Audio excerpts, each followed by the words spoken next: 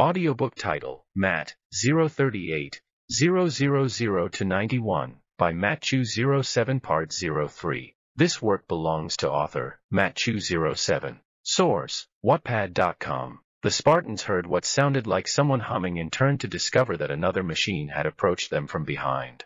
Where the other newcomers were cylindrical in design, with angular, wing-like cowlings, this construct was rounded, almost spherical. It had a single, glowing blue eye, a wraparound housing, and a cheerfully businesslike manner. Greetings I am the monitor of installation 04. I am 343 Guilty Spark. Someone has released the flood. My function is to prevent it from leaving this installation. I require your assistance. Come this way. The voice sounded artificial. This 343 Guilty Spark was some kind of artificial construct, the Spartans realized. From above the little machine, Matt could see Foehammer's pelican moving into position. Monitor.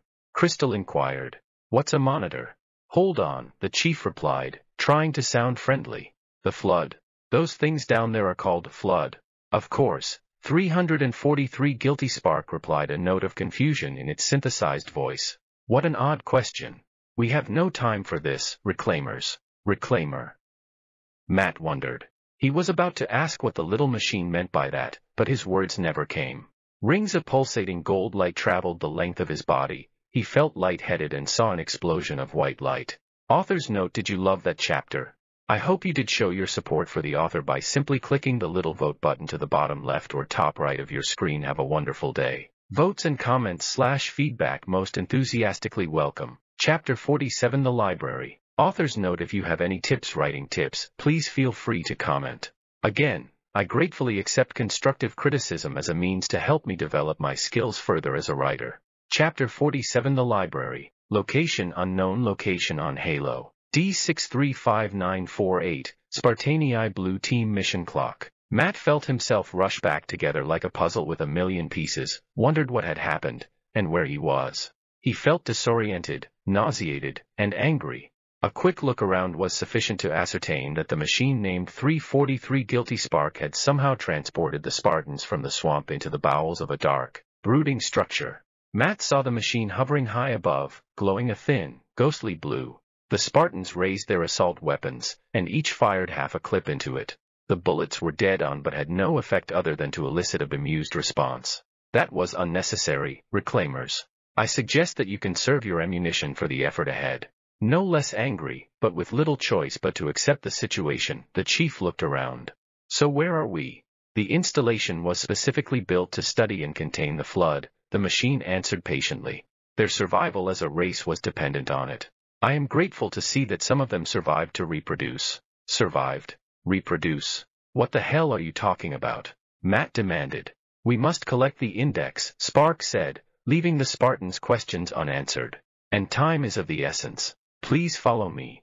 The blue light zipped away at that point, forcing the Spartans to follow, or be left behind. Matt checked both his weapons as they walked. Speaking of you, who the hell are you? Crystal inquired, and what's your function? I am 343 Guilty Spark, the machine said, pedantically. I am the monitor, or more precisely, a self-repairing artificial intelligence charged with maintaining and operating this facility. But you are the reclaimers, so you know that already. Matt didn't know anything of the kind, but it seemed wise to play along, so he did.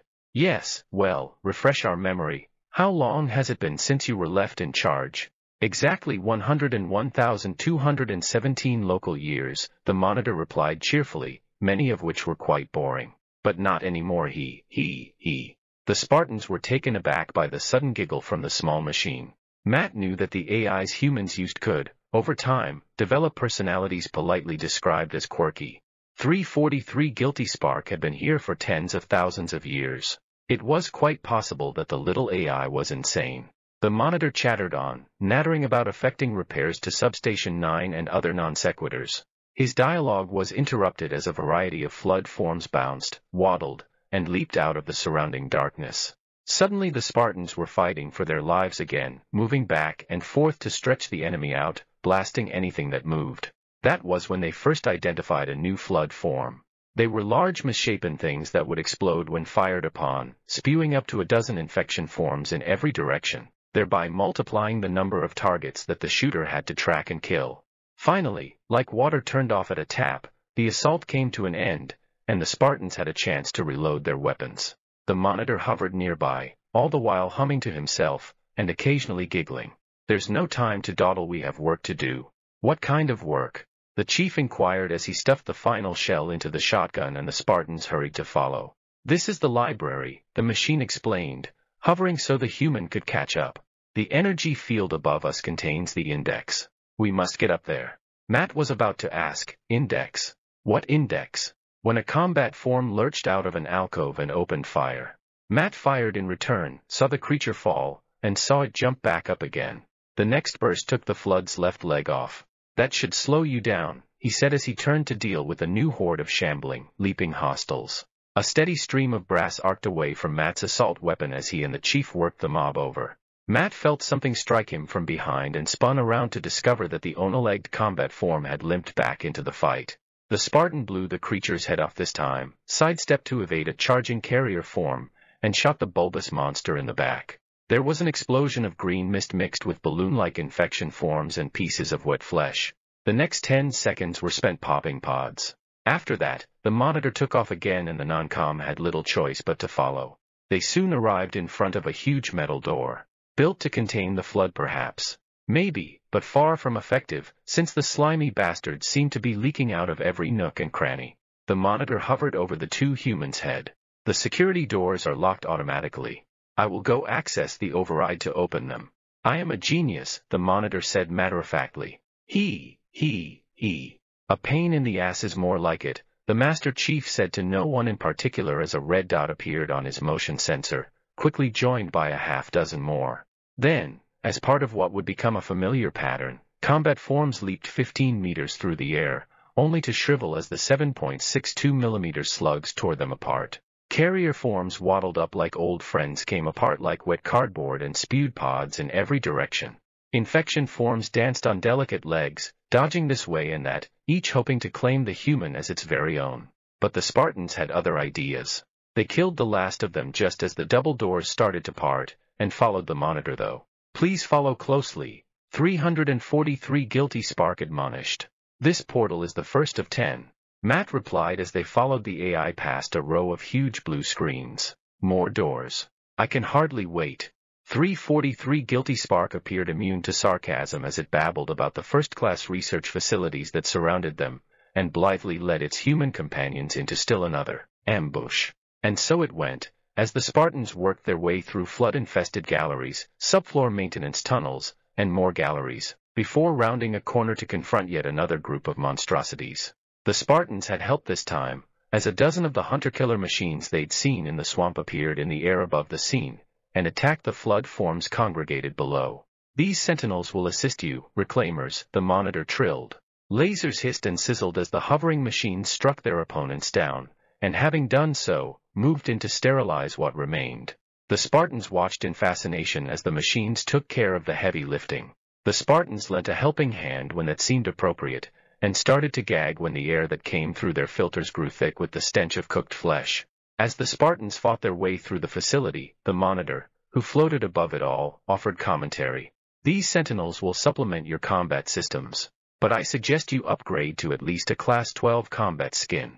Your current models only scan as a Class 2, which is unsuited for this kind of work. If there's a battle suit six times as powerful as Mjolnir armor, Matt thought, I'll be first in line to try it on. Matt jumped to avoid an attack from one of the flood combat forms, pressed the shotgun muzzle into its back, and blew a foot-wide hole through the creature. Finally, after the hard-working sentinels had reduced the flood to little more than a lumpy paste, the Spartans made their way through the carnage and out onto a circular platform.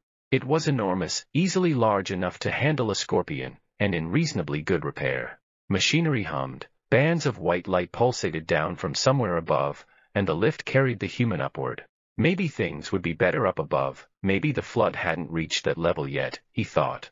Matt didn't hold out much hope, however. So far, nothing else had gone right on this mission. The lift jerked to a halt. The Spartans made their way through a narrow passageway into the gallery beyond.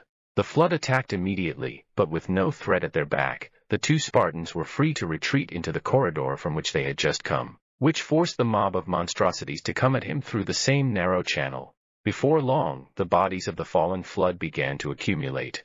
Matt paused, waiting for another wave of attackers, then shoved aside a pile of the dead and moved into the next section of the complex. They gave under his feet, made gurgling sounds, and vented foul-smelling gas. Matt was grateful when his boots were back on solid ground again. The sentinels reappeared shortly thereafter and led the Spartans past a row of huge blue screens. So, where were you bastards a few minutes ago? The chief inquired. But if the machines heard him, they made no reply as they glided, circled, and bobbed through the hallway ahead. Flood activity has caused a failure in a drone control system. I must reset the backup units, 343 Guilty Spark said. Please continue on. I will rejoin you when I have completed my task. The monitor had left him on his own before, and each absence coincided with a fresh wave of flood attackers. Hold on, Matt protested. Let's discuss this, but it was too late. 343 Guilty Spark had already darted through an aperture in the wall and disappeared down some kind of travel conduit. Sure enough, no sooner had the monitor left than a lumpy-looking carrier form waddled out into the light, spotted its prey, and hurried to greet it. The Spartans shot the flood form, but let the sentinels clean up the resulting mess, while they conserved their ammo. A fresh onslaught of flood came out of the woodwork, and the Spartans adopted a more cautious strategy they allowed the sentry machines to mop them up. At first, the defense machines mowed through a wave of the pod-like infection forms with little difficulty. Then more of the hostiles appeared, then more, then still more. Soon, the Spartans were forced to fall back. Matt crushed one of the pods with his foot, smashed another out of the air with the butt of his assault rifle, and killed a dozen more with a trio of quick AR bursts. The monitor drifted back into the chamber, spun as if surveying the carnage and made an odd, metallic clicking that sounded very much like a cluck of disapproval. The Sentinels can use their weapons to manage the flood for a short time, Reclaimers. Speed is of the essence. Then let's go, the Master Chief growled. The monitor made no reply but scooted ahead. The small construct led the Spartan deeper into the library's gloomy halls. They passed through a number of large open gates prior to arriving in front of one that was closed. Matt paused for a moment, expecting that 343 Guilty Spark might open it for them, but the monitor had disappeared. Again. The hell with it, Matt thought. The little machine was rapidly draining his reserves of patience. Determined to move ahead with or without the services of their on-again, off-again guide, the Spartans retraced their steps to the point where a steeply sloping ramp emerged from below, followed it downward, and soon found himself in a maintenance corridor packed with flood. But the narrow confines of the passageway again made it that much easier to kill the parasitic life forms. And five minutes later the human walked up a ramp on the other side of the metal door to find that the monitor was there, humming to himself. Oh, hello I'm a genius. Right. And I'm a vice admiral, Matt said dryly. The monitor darted ahead, leading them across a circular depression to another enormous door. Machinery whirred, and the Spartans were forced to pause as the doors started to part. Then Matt heard a clank, followed by a groan, as the movement stopped. Please wait here, Spark said, and promptly vanished. Just as Matt pulled a fresh clip and rammed it home, dozens of red dots appeared on his threat indicator. He stood with his back to the door as what looked like a platoon of flood forms prepared to rush him. Rather than simply open up on them, and risk the possibility that they might roll them under, the chief threw a grenade into their midst, and half their opponents went up in a single blast. It took a few minutes plus a few hundred rounds of ammo to put the rest of them down, but the Spartans managed to do so. That was when the machinery restarted, the doors opened, and the monitor reappeared, humming to itself. I am a genius. They moved through the new chamber, a high, vaulted gallery, dimly lit with pools of gold-yellow light. For the first time since Spark had dragged them here, Matt had a moment of respite. Ever since entering the library, the Spartans' heads had been on a swivel. Wave after wave of hostile creatures had attacked them from all sides. Matt popped a stimpack, downed a nutrient supplement, and gathered up his weapon. Time to move out. As they proceeded deeper into the library, they found a corpse, a human one. The two Spartans stooped to examine the body. It wasn't pretty. The Marine's body was so mangled that even the flood couldn't make use of him. He lay at the center of a large blood stain wreathed by spent brass. Ah, 343 Guilty Spark said, peering down over the Spartan's shoulders. The other reclaimer. His combat skin proved even less suitable than yours. Matt looked up over his shoulder. What do you mean? Is this a test, Reclaimer? The monitor seemed genuinely puzzled. I found him wandering through a structure on the other side of the ring, and brought him to the same point where you started. The Spartans looked down at the body and marveled at the fact that anyone could make it that far. Even with his physical augmentation, and the advantages of his armor, Matt was reaching the end of his endurance. Matt checked, found the Leathernecks dog tags, and read the name. Mabuto, Marvin, Staff Sergeant, followed by a service number. The chief put the tags away. I didn't know you, Sarge, but I sure as hell wish I had. You must have been one hardest son of a bitch. Matt wholeheartedly approved of that statement. It wasn't much as eulogies go, but Matt hoped that, had Sergeant Marvin Mabuto been there to hear it, he would have approved. Author's note Did you love that chapter? I hope you did show your support for the author by simply clicking the little vote button to the bottom left or top right of your screen. Have a wonderful day. Votes and comments slash feedback most enthusiastically welcome. Chapter 48 Betrayed. Author's note If you have any tips writing tips, please feel free to comment. Again, I gratefully accept constructive criticism as a means to help me develop my skills further as a writer. Chapter 48 Betrayed. Location The Library. D653744, Spartanii Blue Team Mission Clock. The Spartans left Sergeant Mabuto's body behind and approached one of the large metal doors, pleased to see that it was open. They crouched and passed through. 343 Guilty Spark disappeared on one of his mysterious errands a few moments later, and, like clockwork, the flood came out to play. The Spartans were ready for them. The flood swept into the room, dozens of the bulbous infection forms scuttling along the walls and floor, with another half dozen of the combat forms in tow. They paused, as if in confusion. One of the combat forms looked up, and Matt dropped from the pillar he'd shimmied up. His metal boots pulped the creature's face. Assault rifle fire raked the leading edge of the cluster of infection forms. The pods detonated in a chain reaction string. That got their attention, he thought. Matt turned and ran. He jumped up onto a raised platform as he fought, disengaged, and fought again. Finally, as the last body fell, both the Monitor and the Sentinels reappeared. The two Spartans looked at them in disgust as the duo reloaded their weapons, scrounged ammo off the flood combat forms, and followed 343 Guilty Spark out onto a lift that was identical to the last one he'd been on. The platform carried the humans and the AI up to a still higher level, where they got off, paused to let the Sentinels soften up the flood welcome wagon that waited out in the hall, then emerged to lend a hand. There was a loud boom as one of the combat forms leaped from an archway and landed right on top of a sentinel. Its whip tendril flailed at the hovering machine's back and was rewarded with a series of sparks and a gout of flame. A moment later, the sentinel exploded, and the flood and the wrecked drone crashed into the floor in a ball of flesh, bone, and metal. The resulting shower of shrapnel cut three flood forms down and wounded a score of others. Matt took another out with a burst from his assault weapon and the sentinels moved in to fry the remains. Once that contingent of creatures had been dealt with, the Spartans followed the monitor down a hall lined with blue screens, through an area that was infested with flood, and out onto a lift that looked different from the last one they'd been on. Geometric patterns split the floor into puzzle-like shapes, a series of raised panels stood guard around a column of translucent blue light, and the whole thing seemed to glow. The Spartans stepped on board, felt a slight jerk as ancient machinery reacted to his presence, and saw the walls start to rise. Matt realized they were headed down this time, and hoped that their journey was near an end.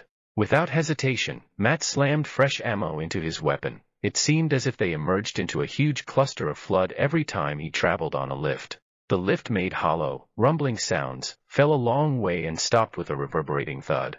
343 Guilty Spark hovered over their shoulders as the Spartans stepped off the lift and approached a pedestal. You may now retrieve the index, the monitor said. The artifact glowed lime green, it was shaped like the letter T. It slowly rose from the top of the cylindrical tube in which it had been kept for so many millennia. A series of metal blocks that encircled the device rotated and spun, releasing their protective grip on the index. The chief took hold of the device and pulled it up and out of its tubular sheath. He held it up to examine the glowing artifact, and was startled when a gray beam lanced from Spark. The index was yanked from his hand and disappeared inside a storage chamber in the monitor's body. What the hell are you doing? Crystal demanded. As you know, reclaimers, Spark said, as if addressing an errant child, protocol requires that I take possession of the index for transport. 343 Guilty Spark swooped and dived, then floated in place. Your biological form renders you vulnerable to infection. The index must not fall into the hands of the flood before we reach the control room and activate the installation. The flood is spreading we must hurry. Matt was about to reply when he saw the bands of pulsating light flowing down around his body, knew he was about to be teleported, and again felt lightheaded. The Spartans rematerialized back on the walkway which seemed to float over the black abyss below, the control room. Matt saw the replica of Halo which arched above, the globe that floated at the center of the walkway, and the control panel where they had last seen Cortana. Was she still there? 343 guilty spark hovered above their heads. Is something wrong? No, nothing, the chief replied. No, Matt answered. Splendid. Shall we? The Spartans made their way forward. The control board was long and curved at either end. An endless light show played across the surface of the panel as various aspects of the Ringworld's extremely complicated electronic and mechanical machinery fed a constant flow of data to the display, all of which appeared as a mosaic of constantly morphing glyphs and symbols. Here, if one knew how to read it, were the equivalents of the Ringworld's pulse, respiration, and brain waves. Reports that provided information on the rate of spin, the atmosphere, the weather, the highly complex biosphere, the machinery that kept all of it running, plus the activities of the creatures around whom the world had been formed the flood. It was awesome to look at, and even more awesome to consider. 343 Guilty Spark hovered above the control panel and looked down on the humans who stood in front of him. There was something supercilious about the tone of the construct's voice. My role in this particular endeavor has come to an end. The protocol does not allow units from my classification to perform a task as important as the reunification of the index with the core. The monitor zipped around to hover at the Spartan's side. That final step is reserved for you, reclaimers. Why do you keep calling us that? Matt asked. Spark kept silent. Matt looked at the chief and shrugged. The chief accepted the index and gazed at the panel in front of them. One likely-looking slot pulsed the same glowing green that shone from the index. He slid it home. The cheap device fit perfectly. The control panel shivered as if stabbed, the displays flared as if in response to an overload, and an electronic groan was heard. 343 Guilty Spark tilted slightly as if to look at the control board. That wasn't supposed to happen, Spark chirped. There was a sudden shimmer of light as Cortana's holographic figure appeared and continued to grow until she towered over the control panel. Her eyes were bright pink, data scrolled across her body, and the mat knew she was pissed. Oh, really? she said. She gestured, and the monitor fell out of the air and hit the deck with a clank. The chief looked up at her. Cortana, the AI stood with hands on hips. I spent hours cooped in here watching you two today about helping that thing get set to slit our throats. Matt turned toward the monitor and back. Hold on now. He's a friend. Cortana brought a hand up to her mouth in mock surprise. Oh, I didn't realize. He's your pal, is he? Your chum. Do you have any idea what that bastard almost made you two do? Yes, Matt said patiently. Activate Halo's defenses and destroy the flood. Which is why we brought the index to the control center. Cortana's image plucked the index out of its slot and held it out in front of her. You mean this? Now reanimated, 343 guilty spark hovered just off the floor. He was furious. A construct in the core. That is absolutely unacceptable. Cortana's eyes glowed as she bent forward. Piss off. The monitor darted higher. What impertinence I shall purge you at once. You sure that's a good idea? Cortana inquired as she waved the index, then added the data contained within it to her memory. How dare you Spark exclaimed. I'll do what? Cortana demanded. I have the index. You can float and sputter. The Master Chief held both hands up. One held the assault rifle. Enough the flood is spreading. If we activate Halo's defenses we can wipe them out. Cortana looked down on the humans with an expression of pity. You two have no idea how this ring works, do you? Why the Forerunners built it. She leaned forward, her face grim. Halo doesn't kill Flood, it kills their food. Human, Covenant, whatever. You're all equally edible. The only way to stop the Flood is to starve them to death. And that's exactly what Halo is designed to do. Wipe the galaxy clean of all sentient life. You don't believe me. The AI finished. Ask him and she pointed to 343 guilty spark. The ramifications of what Cortana said hit home, and Matt gripped his MA5B tightly. He rounded on the monitor. Is it true? Spark bobbed slightly. Of course, the construct said directly. Then, sounding more like his officious self again, this installation has a maximum effective radius of 25,000 light-years, but once the others follow suit, this galaxy will be quite devoid of life, or at least any life with sufficient biomass to sustain the flood, the AI continued contritely. The little device sounded genuinely puzzled. But you already knew this. I mean, how couldn't you? Cortana glowered at the two Spartans. Left out that little detail, did he? We followed outbreak containment procedure to the letter, the monitor said defensively. You were with me each step of the way as we managed the process. Chief, Commander, Crystal interrupted, I'm picking up movement. Why would you hesitate to do what you've already done? 343 Guilty Spark demanded. We need to go, Cortana insisted. Right now. Last time you asked me if it were my choice, would I do it? The monitor continued, as a flock of sentinels arrayed themselves behind him. Having had considerable time to ponder your query, my answer has not changed. There is no choice. We must activate the ring. Get us out of here, Cortana said, her eyes tracking the sentinels. If you are unwilling to help, I will simply find another, Spark said conversationally. Still, I must have the index. Give your constructs to me or I will be forced to take it from you. The Spartans looked up at Spark and the machines arrayed in the air behind them. The assault weapon Matt had in his hands came up ready to fire. That's not going to happen, he said. So be it, the monitor said wearily. Then, in a comment directed to the sentinels, he added save their heads. Dispose of the rest. Author's note Did you love that chapter? I hope you did show your support for the author by simply clicking the little vote button to the bottom left or top right of your screen. Have a wonderful day. Votes and comments slash feedback most enthusiastically welcome. Chapter 49 New Plan. Author's note If you have any tips writing tips, please feel free to comment.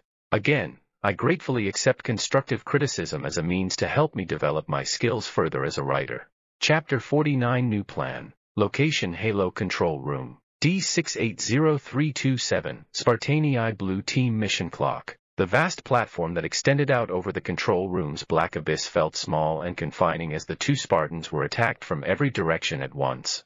Rubaiyard energy beams sizzled, and the smell of ozone filled the air as the airborne sentinels circled, searching for a chink in his armor.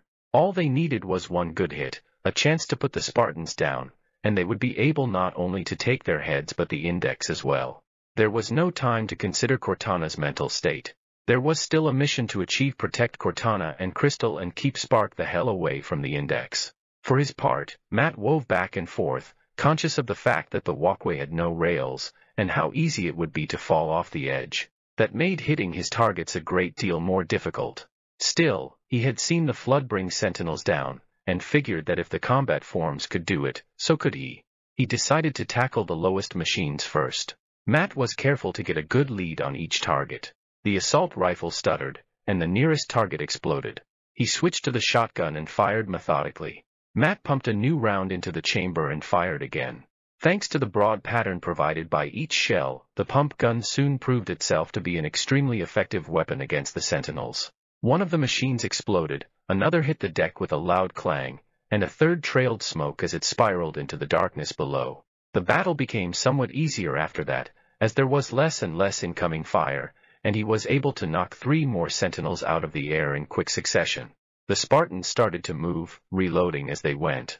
One especially persistent machine took advantage of the interlude to score three hits on Matt's back, which triggered the audible alarm and pushed his shield to the very edge. With only four shells in his weapon, Matt turned, blew the sentinel out of the air, and spun to nail another. Then, weapon raised, he turned in a circle, searching for more targets. There weren't any.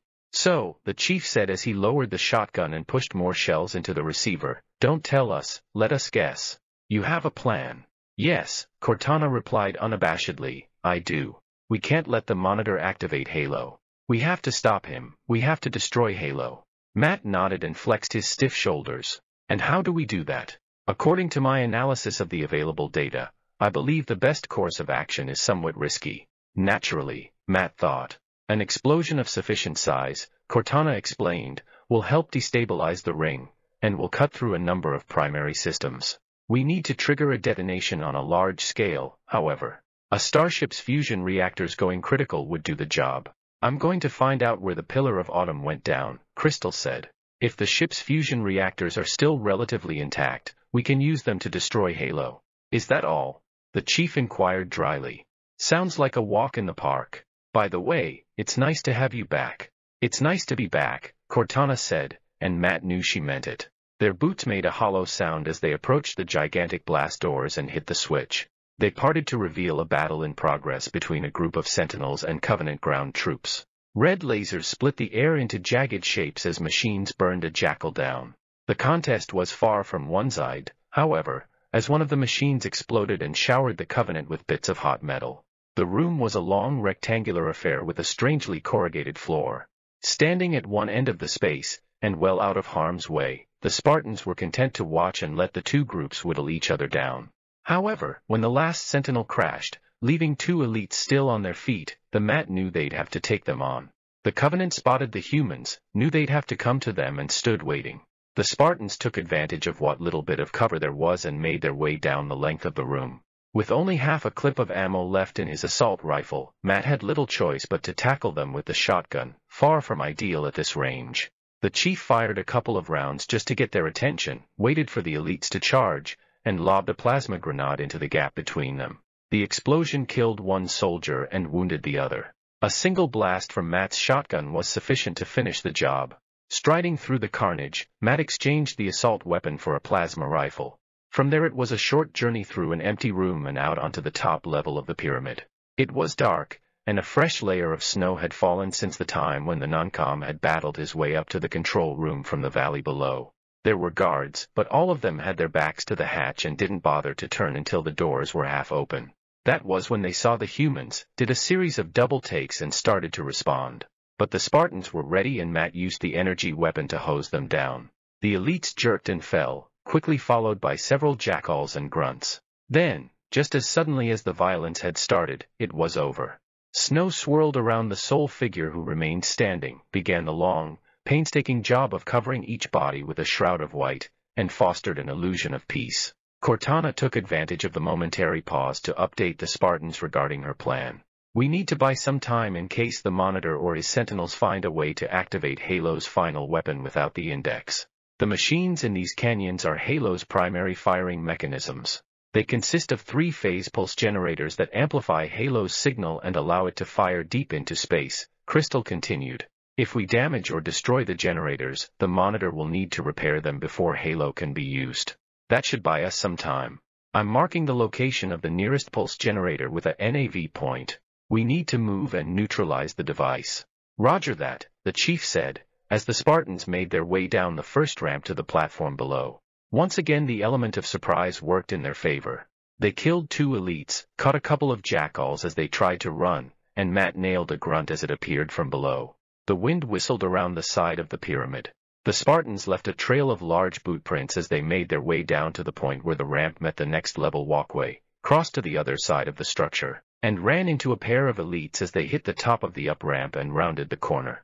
There wasn't enough time to do anything but fire, and keep on firing, in an attempt to overwhelm the Covenant armor. It wouldn't have worked had the aliens been farther away, but the fact that the plasma pulses were pounding them in close made all the difference. The first elite made a horrible gurgling sound as he fell and the second got a shot off but lost half of his face. He brought his hands up to the hole, made a gruesome discovery, and was just about to scream when an energy bolt took his life. Then, as the Spartans prepared to descend into the valley below, Cortana said, Wait, we should commandeer a couple of those banshees.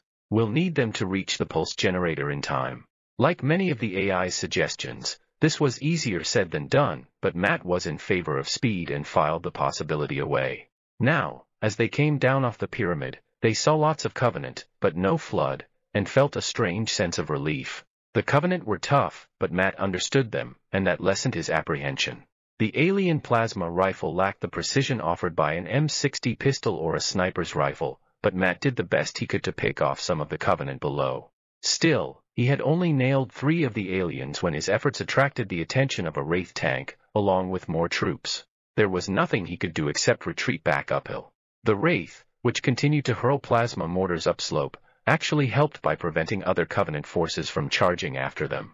That advantage wouldn't last long, though, which meant that they had to find some additional firepower, and find it fast.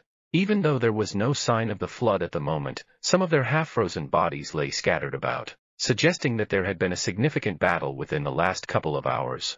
The duo knew the flood carried weapons acquired from dead victims, so the Spartans ran from corpse to corpse, looking for what they required.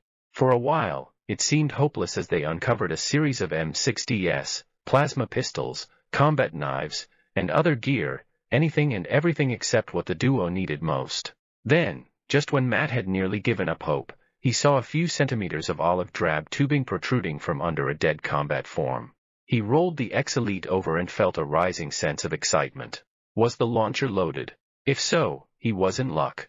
A quick check revealed that the weapon was loaded, and as if to prove that luck comes in threes, Matt found additional ammunition only a few meters away. Armed with the launcher, he was ready to go to work. The Wraith represented the most significant threat, so he decided to deal with that first. It took time to make his way back across the face of the pyramid to a point where he could get a clear shot, but he did. The monster was dangerously close as he put a pair of rockets into the mortar tank and watched it explode. Matt ejected the spent rocket tubes, slammed fresh ammunition home, and shifted his aim. Two more rockets lanced ahead and detonated in clusters of Covenant soldiers. He fell back and slung the rocket launcher. He had a limited supply of rockets, and once they were gone, he had no choice but to go down onto the valley floor and finish the job the hard way. The duo crept up on the pair of elites who stood guard near a couple of banshees. They went down from deadly, spine-cracking blows and they stepped past their fallen corpses. Matt examined the Banshee's controls while Crystal ensured the machine was fully operational. Matt boarded the aircraft and activated its power plant. He wondered why the aliens hadn't used the Banshee against them, was thankful that they hadn't, and eyed the instrument panel. Matt recognized the very alien yet very familiar interface. The takeoff was rough, but it wasn't long before the Banshee started to climb. It was dark, and snow continued to fall, which meant that visibility was poor. Matt kept a close eye on both the NAV point Crystal had projected onto his HUD and the instrument panel. The design was different, but an alien turn and bank indicator still looked like what it was and helped the human maintain his orientation. The Banshee made good speed, and the valleys were quite close together. So it wasn't long before the Spartan spotted the Wellet platform which jutted out from the face of the cliff, as well as the enemy fire which lashed up to greet the duo. The word was out, it seemed, and the Covenant didn't want any visitors. Rather than put down under fire, they decided to carry out a couple of strafing runs first. Matt swooped low and used the Banshee's plasma and fuel rod cannons to sweep the platform clear of sentries before decelerating for what he hoped would be an unopposed landing. The Banshees crunched into the platform, bounced once, then ground to a halt. The Spartans dismounted, passed through a hatch, and entered the tunnel beyond. We need to interrupt the pulse generator's energy stream, Cortana informed the Spartans.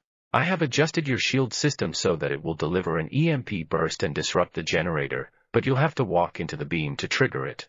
I'm doing the same for you, Commander, Crystal said. The Spartans paused just shy of the next hatch.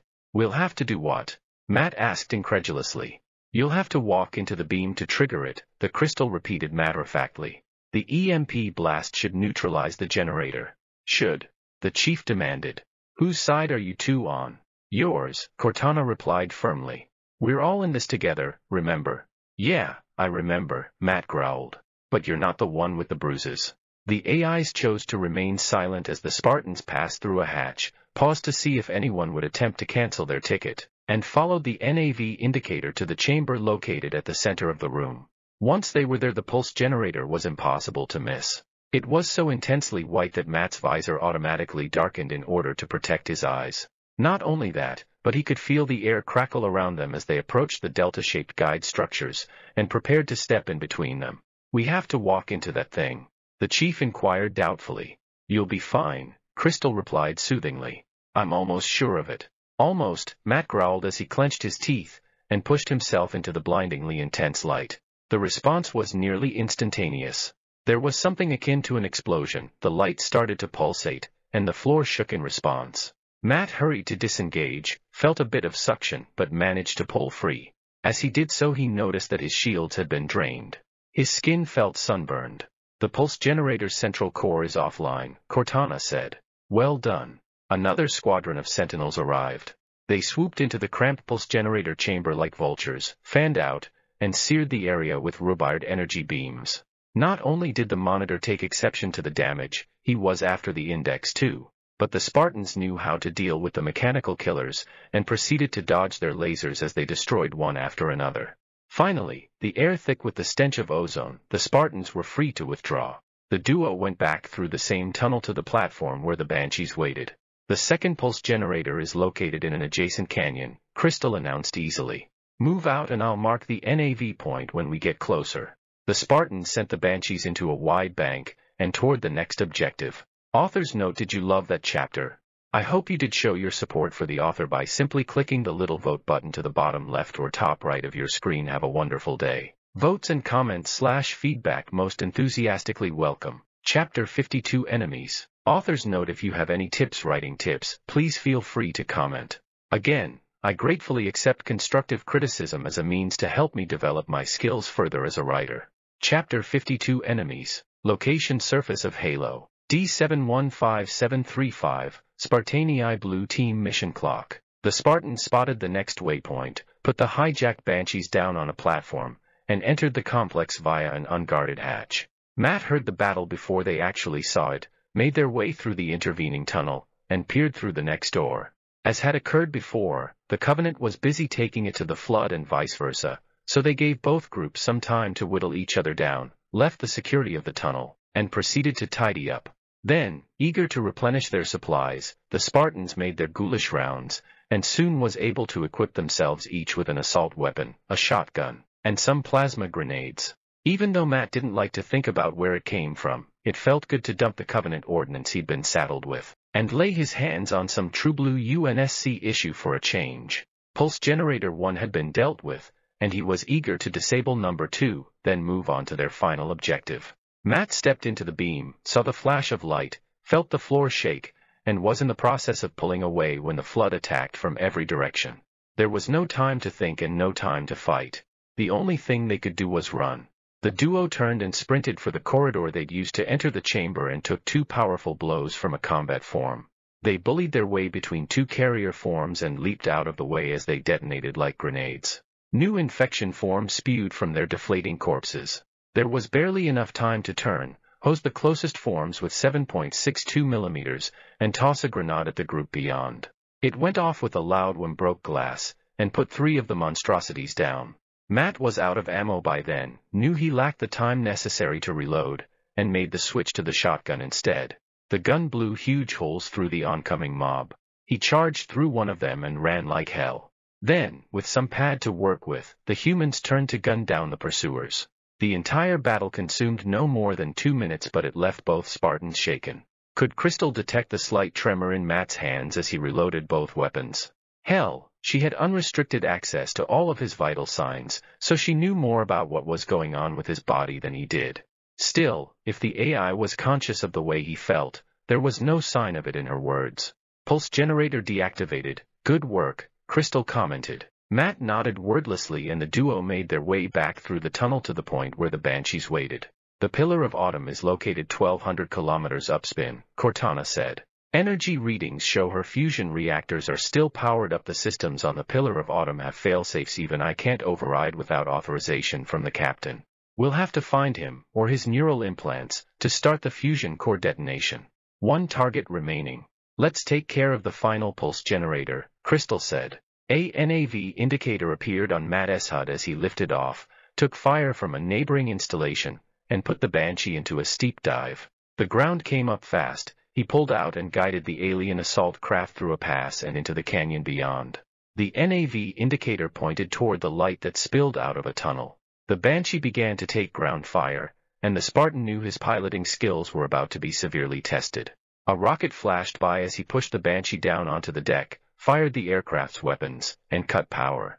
Flying into the tunnel was bad enough, but flying into it at high speed verged on suicidal.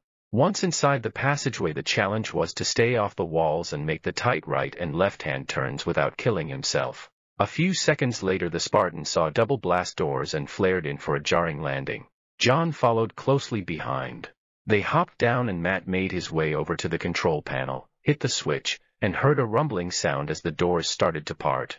Then there was a bang as something exploded and the enormous panels came to a sudden stop. The resulting gap was too small for the Banshee, but sufficient for two carrier forms to scuttle through. The beast scrambled toward him on short, stubby legs. The humpbacked bladders that formed their upper torsos pulsed and wriggled as the infection forms within struggled for release. Matt blew both monsters away with twin shotgun blasts and mopped up the rest of the infection forms with another shot. He paused and reloaded. There were bound to be more of the creatures on the far side of the doors. Resigned to a fight, they stepped through the crack and paused. There was no sound beyond the gentle roar of machinery, the drip, drip, drip of water off to their right, and the rasp of their own breathing. The threat indicator was clear, and there were no enemies in sight, but that didn't mean much. Not where the flood was concerned. They had a habit of coming out of nowhere. The cave, if that was the proper word for the huge cavern-like space, featured plenty of places to hide. Enormous pipes emerged from the walls and dived downward, Mysterious installations stood like islands on the platform around him, and there was no way to know what might lurk in the dark corners. Lights mounted high above provided what little illumination there was. The humans stood on a broad platform that ran the full length of the open area. A deep chasm separated his platform from what appeared to be an identical structure on the other side of the canyon. One of two bridges that had once spanned the gorge was down, leaving only one over which he could pass, a matador or choke point for anyone who wanted to establish an ambush. There wasn't a hell of a lot of choices, so the duo marched down to the point where the remaining span was anchored and started across. They hadn't gone more than 30 paces before 50 or 60 infection forms emerged from hiding and danced out to block the way. The Spartans held their position, waited for the flood forms to come a little closer, and the chief tossed a fragmentation grenade into the center of the group. The cavern ate some of the sounds, but the explosive device still managed to produce a bang, and the resulting shrapnel laid waste to all but a handful of the creatures. There were two survivors, though, both optimists, who continued to bounce forward in spite of the way in which the rest of the group had been annihilated. A single shotgun blast from Matt was sufficient to kill both of them. Matt slipped some additional shells into the gun's magazine tube, took a deep breath, and moved forward again. They made it about halfway to the other side before a mixed force of combat forms, carrier forms, and infection forms started to gather at the far end of the span. Another grenade inflicted casualties, but they charged the duo after that, and the Spartans were forced to retreat, firing the assault weapons as they did so. It was nip and tuck for a few seconds as combat forms launched themselves 15 meters through the air, carriers charged straight in, and the omnipresent infection forms swarmed through the gaps. Retreating, Matt had already reloaded three times before his back hit the wall, and the last combat form collapsed at his feet, started to rise, and took a blast in the head. Once again it was time to reload both weapons, step out onto the gore-splattered bridge deck, and attempt another crossing. This one was successful, with only light opposition on the other side, and an opportunity to replenish their ammo. The next set of blast doors opened flawlessly, allowing the Spartans to enter a relatively short section of tunnel that led back to the surface. Determined to use stealth if at all possible, they slipped out of the passageway, scrambled up over the snow embankment to their right, and ran into a group of four flood.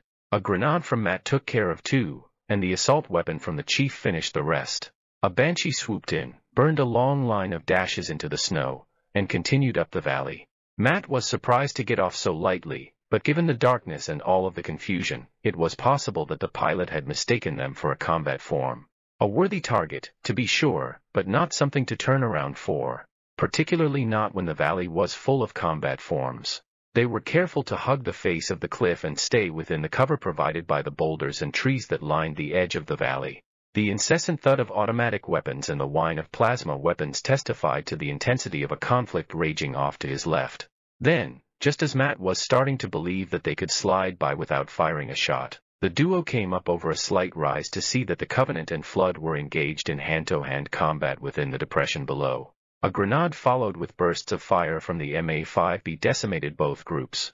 Snow crunched as the humans made their way down through the blood-stained snow, past the spot where a trio of greedy infection forms squabbled over a wounded elite, and up another rise to a stand of trees where a combat form and a carrier tried to jump him. Both of the floods staggered as bursts of 7.62 mm slugs cut them down, and they flopped onto the snow. Having broken through the perimeter of the battle, the Spartans were able to follow the NAV indicator into a second valley where they came upon a group of dead Marines, loaded up on ammo, and tried to decide whether to stay with the scattergun or trade it in for a sniper's rifle or a rocket launcher. It would have been nice to have all three, but that many weapons would be unwieldy, not to mention damned heavy. In the end, Matt went with the rifle and shotgun and hoped it was the right decision. The Spartans checked the Marines for dog tags, discovered that they had already been taken by someone else, and took the time required to drag the bodies into a nearby cave in the hope that the infection forms wouldn't find them. That seemed like a good place to stash the extra weapons, so that's what they did. Then, having followed the second valley to the point where it opened onto a third valley, they came across a no familiar scene. The Covenant were battling the flood with everything they had, including shades, a brace of ghosts, and two extremely active wraiths, but the flood had plenty of bodies to throw back at them and didn't hesitate to do so. What the two wanted were the banshees that was parked at the head of the valley, but in order to get at the aircraft, it would be necessary to cut both groups down to size. They stayed right, slipped along the cliff face, and made use of a thin screen of trees and boulders to hide their movements from those out toward the center of the valley. Finally, having passed behind a house-sized rock and found a vantage point that allowed Matt to look out on the area where the vast majority of the Covenant were congregated, the Spartan unlimbered the S2AM, selected the 10x setting for the scope and began his bloody work. In this particular situation, Matt selected the softest targets first, starting with the grunts on the shades, followed by the outlying jackals, all in hope that he could inflict a lot of casualties before the elites took notice and sent the tank to get him. The problem was that the little world inside the scope was all-consuming, a fact that caused him to let down his guard. The first hint he had that a flood form had come up behind him was when it whacked the Spartan in the head. The blow would have killed anyone else, but the armor saved him, and Matt rolled in the direction of the blow. The long-barreled S2 wasn't well suited for close-in combat but that's what he had in his hands. There was no time to aim as the flood form charged, only time to fire, and that's what he did. The slug caught the ex-elite in the chest. The combat form didn't even flinch as the bullet passed through its spongy center of mass. A tiny spurt of gray-green ichor trailed from the entry wound, as the creature swung a vicious blow at the mat. Matt ducked the attack and dropped the rifle. He dived, tucked into a roll, and came up with his sidearm in his hand. He emptied the clip into the beast. One round blew its left arm off, and the final round made a foot-wide exit wound in the flood's back. Matt kicked in the creature's chest, crushing the infection form within. He collected the S2 and frowned. He studied the fallen flood for a moment and saw that the creature's insides were rapidly liquefying. The velocity of the S2's projectile had passed through the non-vital mass of the creature's chest and just kept going. Another nasty surprise, courtesy of the flood. After a quick look around to make sure that there weren't any more surprises lurking in the vicinity, with his heart still beating like a trip hammer, Matt went back to his grisly work. Three more Covenant warriors fell before a barrage of fireballs arced high into the air to land all around his position.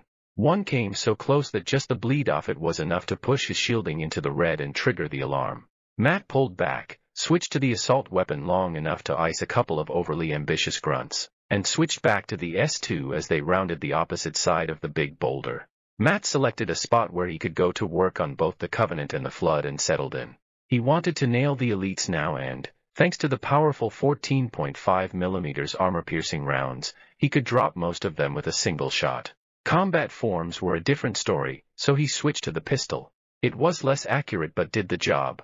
It wasn't long before more than a dozen bodies were laid out in the snow. But then the word was out.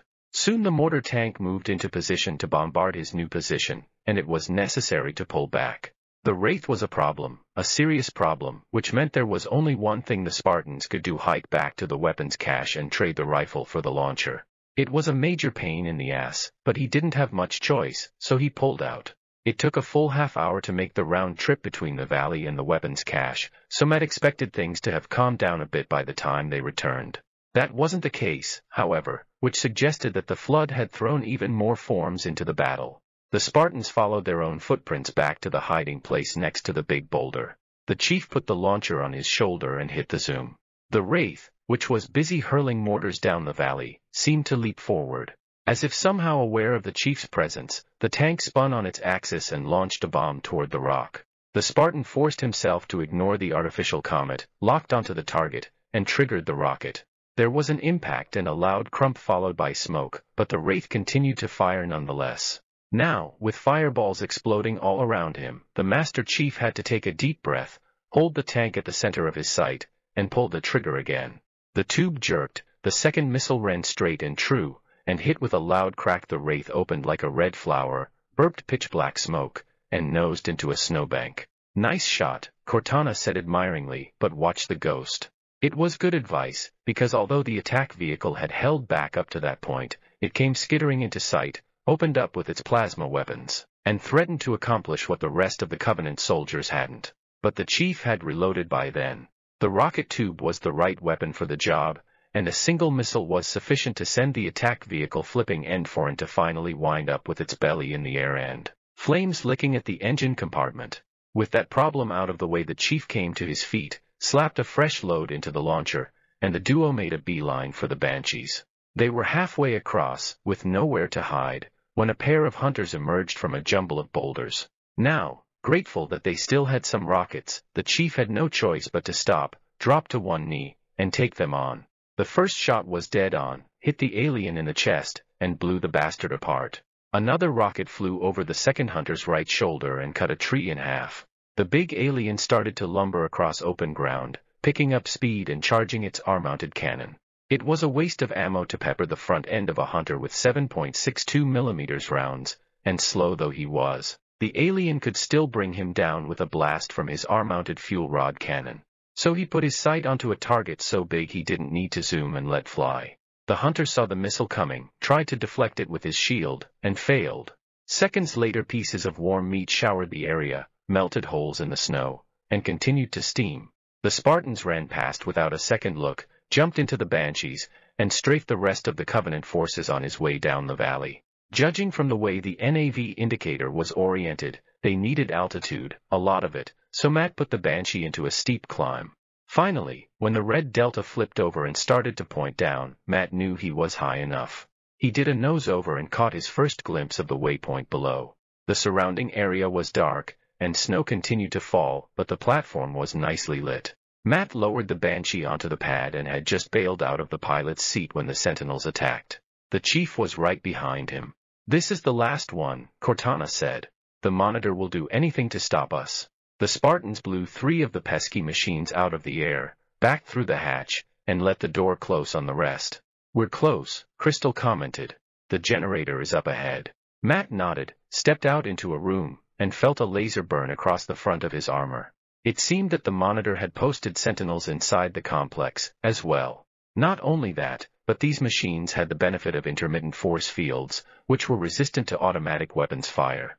Still, they had a couple of 102 mm surprises in store for the electromechanical enforcers, which the chief fired into the center of the hovering pack. Three sentinels were blown out of the air. A fourth did loops as it tried to rid itself of a plasma grenade, failed, and took another machine with it.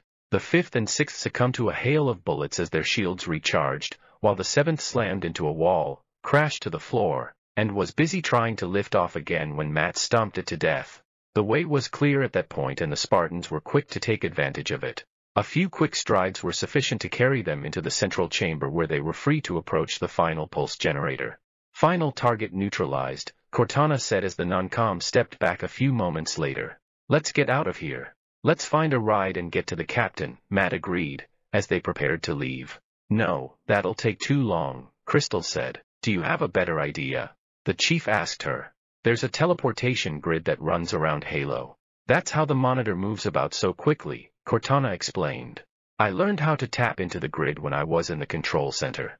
So, the chief asked, somewhat annoyed, why didn't you just teleport us to the pulse generators? I can't. Unfortunately, each jump requires a rather consequential expenditure of energy, and I don't have access to Halo's power systems to reroute the energy we need. Cortana paused, then reluctantly continued. There may be another way, however. Matt frowned and shook his head. Something tells me I'm not going to like this. I'm pretty sure I can pull the energy we need from your suits without permanently damaging your shield systems or the armor's power cells, Cortana continued. Needless to say, I think we should only try this once. Agreed. Tap into the Covenant network and see if you can find him, the chief said. If we've only got one shot at this, we should make it a good one, Matt added. There was a pause as Cortana worked her magic with the intrusion and scan software. A moment later, she exclaimed, I've got a good lock on Captain Keyes' CNI transponder signal. He's alive and the implants are intact there's some interference from the cruiser's damaged reactor. I'll bring us in as close as I can. Do it, the Master Chief growled. Let's get this over with, Matt said as confidently as he could. No sooner had the Spartans spoken than bands of golden light started to ripple down over their armor, the no familiar feeling of nausea returned, and the Spartans seemed to vanish through the floor. Once they were gone only a few motes of amber light remained to mark his passing. Then, after a few seconds, they too disappeared. Author's note Did you love that chapter? I hope you did show your support for the author by simply clicking the little vote button to the bottom left or top right of your screen. Have a wonderful day. Votes and comments slash feedback most enthusiastically welcome. Chapter 51 Unexpected Entrance. Author's note If you have any tips writing tips, please feel free to comment. Again, I gratefully accept constructive criticism as a means to help me develop my skills further as a writer. Chapter 51 Unexpected Entrance. Location Covenant Ship Truth and Reconciliation. D733416, Spartan-II Blue Team Mission Clock. He wasn't here, wasn't there, wasn't anywhere insofar as Matt could tell from within the strange never-never land of Halo's teleportation net. He couldn't see or hear anything, save a sense of dizzying velocity. The Spartan felt his body stitched back together, one molecule at a time. He saw snatches of what looked like the interior of a Covenant ship as bands of golden light strobed up and disappeared over his head. Something was wrong and Matt was just starting to figure out what it was. The inside of the ship seemed to be upside down, when he flipped head over heels and crashed to the deck. They'd materialized with his feet planted firmly on the corridor's ceiling. Oh Cortana exclaimed. I see, the coordinate data needs to be. Matt got his feet and the chief did the same. The chief slapped the general area where his implants were and shook his head. Cortana sounded contrite. Right. Sorry. Never mind that, the chief said. Give us a sitrep. The AIs patched back into the Covenant computing systems, a much easier task now that they were aboard one of the enemy's warships. The Covenant network is absolute chaos, Crystal replied. From what I've been able to piece together, the leadership ordered all ships to abandon Halo when they found the flood, but they were too late. The flood overwhelmed this cruiser and captured it. I assume, Matt said, that's bad. The Covenant thinks so. They're terrified that the flood will repair the ship and use it to escape from Halo, Cortana said. They sent a strike team to neutralize the flood and prepare the ship for immediate departure. The Spartans peered down the corridor. The bulkheads were violet. Strange patterns marbled the material, like the oily sheen of a beetle's carapace. The duo started forward but quickly came up short as a voice that verged on a groan came in over air implants. Chief, Commander, don't be fools. Leave me. It was Keyes' voice. Captain. Cortana inquired desperately. Captain I've lost him. Neither Spartan said anything further. The pain in Keyes' voice had been clear. All they could do was drive deeper into the ship and hope to find him. The duo passed through a hatch, noticed that the right bulkhead was splattered with Covenant blood, and figured a battle had been fought there. That meant they could expect to run into the flood at any moment. As they continued down the passageway Matt's throat felt unusually dry, his heart beat a little bit faster, and his stomach muscles were tight. His suspicions were soon confirmed as he heard the sounds of battle, took a right and saw that a firefight was underway at the far end of the corridor. They let the combatants go at it for a bit before moving in to cut the survivors down. From there the Spartans took a left, followed by a right, and came to a hatch. It opened to reveal a black hole with jagged edges. Farther back, beyond the drop-off, another firefight was underway. Analyzing data, Crystal said. This hole was caused by some sort of explosion. All I detect down there are pools of coolant. We should continue our search somewhere else. The AI's advice made sense, so the Spartans turned to retrace his steps. Then, as they took the first left, all hell broke loose. Cortana said, warning threat level increasing and then, as if to prove her point, a mob of flood came straight at them. They fired, retreated, and fired again. Carrier forms exploded in a welter of shattered flesh, severed tentacles, and green slime.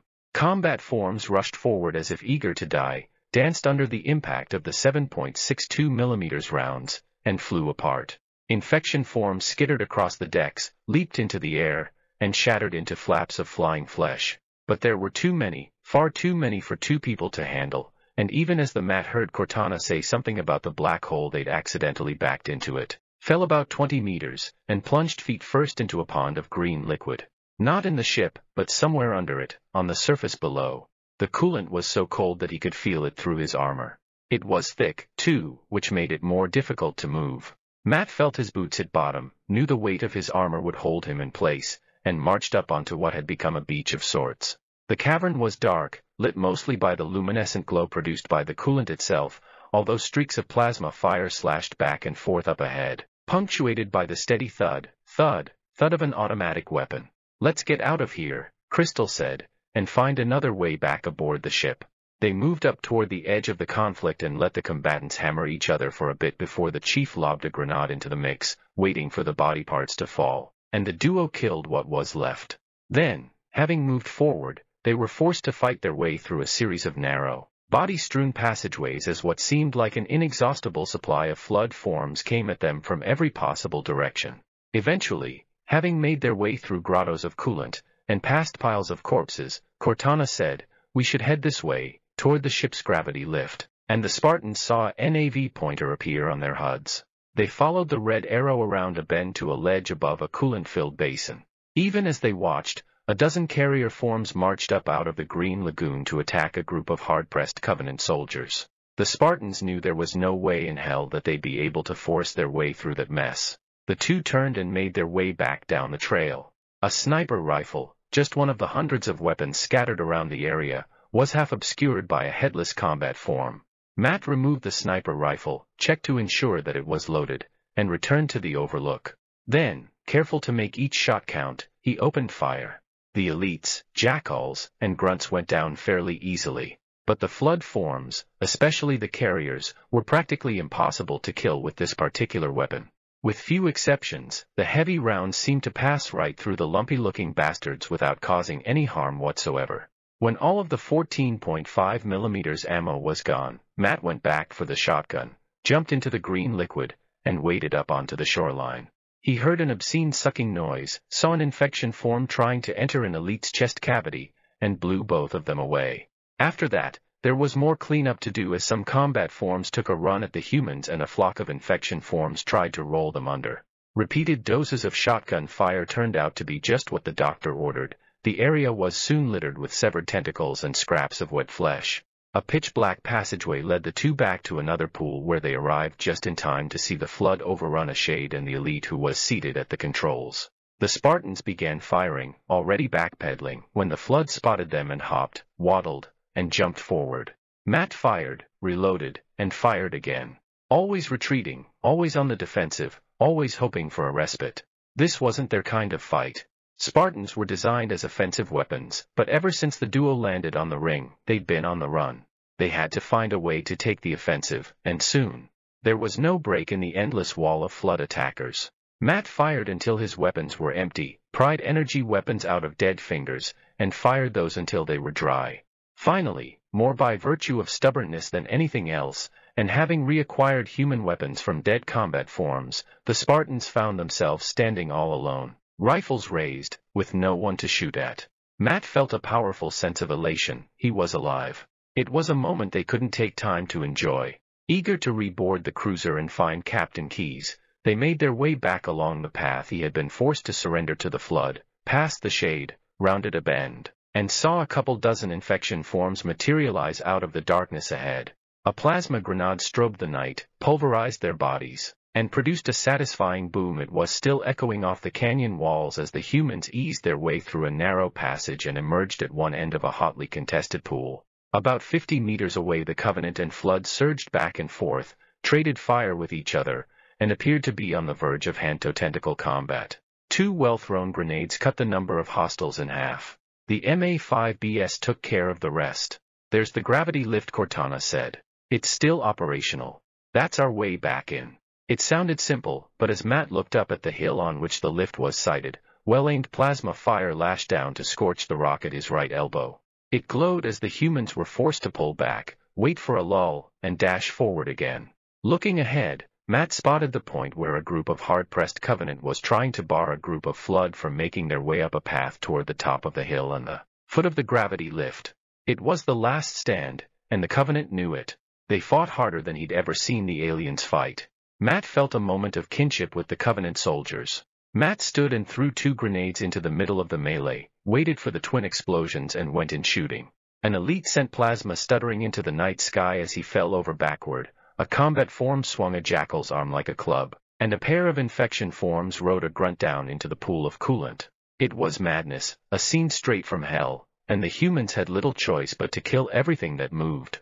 As the last bodies crumpled to the ground, the Spartans were free to follow the steadily rising path upward, turn to the right, and enter the lift's footprint. Matt felt static electricity crackle around his armor and heard plasma shriek through the air as a distant covenant took exception to their plans.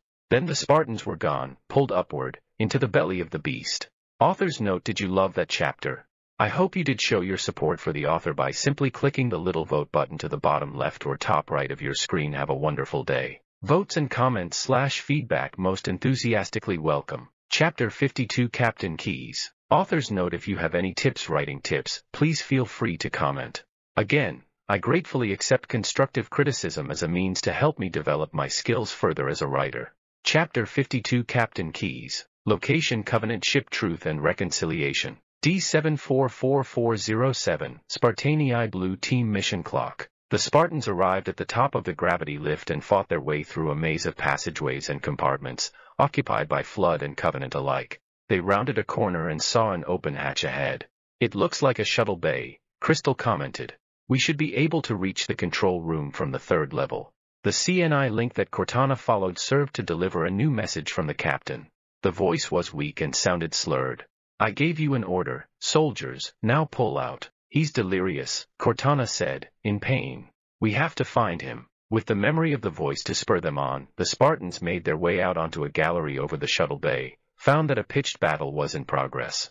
Matt lobbed two grenades into the center of the conflict. They had the desired effect, but also signaled the human's presence, and the flood came like iron filings drawn to a magnet. The flood onslaught was intense, and the Spartans were forced to retreat into the passageway whence they had come in order to concentrate the targets, by some time, and reload their weapons. The pitched firefight ended, and they sprinted for the far side of the gallery and passed through an open hatch. The duo fought their way up to the next level of the gallery, where the flood appeared to be holding a convention at the far end of the walkway.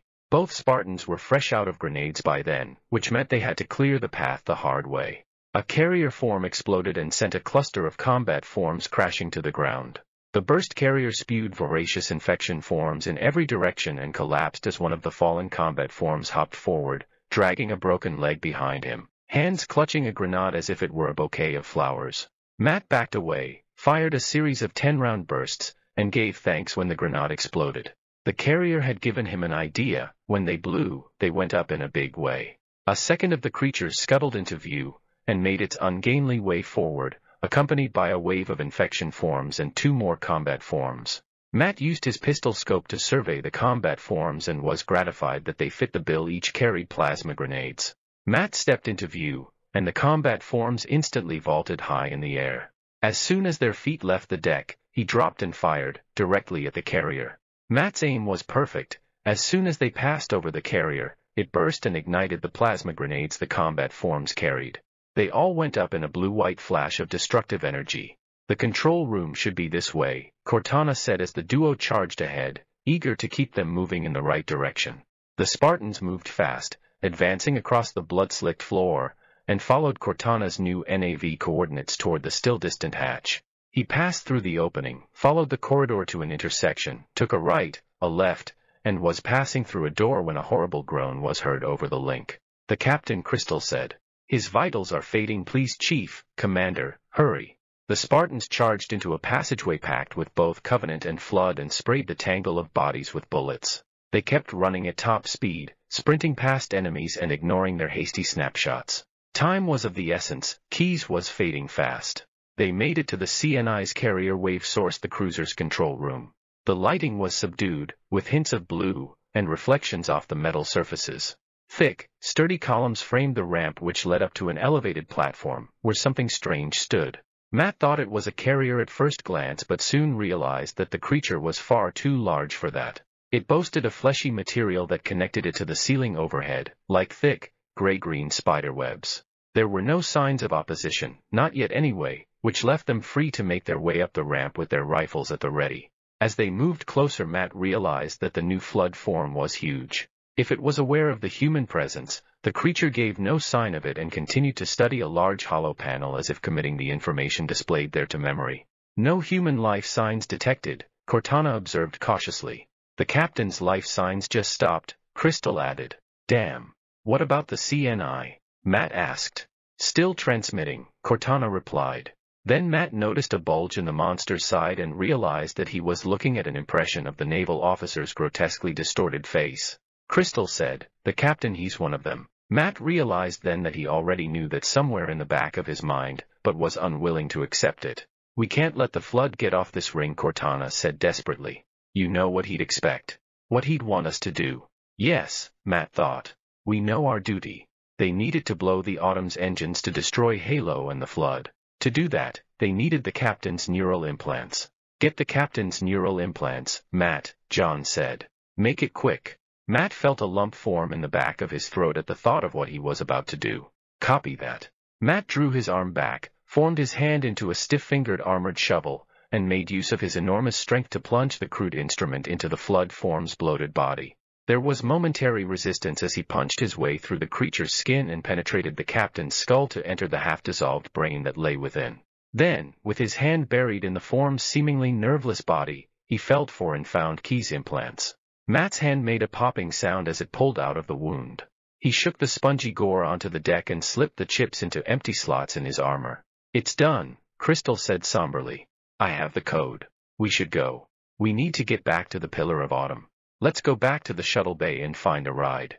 As if summoned by the lethargic beast that stood in front of the ship's controls, a host of flood poured into the room, all of whom were clearly determined to kill the heavily armored invaders. A flying wedge comprised of carrier and combat forms stormed the platform, pushed the humans back, and soaked up their bullets as if eager to receive them. Finally, more by chance than design, the Spartans backed off the command deck and plummeted to the deck below. That bought a moment of respite. There wasn't much time, though, just enough for the duo to hustle up out of the channel that ran parallel to the platform above. Matt reloaded both of his weapons and put his back into a corner. The chief did the same. The horde really came for them then, honking, gibbering, and gurgling, climbing up over the bodies that were mounted in front of them, careless of casualties, willing to pay whatever price they required. The storm of gunfire put out by the MJOL and ironclad soldiers were too powerful, too well aimed, and the flood started to wilt, stumble, and fall, many giving up their lives only centimeters from Matt's blood-drenched boots, clawing at his ankles. He breathed a sigh of relief as the last combat form collapsed, relished the silence that settled over the room, and took a moment to reload both of his weapons. Are you okay? Crystal asked hesitantly, both grateful and amazed by the fact that Matt was still on his feet. Matt thought of Captain Keyes. No, Matt replied. Let's get the hell out of here and finish these bastards off. Agreed, John said. Matt was numb from creeping exhaustion, hunger, and combat. The planned escape route back to the shuttle bay was littered with Flood and Covenant alike. The Spartans moved almost as if they were on autopilot, the duo simply killed and killed and killed. The bay was filled with Covenant forces. A dropship had deployed fresh troops into the bay and bugged out. A pair of amped-up elites patrolled near the Banshees at the base of the bay. All the possibilities raced through Matt's weary mind. What if that particular machine was in for repairs? What if an elite took over the shade and gunned them down? What if some bright light decided to close the outer doors? But none of those fears were realized as the aircraft came to life, turned toward the planet that hung outside the bay doors, and raced into the night. Energy beams followed and tried to bring the Banshees down, but ultimately fell short. They were free once more. Author's note Did you love that chapter? I hope you did show your support for the author by simply clicking the little vote button to the bottom left or top right of your screen. Have a wonderful day. Votes and comments slash feedback most enthusiastically welcome. Chapter 53 Pillar of Autumn. Author's note if you have any tips writing tips, please feel free to comment. Again, I gratefully accept constructive criticism as a means to help me develop my skills further as a writer. Chapter 53 Pillar of Autumn. Location Commandeered Banshee on approach to the UNSC Pillar of Autumn. D761856, Spartan-II Blue Team Mission Clock. The Banshee screamed through a narrow valley and out over an arid wasteland. The vehicle's shadow raced ahead as if eager to reach the Pillar of Autumn first. Matt felt the slipstream fold in behind the aircraft's nose and tug at his armor. It felt good to be out of twisting corridors and cramped compartments if only for a short while. The first sign of the ship's presence on the Ringworld's surface was the 100-meter-deep trench the Autumn's hull had carved into Halo's skin. It started where the cruiser had first touched down, vanished where the vessel had bounced into the air, and reappeared a half-click farther on. From there the depression ran straight as an arrow to the point where the starship had finally come to rest with its blunt bow protruding out over the edge of a massive cliff. There were other aircraft in the area as well, all of which belonged to the Covenant, and they had no reason to suspect the incoming Banshee. Not yet, at any rate. The Spartans, who were eager to make their approach look normal, chose one of the many empty lifeboat bays that lined the starship's starboard side and bored in. These things are falling apart Crystal said panicked. They'll hold, Matt said calmly. We're not gonna make it Cortana cried. We'll make it, the chief said. Pull up pull up the two AIs shouted in unison.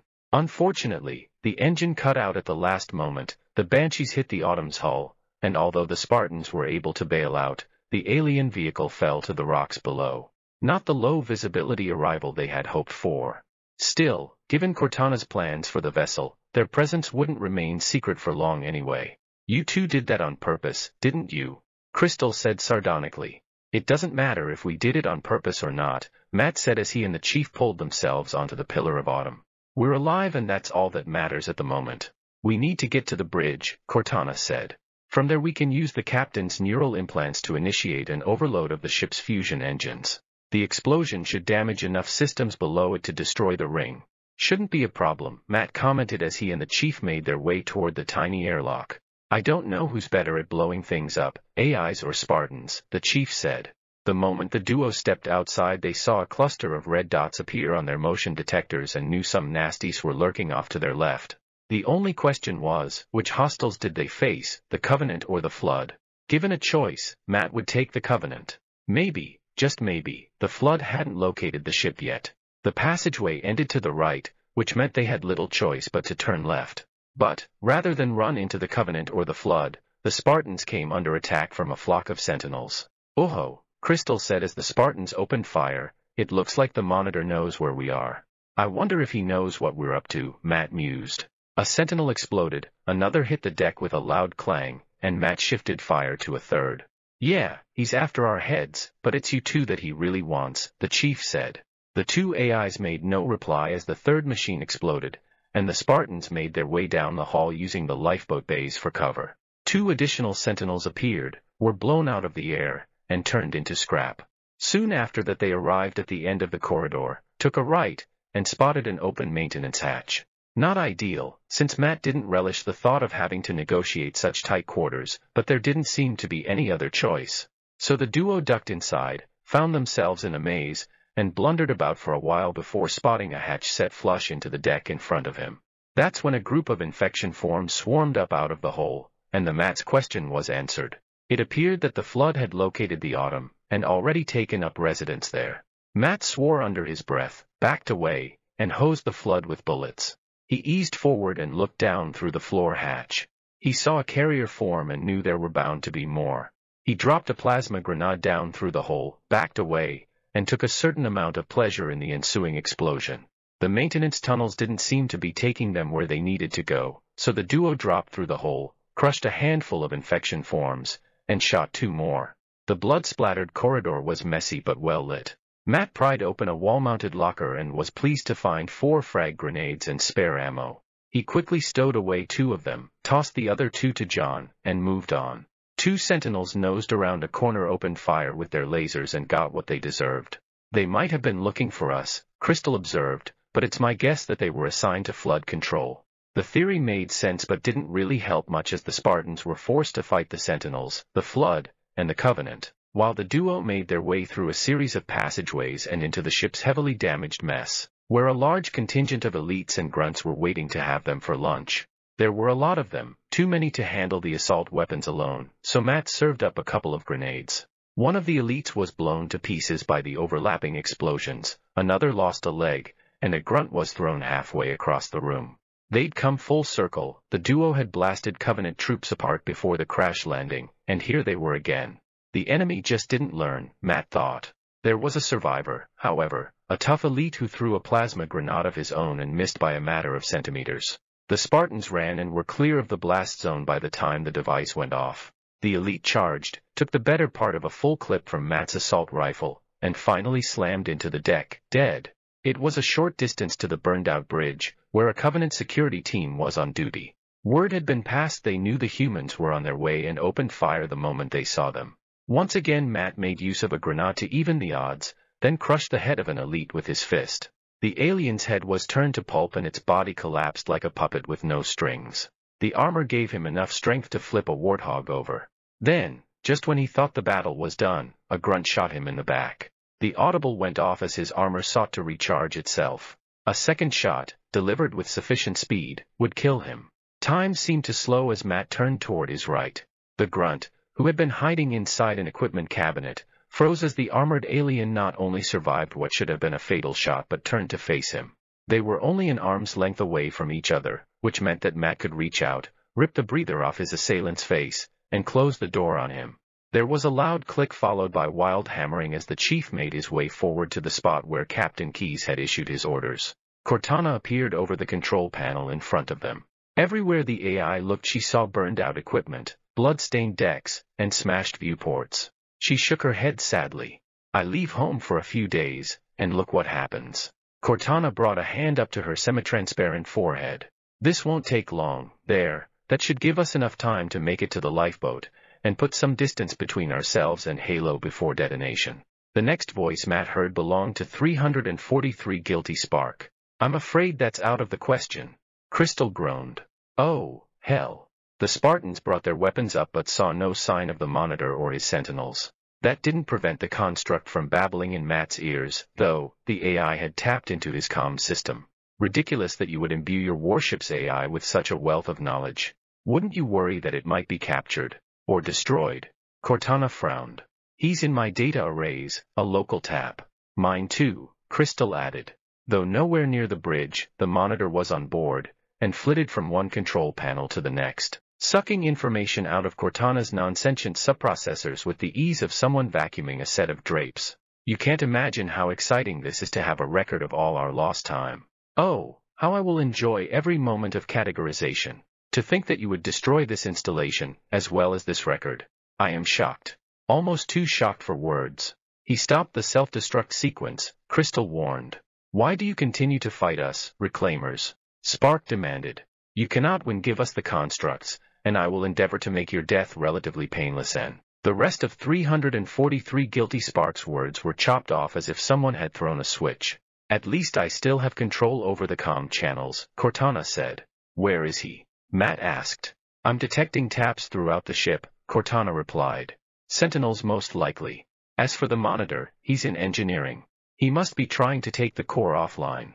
Even if I could get the countdown restarted, I don't know what to do. The chief stared at the hologram in surprise. This was a first, and it made her seem more human somehow. How much firepower would you need to crack one of the engine shields? Not much, Cortana replied, a well-placed grenade perhaps. But why? Matt produced a grenade, tossed the device into the air, and caught it again. Cortana's eyes widened and she nodded. Okay, let's go. The Spartans turned and started to leave. Chief, Commander Crystal said. Sentinels. In unison, the machines attacked. Author's note Did you love that chapter? I hope you did show your support for the author by simply clicking the little vote button to the bottom left or top right of your screen. Have a wonderful day. Votes and comments slash feedback most enthusiastically welcome. Chapter 54 Flood Attack. Author's note If you have any tips writing tips, please feel free to comment. Again, I gratefully accept constructive criticism as a means to help me develop my skills further as a writer. Chapter 54 Flood Attack. Location UNSC Pillar of Autumn. D763551, Spartan-II Blue Team Mission Clock. Having fought their way clear of the bridge, the Spartans made their way through a series of passageways, ran into more flood and gunned them down. Cortana figured that they could access the engine room via the cryo chamber, and that was where the duo was headed. The problem was that they kept running into jammed hatches, locked doors, and other obstacles that kept them from taking a direct route. After they moved through a large, dark room strewn with weapons, Matt heard the sounds of combat coming from the area beyond a closed hatch. The Spartans paused, heard the noises die away, and slipped out into the corridor. Bodies lay all about as they slid along a bulkhead, saw some spikes sticking up over a cargo module, and Matt felt his blood run cold.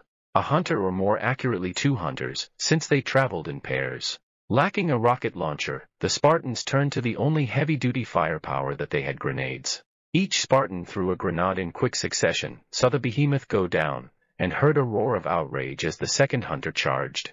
The Spartans fired just to slow the alien down, back through the hatch, and gave thanks as the door closed. That gave them two or three seconds that they needed to plant their feet. Both pulled another grenade and prepared to throw it. The hatch opened, the fragmentation grenades flew straight and true, and the explosion knocked the beast off its feet.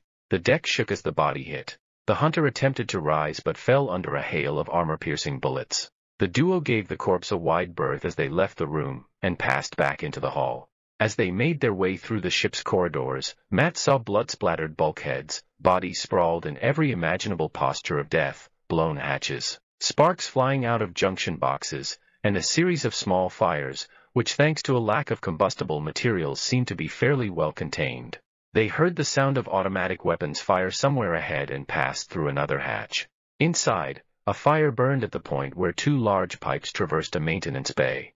They were close to the cryo chamber, or thought they were, but needed to find a way in. Hesitant to jump through the flames unless it was absolutely necessary, three took a right turn instead.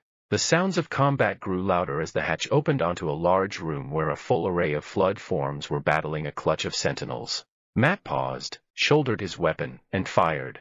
Sentinels crashed, carrier forms exploded, and everyone fired at one another in a mad melee of crisscrossing energy beams, 7.62 millimeters projectiles, and exploding needles. Once the sentinels had been put out of action, and most of the flood had been neutralized, the Spartans were able to cross the middle of the room, climb a ladder, and gain the catwalk above. From that vantage point they could look across into the maintenance control room, where a couple of sentinels were hard at work trying to zap a group of flood, none of whom were willing to be toasted without putting up a fight. The combatants were too busy to worry about stray humans, however, and the Spartans took advantage of that to work their way down the walkway and into the control room. And that, as they soon learned, was a big mistake. It wasn't too bad at first or didn't seem to be, as the duo destroyed both of the sentinels and went to work on the flood. But every time they put one form down, it seemed as if two more arrived to take its place, soon forcing the Spartans onto the defensive. They retreated into the antechamber adjacent to the control room. The humans had little choice but to place their backs against a locked hatch. The larger forms came in twos and threes, while the infection forms came in swarms.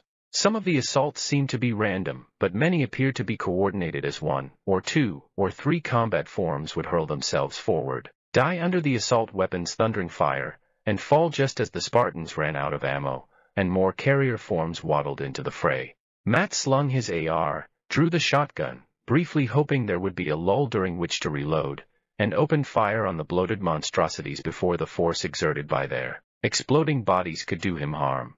Then, with newly spawned infection forms flying in every direction, it was cleanup time followed by a desperate effort to reload both weapons before the next wave of creatures attempted to roll over them.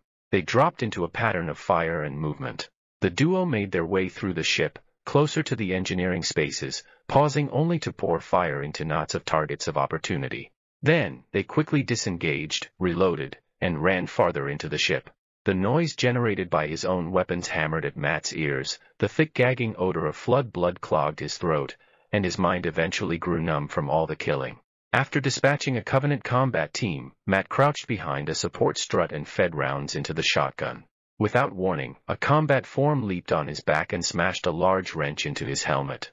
His shield dropped away from the force of the blow, which allowed an infection form to land on his visor. Even as he staggered under the impact, and pawed at the form's slick body, a penetrator punched its way through his neck seal, located his bare skin, and sliced it open.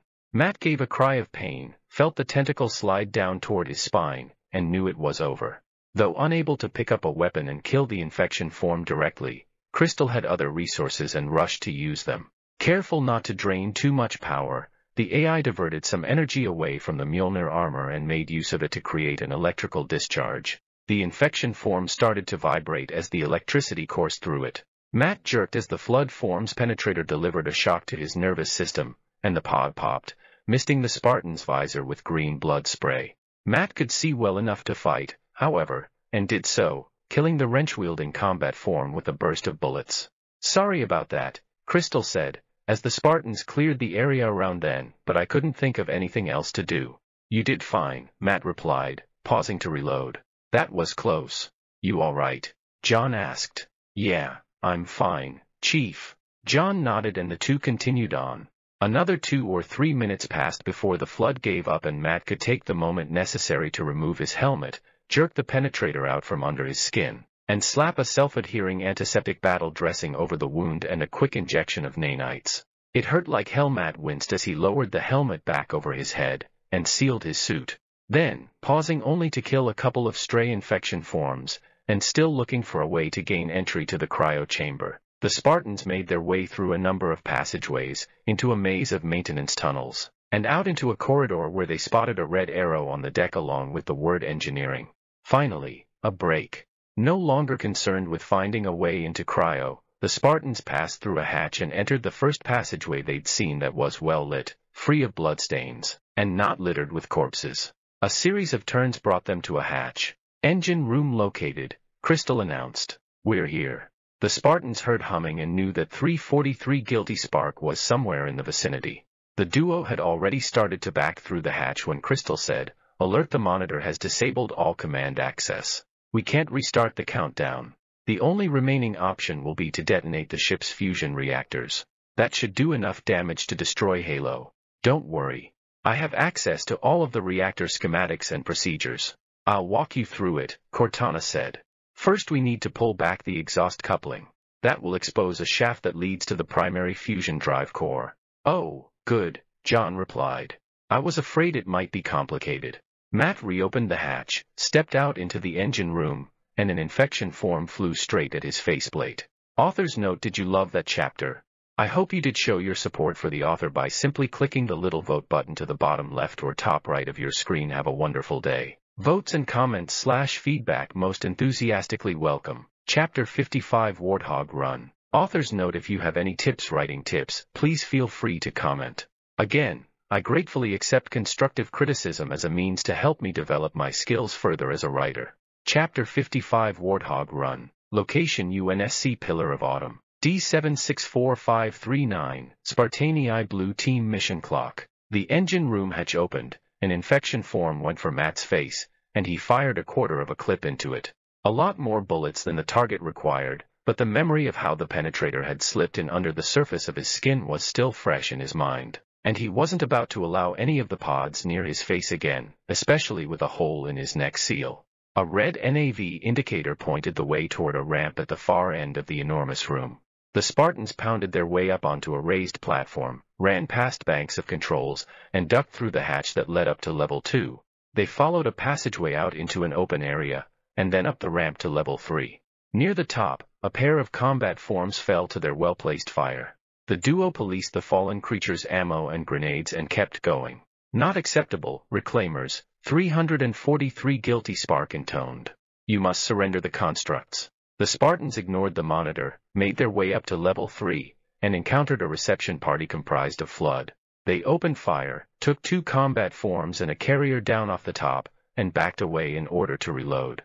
Then, with a fresh clip in place, Matt opened fire, cut the nearest form off at the knees, tossed a grenade into the crowd behind him. The frag detonated and blew them to hell. Quick bursts of automatic fire were sufficient to finish the survivors and allow the Spartans to reach the far end of the passageway.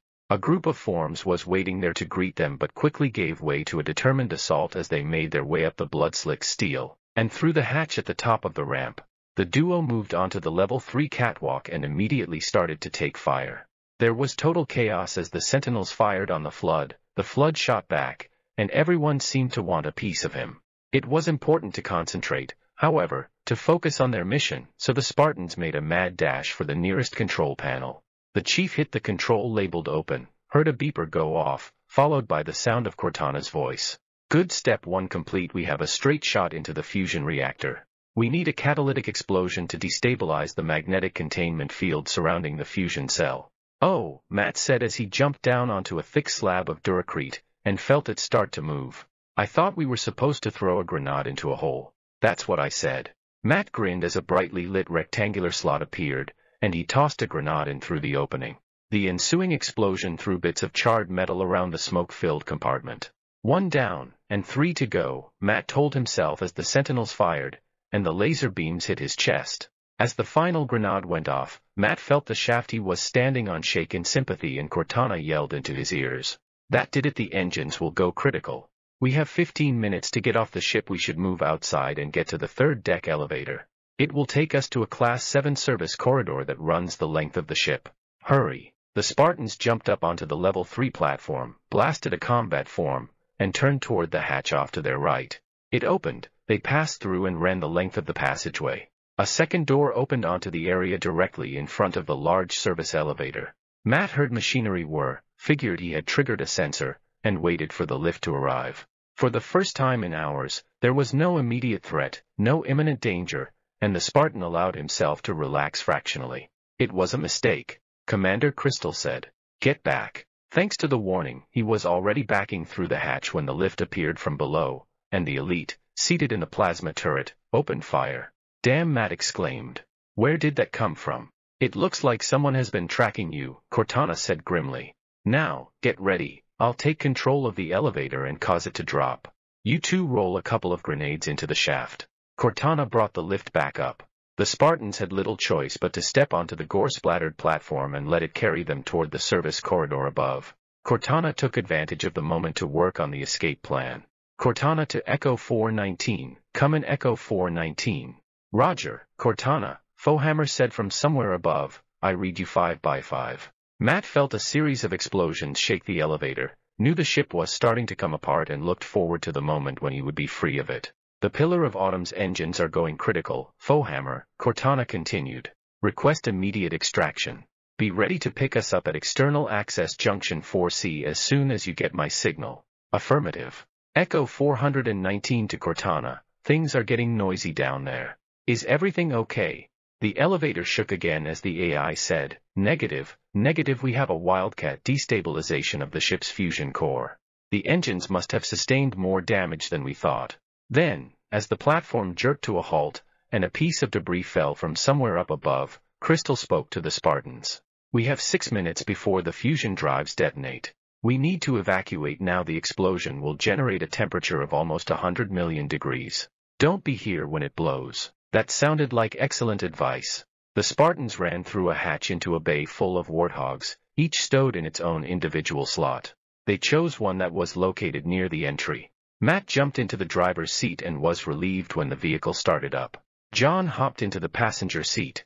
The countdown timer which Crystal had projected onto the inside surface of his HUD was not only running, but running fast, or so it seemed to Matt as he drove out of the bay, hooked a left to avoid a burning hog, and plowed through a mob of Covenant and Flood. An elite went down, was sucked under the big off-road tires, and caused the vehicle to buck as it passed over them. The slope ahead was thick with infection forms.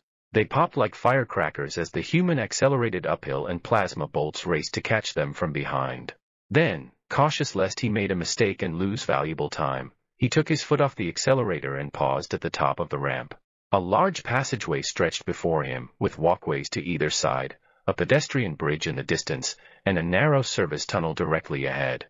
A couple of flood forms were positioned on top of the entrance and fired down at them as Matt pushed the Warthog forward, and nosed into the opening ahead. The ramp sloped down, Matt braked, and he was soon glad that he had as something went boom and hurled pieces of jagged metal across the passageway in front of him. Matt took his foot off the brake, converted a carrier form into a paste, and sent the LRV up the opposite slope. They emerged from the subsurface tunnel, and with a barrier ahead, Matt swung left, and ran the length of a vertical wall. He saw a narrow ramp, accelerated upslope, and jumped a pair of gaps that he never would have tackled had he been aware of them. Matt hit a level stretch, braked reflexively, and was thankful when the Warthog nosedived off the end of the causeway and plunged into another service tunnel. Now, with a group of flood ahead, he pushed through them, crushed the monsters under the tires. Nice job on that last section, Crystal said admiringly. How did you know about the dive off the end? Cortana asked. I didn't, Matt said as the LRV lurched up out of the tunnel and nosed into another. Oh, Crystal said. This passage was empty, which allowed Matt to pick up speed as he guided the Warthog up into a larger tunnel. The hog caught some air, and he put the pedal to the metal in an effort to pick up some time. The large passageway was smooth and clear, but took them out into a hell of flying metal, homicidal flood, and laser-happy sentinels, all of whom tried to cancel their ticket while Matt paused, spotted an elevated ramp off to the left, and steered for it even as crisscrossing energy beams sizzled across the surface of his armor and explored the interior of the vehicle. Matt fought to control the hog as one tire rode up onto the metal curb and threatened to pull the entire vehicle off into the chaos below. It was difficult, with fire sleeting in from every possible direction, but Matt made the necessary correction, came down off the ramp, hooked a left, and found himself in a huge tunnel with central support pillars that marched off into the distance. Careful to weave back and forth between the pillars in order to improve his time, he rolled through a fight between the Flood and a group of Covenant, took fire from a flock of sentinels, and gunned the LRV out into another open area with a barrier ahead. A quick glance confirmed that another elevated ramp ran down the left side of the enormous passageway, so he steered for that. Explosions sent gouts of flame and smoke up through the grating ahead of them, and threatened to heave the Warthog off the track. Once off the ramp, things became a little easier as the Spartans entered a large tunnel, sped the length of it, braked into an open area, and pushed the vehicle down into a smaller service tunnel. Infection forms made loud popping sounds as the tires ate them alive. The engine growled, and Matt nearly lost it as he came out of the tunnel too fast, realized there was another subsurface passageway ahead, and did a nose-over that caused the front wheels not only to hit hard but nearly flip the hog end for end. Only some last-minute braking and a measure of good luck brought the LRV down right side up and allowed Matt to climb up out of the passageway and into a maze of pillars. Matt swore as they were forced to wind their way between the obstacles while precious seconds came off the countdown clock and every alien, parasite, and Machine with a weapon took potshots at them while he did so. Then came a welcome stretch of straight level pavement, a quick dip through a service tunnel, and a ramp into a sizable tunnel as Cortana called for evac. Cortana to Echo 419 requesting extraction now on the double. Affirmative, Cortana, the pilot replied, as Matt accelerated out onto a causeway. Wait stop Crystal insisted. This is where Foehammer is coming to pick us up. Hold position here. Matt braked, heard a snatch of garbled radio traffic, and saw a UNSC dropship approach from the left. Smoke trailed behind the Pelican and the reason was plain to see. A Banshee had slotted itself in behind the transport and was trying to hit one of the ship's engines. There was a flash as the starboard power plant took a hit and burst into flames. Matt could imagine Foehammer at the controls, fighting to save her ship, eyeing the causeway ahead. Pull up, pull up, the chief shouted, hoping she could pancake in, but it was too late. The Pelican lost altitude, passed under the causeway, and soon disappeared from sight. The explosion came three seconds later. Crystal said, Echo 419 and, receiving no response, said, she's gone. Matt remembered the cheerful voice on the radio, the countless times the pilot had saved somebody's tail, and felt a deep sense of regret. There was a short pause while Cortana tapped into what remained of the ship's systems. There's a long sword docked in Launch Bay 7. If we move now we can make it. Rubber screeched as Matt put his foot to the floor, steered the Warthog through a hatch, down a ramp, and into a tunnel. Huge pillars marked the center of the passageway and a series of concave gratings caused the LRV to wallow before it lurched up onto the smooth pavement again. Explosions sent debris flying from both sides of the tunnel and made it difficult to hear Crystal as she said something about full speed and some sort of a gap. He hit the accelerator, but the rest was more a matter of luck rather than skill. Matt pushed the hog up a ramp, felt the bottom drop out of his stomach as the LRV flew through the air, dropped two or three levels, hit hard, slewed sideways, and came to a stop. Matt wrestled with the wheel, brought the front end around, and glanced at the timer. It read 011020. He stamped on the accelerator. The Warthog shot ahead, raced through a narrow tunnel, then slowed as he spotted the array of horizontally striped barrels that blocked the road ahead. Not only that, but the entire area was swarming with Covenant and Flood. The Spartans jumped out, hit the ground running, and gunned an elite who had the misfortune to get in the way. The fighter was straight ahead, ramped down, waiting for them to come aboard. Plasma bolts stuttered past their heads, explosions hurled debris in every direction, and then the duo was there, boots pounding on metal as they entered the ship. The ramp came up just as a mob of Flood arrived, the long sword shook in sympathy as another explosion rocked the pillar of autumn, and the Spartans staggered as they made their way forward. Precious seconds were consumed as John dropped into the pilot's seat, brought the engines online, and took the controls. Meanwhile, Matt sat down in the co-pilot's seat. Here we go, Crystal said. The chief made use of the ship's belly jets to push the long sword up off the deck. He turned the fighter counterclockwise and hit the throttles. G-forces pushed Matt back into his seat as the spacecraft exploded out of its bay and blasted up through the atmosphere. There was an insistent beeping sound as the words engine temp critical flashed on the control panel, and Crystal said, shut them down. We'll need them later. Matt reached up to flick some switches, got up out of his seat, and arrived in front of the viewport in time to see the last intact piece of Halo's hull sheared in half by the dreadful slow-motion ballet of flying metal. For some reason, Matt thought of Lieutenant Melissa McKay, her calm green eyes, and the fact that he had never gotten to know her. Did anyone else make it? John asked. Scanning, Cortana replied. She paused, and he could see scan data scroll across the main terminal. A moment later, she spoke again, her voice unusually quiet. Just dust and echoes. We're all that's left. Matt winced.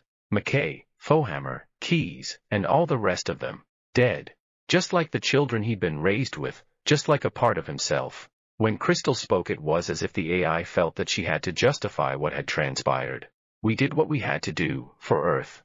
An entire Covenant armada obliterated. And the Flood, we had no choice. Halo, it's finished. No, the Chief replied, settling in behind the Longsword's controls. The Covenant are still out there, and Earth is at risk. We're just getting started, Matt added. Author's note Did you love that chapter?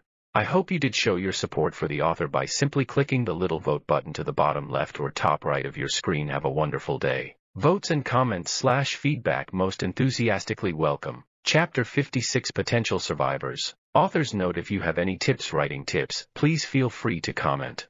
Again, I gratefully accept constructive criticism as a means to help me develop my skills further as a writer. Chapter 56 Potential Survivors. Location Uncharted System, aboard Longsword Fighter, Halo Debris Field. September 22, 2552. 1,637 hours. Matt settled into the SysOp seat of the longsword attack craft. He didn't fit. The contoured seat had been engineered to mate with a standard-issue Navy flight suit, not the bulky Mjolnir armor. Both Spartans had their helmets off. Matt scratched his scalp and breathed deeply. The air tasted odd, it lacked the metallic quality of his suit's air scrubbers. This was the first quiet moment he'd had to sit, think, and remember. First, there was the satisfaction after the successful space op at Reach, which went sour after Linda was killed and the Covenant glassed the planet, and Red Team. Then the time spent in a pillar of autumn cryotube, the flight from Reach, and the discovery of Halo. And the flood. Matt stared out of the front viewport and fought down his revulsion at the memory of the flood outbreak. Whoever had constructed Halo had used it to contain the sentient, virulent xenoform that had nearly claimed them all. The rapidly healing wound in his neck, inflicted by a flood infection formed during the final battle on Halo's surface, still throbbed. Matt wanted to forget it all, especially the flood. Everything inside him ached. The system's moon, basis, was a silver-gray disk against the darkness of space, and beyond it was the muted purple of the gas giant threshold. Between them lay a glistening expanse of debris, metal, stone, ice, and everything else that had once been Halo. Scan it again, Matt heard John tell Cortana. Already completed, her disembodied voice replied. There's nothing out there. I told you just dust and echoes. Matt's hand curled into a fist, and for a moment he felt the urge to slam it into something. He relaxed, surprised at his frayed temper. He'd been exhausted in the past, and without a doubt, the fight on Halo had been the most harrowing of his career, but he'd never been prone to such outbursts. The struggle against the flood must have gotten to him, more than he'd realized. With effort, he banished the flood from his mind. Either there'd be time to deal with it later, or there wouldn't. Worrying about it now served no useful purpose. Scan the field again, Matt repeated. Cortana's tiny holographic figure appeared on the projection pad mounted between the pilot's and SysOp seats. She crossed her arms over her chest, visibly irritated with the Spartan's request. If you don't find something out there we can use, John told her, we're dead. This ship has Northwest slip space drive and no cryo. There's no way to get back and report. Power, fuel, air, food, water, we only have enough for a few hours. So, Matt concluded as patiently as he could manage. Scan. Again. Cortana sighed explosively, and her hologram dissolved. The scanner panel activated, however, and mathematical symbols crowded the screen. A moment later the scanner panel dimmed and Cortana said, There's still nothing, you two. All I'm picking up is a strong echo from the moon, but there are no transponder signals, and no distress calls. I don't know what you guys expect to find, Crystal said. You're not doing an active scan. John asked. Cortana's tiny hologram appeared again, and this time static flashed across her figure. There are trillions of objects out there. If you want I can start to scan and identify each individual piece. If we sit here and do nothing else, that would take 18 days. What if someone's out there but they turned off their transponder? Matt asked. What if they don't want to be found? That's highly un. Cortana froze for a split second. The static around her vanished, and she stared off into space. Interesting. What? John asked. Cortana looked distracted, then seemed to snap out of it. New data. That signal echo is getting stronger. Meaning? Matt asked. Meaning, she replied, it's not an echo. The scanner panel hummed back to life as Cortana activated the longsword's long-range detection gear. Oho, she said, a moment later. Matt peered at the skin panel as Cortana identified the contact. The distinctive, bulbous silhouette of a Covenant cruiser edged into view as it moved around the moon's far side. Power down, John snapped. Kill everything except passive scanners and minimal power to keep you online. The longsword darkened, Cortana's hologram flickered and faded as she killed power flow to the hollow system. The cruiser moved into the debris field, prowling like a hungry shark. Another cruiser appeared, then another, and then three more. Status. Matt whispered, his hands hovering over the weapon's controls. Have they spotted us? They're using the same scanning frequencies as our system, Crystal said in his helmet speaker. How strange. No mention of this phenomenon in any of the UNSC or ONI files on the Covenant. Why do you suppose they'd use the same frequencies? Never mind that, Matt said. They're here and looking for something. Like I said before, if there are survivors out there, they'd be powered down. I can listen to their echoes, Cortana said, her voice flat and oddly procedural. Operating at lower power levels seemed to limit her more colorful behavior. Process active analyzing Covenant signals, piggybacking their scans, diverting more runtime to the task. I'm building a multiplex filtering algorithm, customizing the current shape signature recognition software. Another ship rounded the horizon of basis. It was larger than any Covenant ship Matt had seen. It had the sleek three-bulbed shape of one of their destroyers, but it must have been three kilometers long. Seven plasma turrets were mounted on universal joints, enough firepower to get any ship in the UNSC fleet. Picking up encrypted transmissions from a new contact, Cortana whispered, Descrambling, lots of chatter, orders being given to the cruisers. It appears to be directing the Covenant fleet operations in the system. A flagship, John murmured. Interesting. Scan still in progress, Chief, Commander. Stand by. Matt got out of the SysOp seat. He had no intention of just standing by with seven Covenant warships in the system. Matt drifted to the aft compartment of the longsword fighter. He'd assess what equipment was on board. He might get lucky and find a few of those Shiva nuclear-tipped missiles. As he had seen when they first boarded the ship, the cryotube had been removed. Matt wasn't sure why, but maybe, like everything else on the Pillar of Autumn, the ship had been stripped down and upgraded for their original high-risk mission. Where the cryo unit was supposed to be there was a new control panel. Matt examined it and discovered it was a Moray space mine laying system. He didn't power it on. The Moray system could dispense up to three dozen free-floating mines. The mines had tiny chemical fuel drives that allowed them to keep a fixed position or move to track specific targets. These would come in handy. He moved to the weapons locker and forced it open. It was empty. Matt checked his own assault rifle fully functional, but only 13 rounds remained in the magazine. Got something, Cortana said. Matt returned to the SysOp seat. Show us. On the smallest view screen, a silhouette appeared a small, bullet-shaped cone with maneuvering thrusters on one end. It could be a cryotube, Crystal said. Thruster and power packs can be affixed on their aft sections for emergencies, if a ship has to be abandoned, for example. And most of the crew on the Pillar of Autumn never had a chance to be revived from cryo, Matt said. They could have been jettisoned before the ship went down. Move us toward them. Docking thrusters only. Course plotted, Cortana said. Thrusters engaged. There was a slight acceleration. ETA 20 minutes, Chief. Commander, Cortana said. But given the Covenant cruiser's current search pattern, I estimate they will encounter the pod in five minutes. We need to move faster, John told her, but without firing the engines. The drive emissions will show up like a flare on their sensors. Hang on, Cortana said. I'll get us there. Both Spartans donned their helmets and locked its atmosphere seals. Status lights pulsed green. Ready, John said. The aft hatch of the longsword breached and slammed open. There was an explosive sound as the atmosphere vented. The longsword jumped forward, Matt's head slammed into the back of his helmet. Adjusting course, Cortana said calmly. ETA two minutes. How are we going to stop? John asked. She sighed. Do I have to think of everything? The aft hatch resealed, and Matt heard the faint hiss as the internal compartments pressurized. One of the sleek Covenant cruisers slowed and turned toward them. Picking up increased scanning signal activity and strength, Cortana reported. Matt's hand hovered over the weapons system console. It would take several seconds for the weapons to power up. The 110mm rotary cannons could fire immediately, but the missiles would have to wait for their target lock software to initialize. By then the cruiser, which outgunned them hundred to one, would turn the longsword into molten slag. Attempting to jam their scanners, Cortana said. That may buy us some time. The Covenant cruiser turned away, slowed, and turned back to face the comparatively tiny longsword. It took no further action, as if it were waiting for them to get closer. So far so good, Matt said to himself as he clenched and unclenched his gauntlet hand. We re not dead yet. He glanced at the skin display. The contact resolved into a clearer image definitely a UNSC cryopod. It tumbled, and he saw that what he thought was a single pod was, in fact, three of them, affixed side by side. Three possible survivors out of the Pillar of Autumn's total complement of hundreds. He wished there were more. He wished Captain Keyes were here.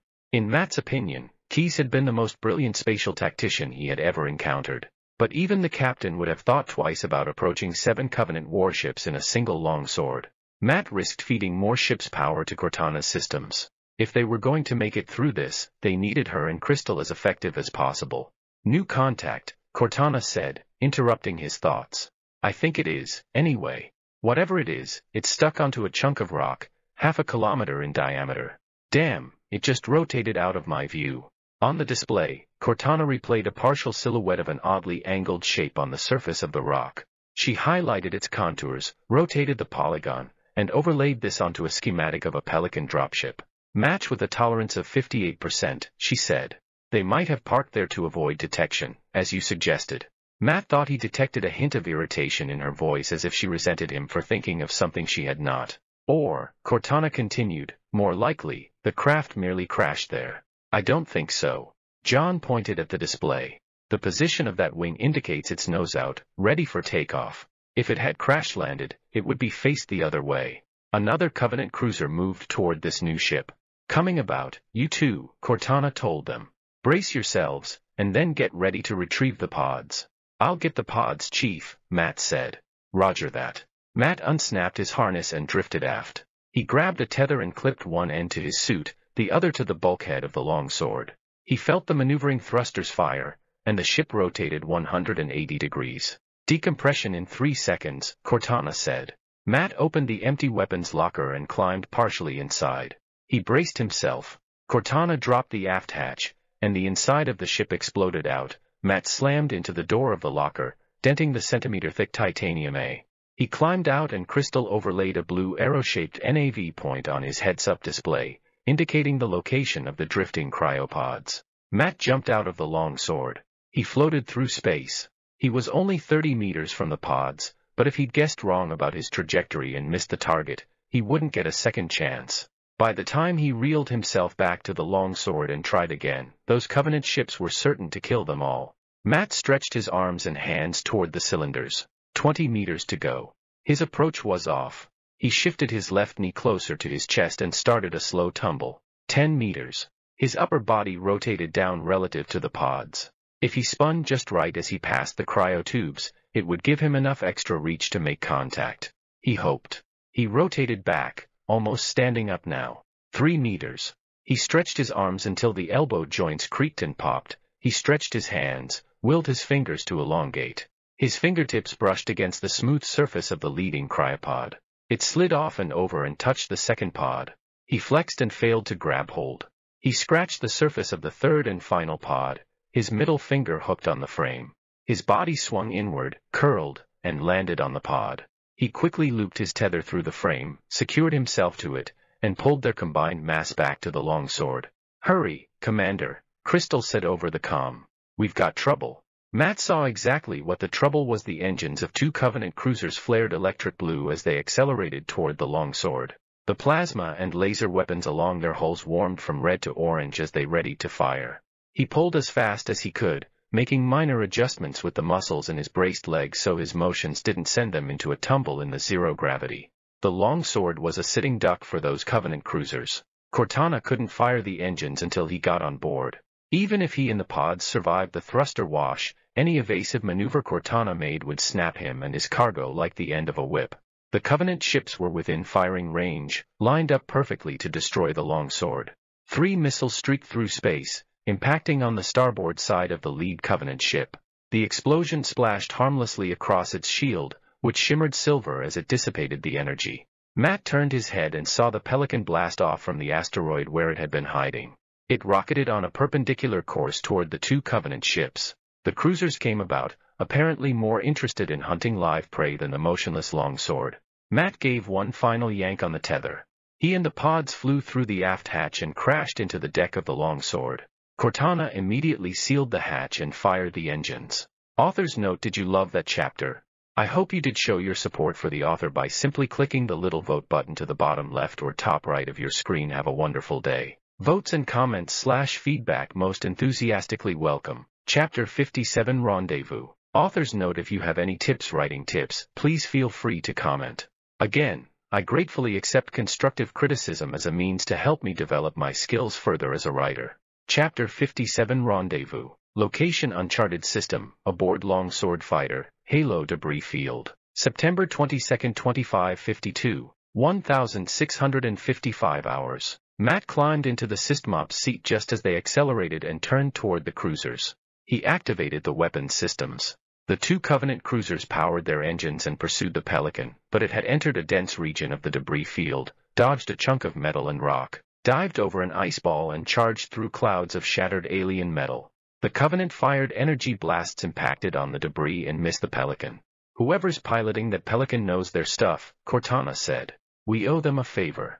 Matt fired the longsword's guns, and tiny silver dots punctuated the trailing Covenant cruiser's shields. Let's settle that debt.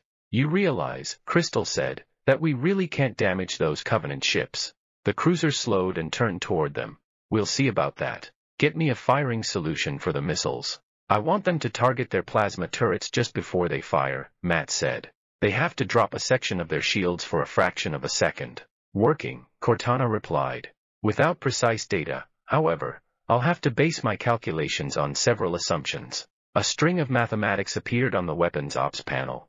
Give me fire control. Matt punched the auto override on the firing systems. It's yours, he said. The Covenant cruiser's plasma turrets turned to track them as the ship came to bear. They warmed, and Cortana fired all the Longsword's ASGM-10 missiles. White vapor trails snaked toward the target.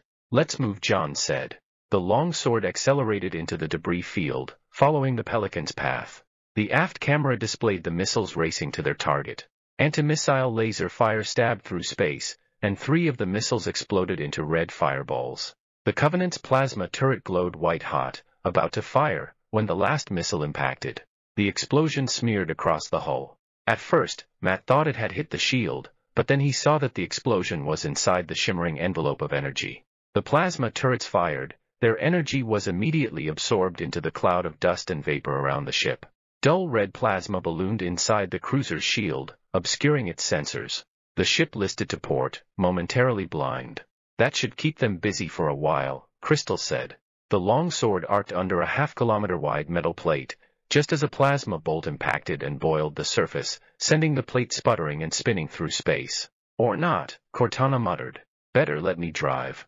The autopilot engaged, and the controls jerked out of John's hand. The longsword's afterburners kicked in, and it accelerated toward a field of tumbling rocks. Cortana rolled and pitched, keeping the whole mere meters from the jagged surfaces. Matt hung onto the seat with one hand and pulled his harness tight with the other. He moved the scanner display to the center view screen and saw the two nearest Covenant cruisers vectored toward his and the Pelican's position. The two UNSC ships might evade and dodge through the debris field for a few minutes, but soon their fuel would be exhausted, and the Covenant would move in for the kill. And where could they really run to, anyway? Neither ship had Shaw-Fujikawa translight engines, so they were stuck in the system and the Covenant knew it. They could afford to take their time and play with their prey before they pounced. John performed a sweep scan of the system looking for something, anything to give him a tactical advantage. No, thinking of tactics was going to get him killed. There was no tactical advantage he could gain that would give them a victory in this mismatch. He had to change the rules, change his strategy. John scanned the massive Covenant flagship, that was the key. That's how they'd be able to turn the tables on the enemy. John keyed the comm system and hailed the Pelican. This is Master Chief SPARTAN117. Recognition code Tango Alpha 340. Copy. This is Commander SPARTAN038. Recognition code Whiskey Foxtrot 360. Copy, Matt said. Copy, a woman's voice answered. Warrant Officer Pulaski here. Other voices argued in the background. Damn good to hear you, Chief, Commander. Pulaski, proceed at maximum burn to this position. John dropped a NAV point on the display directly on the Covenant flagship. He included an exit vector indicating a rough course. There was silence over the com. Copy, Pulaski. Matt asked. I copy. Plotting course now, Commander. The voices arguing in the background became loud and more strained. I hope you know what you're doing. Pulaski out. The channel snapped off. Get us there, Cortana, Matt said, tapping the NAV point. As fast as you can make this thing fly. The longsword rolled right and pitched toward the moon, Basis. Matt's safety harness groaned as G-forces increased. You two do know what you're doing? Crystal asked. I mean, we're headed straight toward the largest and most dangerous Covenant ship in this system. I assume this is part of some daring and brutally simplistic plan you've cooked up. Yes, Matt replied. Oh, good. Hang on, Cortana said. The long sword rolled to port and dived under a rock. An explosion detonated aft of the ship. Looks like your plan has gotten their attention. I'm reading all six Covenant cruisers moving to overtake us at flank speed. And the Pelican? John asked. Still there, Cortana reported, taking heavy fire, but on a trajectory to the NAV point, moving slower than us, of course. Adjust our speed so we arrive at the same time, Matt said.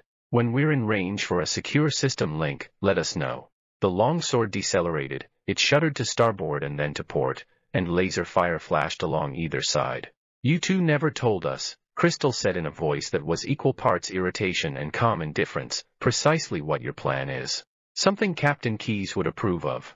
Matt summoned the navigation console on the main display. If we survive long enough, I want a course from here. John tapped the NAV point over the flagship, into the gravity well of Basis to slingshot us around.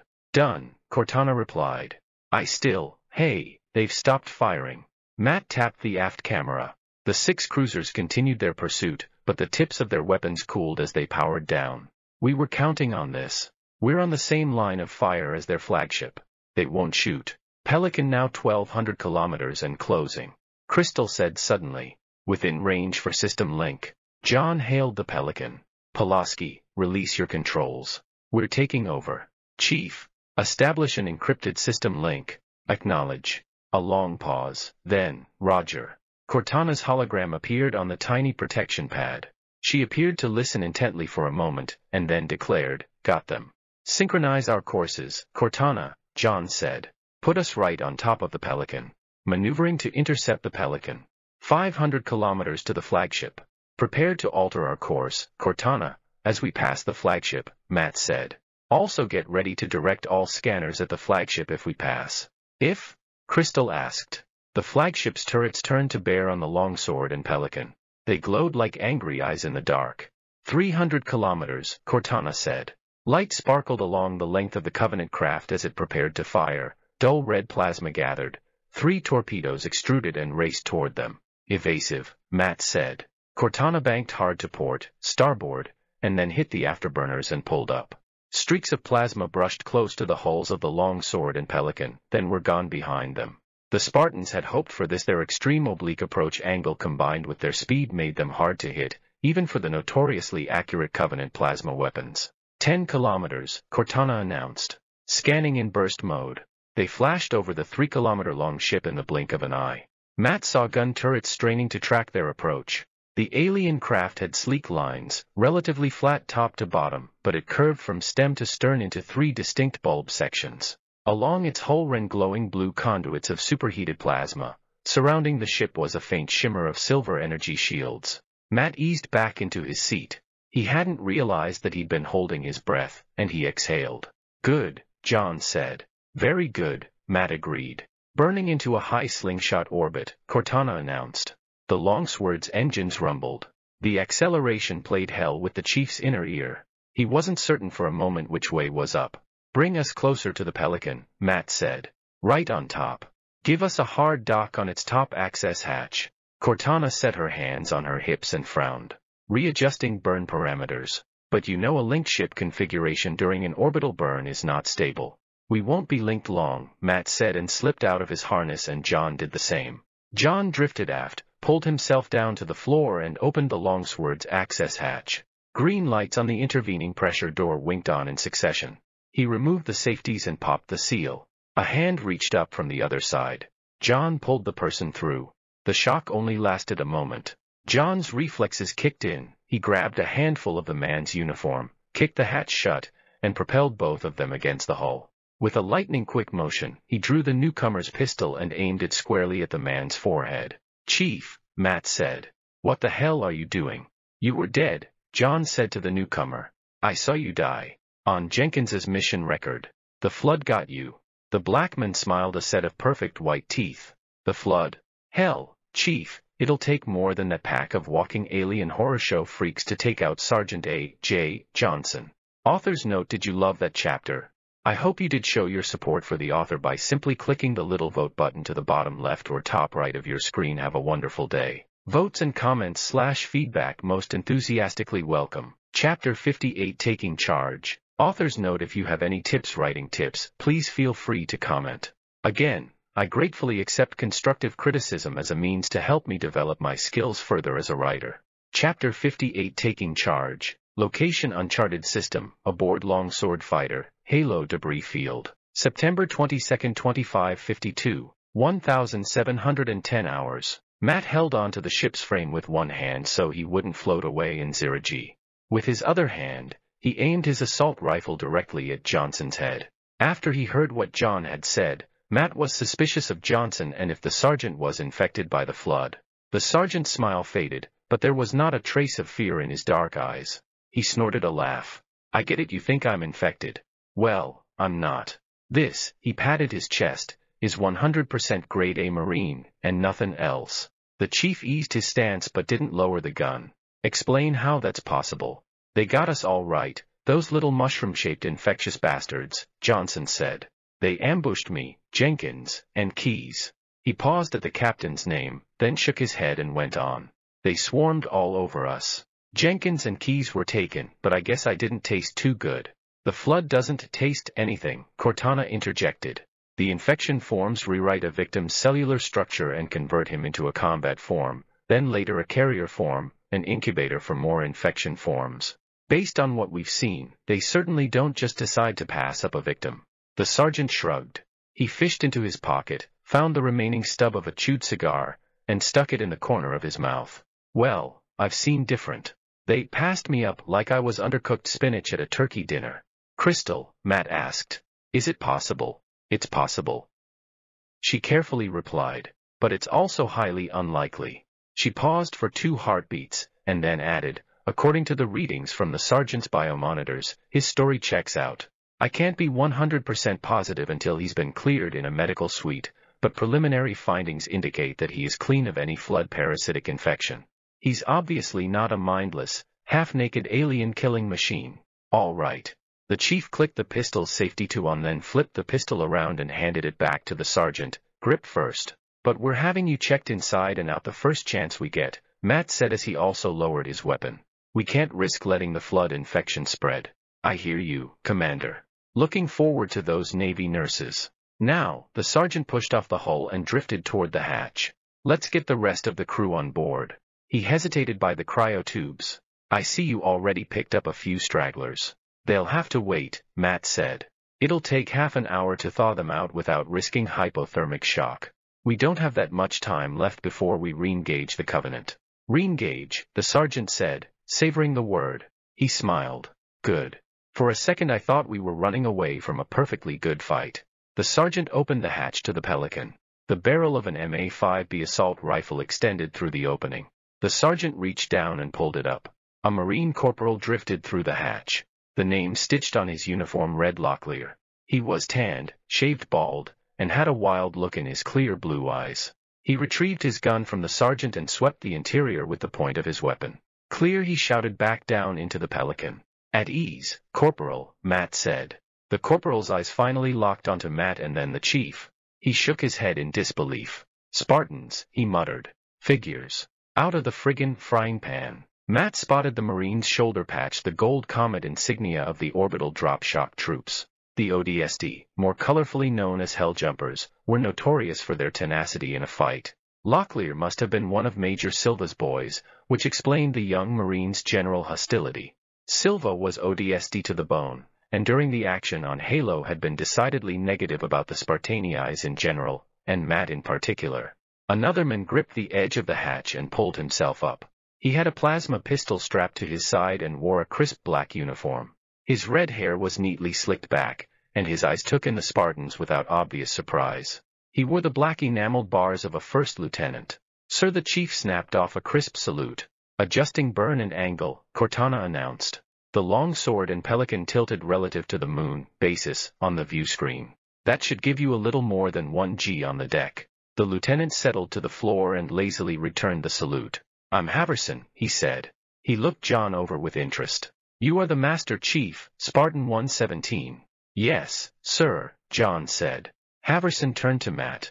And you are the commander, Spartan 038. Yes, sir. Matt was surprised. Most people, even experienced officers, had difficulty distinguishing one Spartan from another. How had this young officer so quickly identified him? Matt saw the round insignia on the man's shoulder, the black and silver eagle wings over a trio of stars. Inscribed above the eagle wings were the Latin words Semper Vigilans, ever vigilant. Haverson was with the Office of Naval Intelligence. Good, Haverson said. He glanced quickly at Locklear and Johnson. With you two, Spartans, we might have a chance. He reached into the hatch and pulled another person onto the long sword. This last person was a woman, and she wore the flight suit of a pilot. Her dirty blonde hair was tucked into a cap. She saluted the Spartans. Petty Warrant Officer Pulaski, requesting permission to come aboard, Master Chief, Commander. Granted, Matt said, and returned her salute. John did the same. Stenciled onto her coveralls was a flaming fist over a red bullseye, the insignia of the 23rd Naval Air Squadron. Although Matt had never met Pulaski, she was from the same chalk as Captain Carol Rawley, call sign Foehammer. If Pulaski was anything like Foehammer, she would be a skilled and fearless pilot. John opened a private com channel to Matt and said, Take command. You're the highest ranking officer here. You sure about that, Chief? Yes, John replied. Even after what happened back on Reach, I still trust you. Matt let out a quick breath. Okay, I'll do it. So what's the story? Locklear demanded. We got something to shoot here. At ease, Marine, the sergeant growled. Use that stuffing between your ears for something besides keeping your helmet on. Notice we're not floating. Feel those G-forces. This ship is in a slingshot orbit. We're coming around the moon for another crack at the Covenant. That's correct, Matt said after he terminated the private com channel between him and John. Our first priority should be to escape, Haverson said, and his thin brows knitted in frustration, not to blindly engage the Covenant. We have valuable intelligence on the enemy, and on Halo. Our first priority should be to reach UNS-controlled space. That was our intention, sir, the chief replied. But neither this longsword nor your Pelican is equipped with Shaw Fujikawa engines. Without a jump to slip space, it would take years to return. Haverson sighed. That does limit our options, doesn't it? He turned his back to the Spartans and paced, deep in thought. Matt respected the chain of command, which meant that he had to obey Lieutenant Haverson. But, officer or not, Matt had never liked it when people turned their backs to him. And he certainly didn't like the way Haverson assumed he was in charge. Matt had already gotten his orders, and he intended to follow them, whether or not Haverson approved. Pardon me, sir, the chief said. I must point out that while you are the ranking officer, we are on a classified mission of the highest priority. Our orders come directly from high command. Meaning. Meaning, Matt continued, we and more specifically, I have tactical command of this crew, and these ships, and you. Sir. Haverson turned, his expression dark. The lieutenant's mouth opened as if he were going to say something. He closed his mouth and looked Matt over. A faint smile flickered over his thin lips. Of course. I am well aware of your mission, Commander. I'll do anything I can to assist. The lieutenant knew about the Spartans' original mission to capture a Covenant prophet. What was an ONI officer doing here anyway? So what's the plan? Locklear asked. Slingshot orbit, then what? We just going to talk all day, Commander. No, Matt replied. Matt didn't spare John a glance. Matt knew he could count on him 100. He glanced at Pulaski and the sergeant. He could count on her, and though he was suspicious of exactly how Sergeant Johnson had avoided falling to the flood, he was willing to give the men the benefit of the doubt. Haverson. Matt wouldn't trust him, but the men knew what was at stake, and he wouldn't interfere. Probably. Locklear was another story, though. The ODST was coiled and ready to pounce, or come apart like an antipersonnel mine. Some men broke under pressure and wouldn't fight. Some snapped and disregarded their own and their team's safety for blind revenge. Add that to the Helljumpers' fierce pride and one had a volatile mix. Matt had to establish his authority over the men. Get onto the Pelican, Matt told him. We only have a few minutes while we're on the far side of this moon. Grab anything we can use extra weapons, ammunition, grenades. Keep linked up to my com so you can hear the briefing. Locklear stood there, glared into Matt's faceplate, and tensed. Sergeant Johnson opened his mouth, but Matt made a subtle cutting gesture with his hand. The sergeant kept whatever he had to say to himself. Matt took a step closer to Locklear. Was my order unclear, Corporal? Locklear swallowed. The blue fire in his eyes dulled and he looked away. No. His body slumped and he shouldered his rifle, accepting, for now, Matt's authority. I'm on it, Commander. He went to the hatch and dropped into the Pelican. To say this team was mismatched for a high-risk insertion op was an understatement. So how do we get a Shaw Fujikawa drive? Pulaski asked. We don't, Matt replied, but we go after the next best thing. He moved to the ops console and tapped the display. The scan of the Covenant flagship appeared on the view screen. This is our objective. Haverson frowned. Commander, if we approach that ship will be blown out of the sky before we can even think about engaging them. Normally, yes, he replied. But we're going to rig the Pelican as a fireship, we load it with Moray mines and send it out ahead of us. We'll have to remote pilot the Pelican, but it can be accelerated past the point where a crew would black out. It'll draw enemy fire, drop a few mines, and let us slip by. Pulaski's expression hardened into a frown. There a problem, warrant officer? No, commander. I just hate to lose a good ship. That bird got us off Halo in one piece. He understood. Pilots got attached to their ships. They gave them names and human personalities. Matt, however, never fell into that trap. He had long ago learned that any equipment was expendable. Except, maybe, Crystal or in John's case, Cortana. Southwest we get close to the flagship, Haverson said and crossed his arms over his chest. Are we going nose to nose with a ship with a thousand times our firepower? Or are you planning another flyby? Neither. Matt pointed to the flagship's fighter launch bay. That's our LZ. Pulaski squinted at the comparatively tiny opening in the belly of the flagship. That's a hell of a window to hit coming in this fast, but, she bit her lower lip, calculating, technically possible in a longsword. They'll launch Seraph fighters to engage the Pelican and the longsword, the chief said, and to do that, they'll have to drop that section of their shields. We get in, neutralize the crew, and we have a ship with slipspace capability. Rock and roll Locklear yelled over the com. Penetrate and annihilate. Sergeant Johnson chewed on his cigar as he considered the plan. No one has ever captured a Covenant ship, Haverson whispered.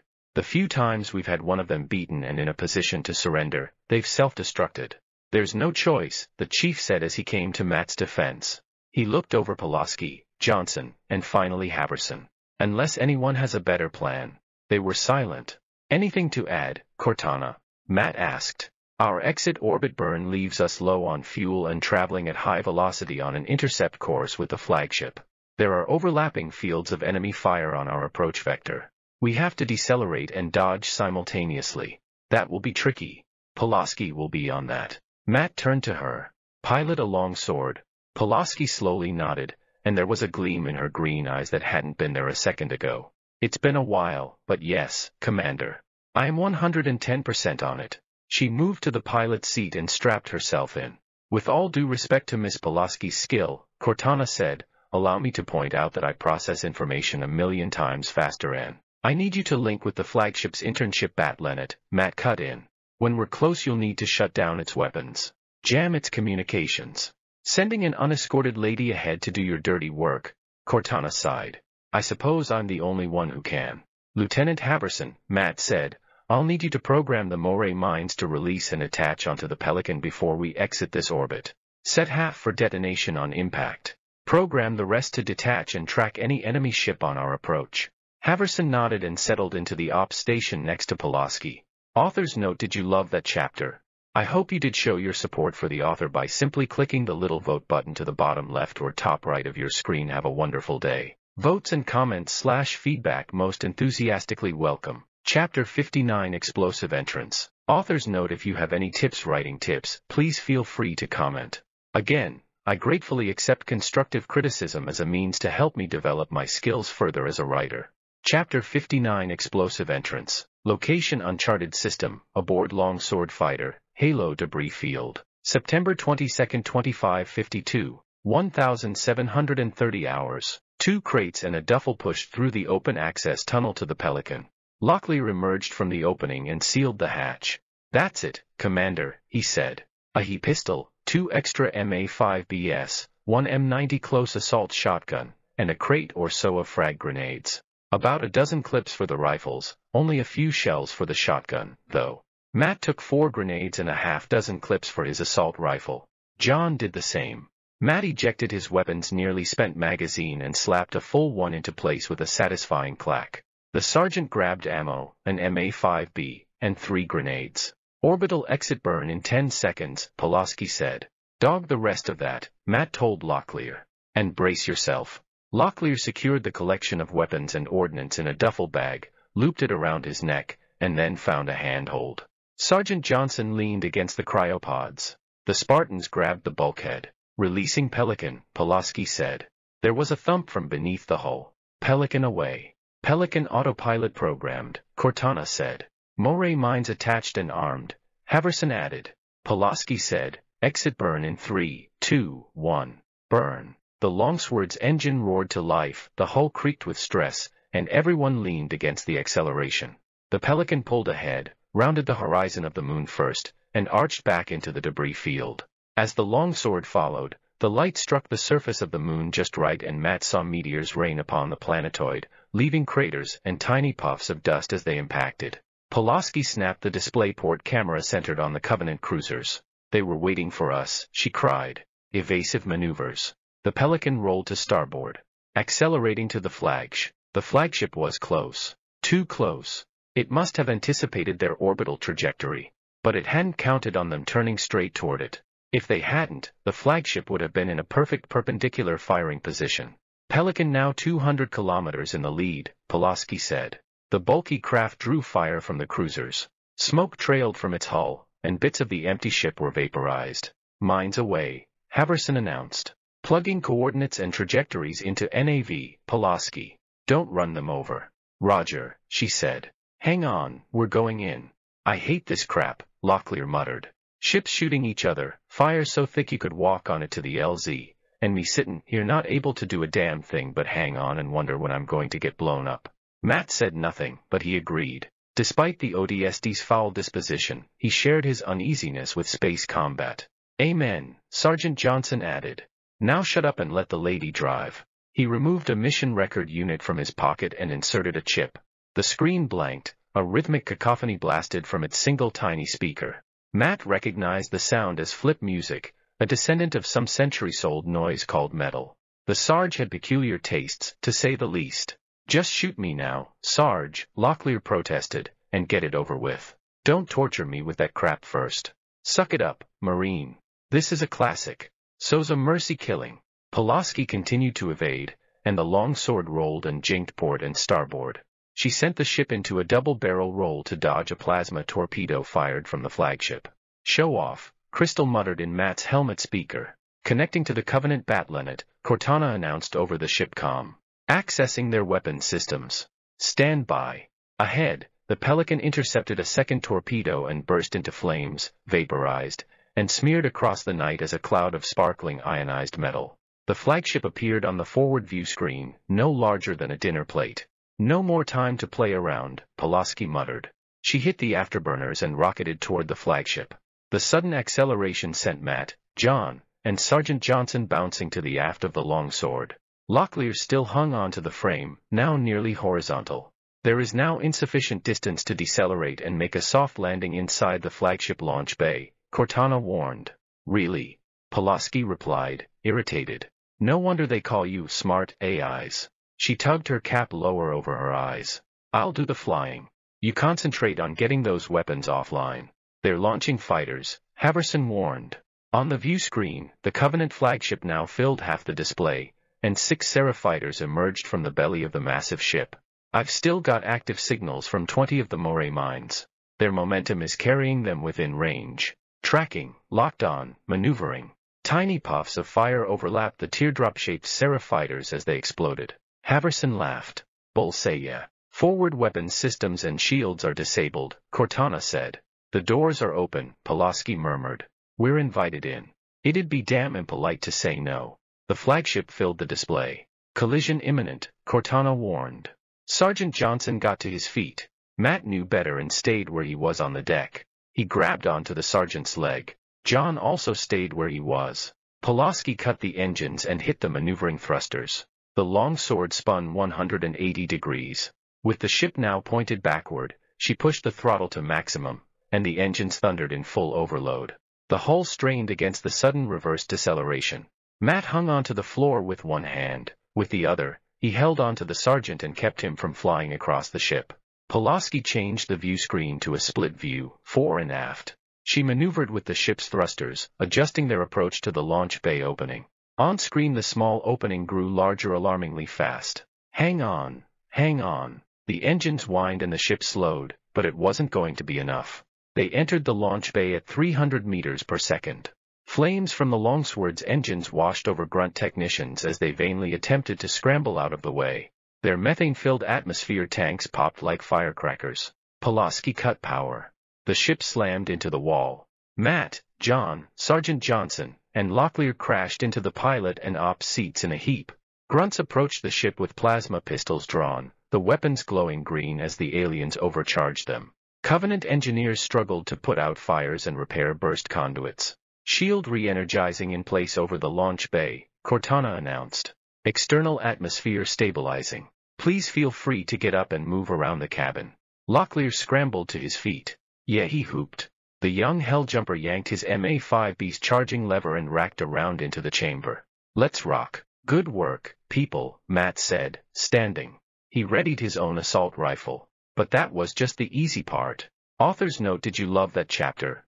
I hope you did show your support for the author by simply clicking the little vote button to the bottom left or top right of your screen. Have a wonderful day. Votes and comments slash feedback most enthusiastically welcome. Chapter 60 on Enemy Soil. Author's note if you have any tips writing tips, please feel free to comment. Again, I gratefully accept constructive criticism as a means to help me develop my skills further as a writer. Chapter 60 on Enemy Soil. Location Uncharted System, aboard unidentified Covenant flagship, Halo Debris Field, September 22, 2552, 1,750 hours. Plasma bolts impacted on the Longsword's hull and splashed across the windshield. The packets of glowing energy sizzled across the cockpit and etched cloudy, molten trails into the glass. A legion of grunts hunkered behind docked Seraph fighters and fuel pods. Some darted in and out of cover and fired ghostly green blobs of plasma at the longsword. I got M, Pulaski said and flipped a switch. The Longsword's landing gear deployed and raised the craft a meter off the floor. Guns clear, Pulaski announced. Bye, boys. She brought up a targeting reticle and swept it around the bay. A hail of 120 mm rounds tore through the grunt's cover. Fuel pods and unshielded fighters detonated and sent metal fragments and alien soldiers hurtling to the deck. The air exploded into roiling flame, which billowed toward the ceiling and then subsided. Pools of burning fuel and the charred bodies of grunts and Covenant engineers littered the launch bay. Fire suppression system activating, Crystal said. Jets of gray mist blew down from above. The fires intensified for a moment, then guttered and went out. Is there atmosphere in the bay? John asked. Scanning, Cortana replied. Traces of ash, some contamination from the melted ship hulls, and a lot of smoke, but the air in the bay is breathable. Good, Matt said. He turned to the others. We're going in. I'll lead. Chief, Locklear, you're up with me. Sergeant, you've got the rear. You'll need to take me, too, Cortana said. I've pulled a schematic of this ship to navigate, but the engineering controls have been manually locked down. I'll need direct access to the ship's command data systems. Why would we need you when we already have Crystal? Pulaski asked Cortana. Crystal can help with navigation. You'll need me to get direct access to the ship's command data systems, Cortana answered. Matt hesitated for a second. We'll have Crystal with us, but having Cortana wouldn't hurt. Grab her, Chief.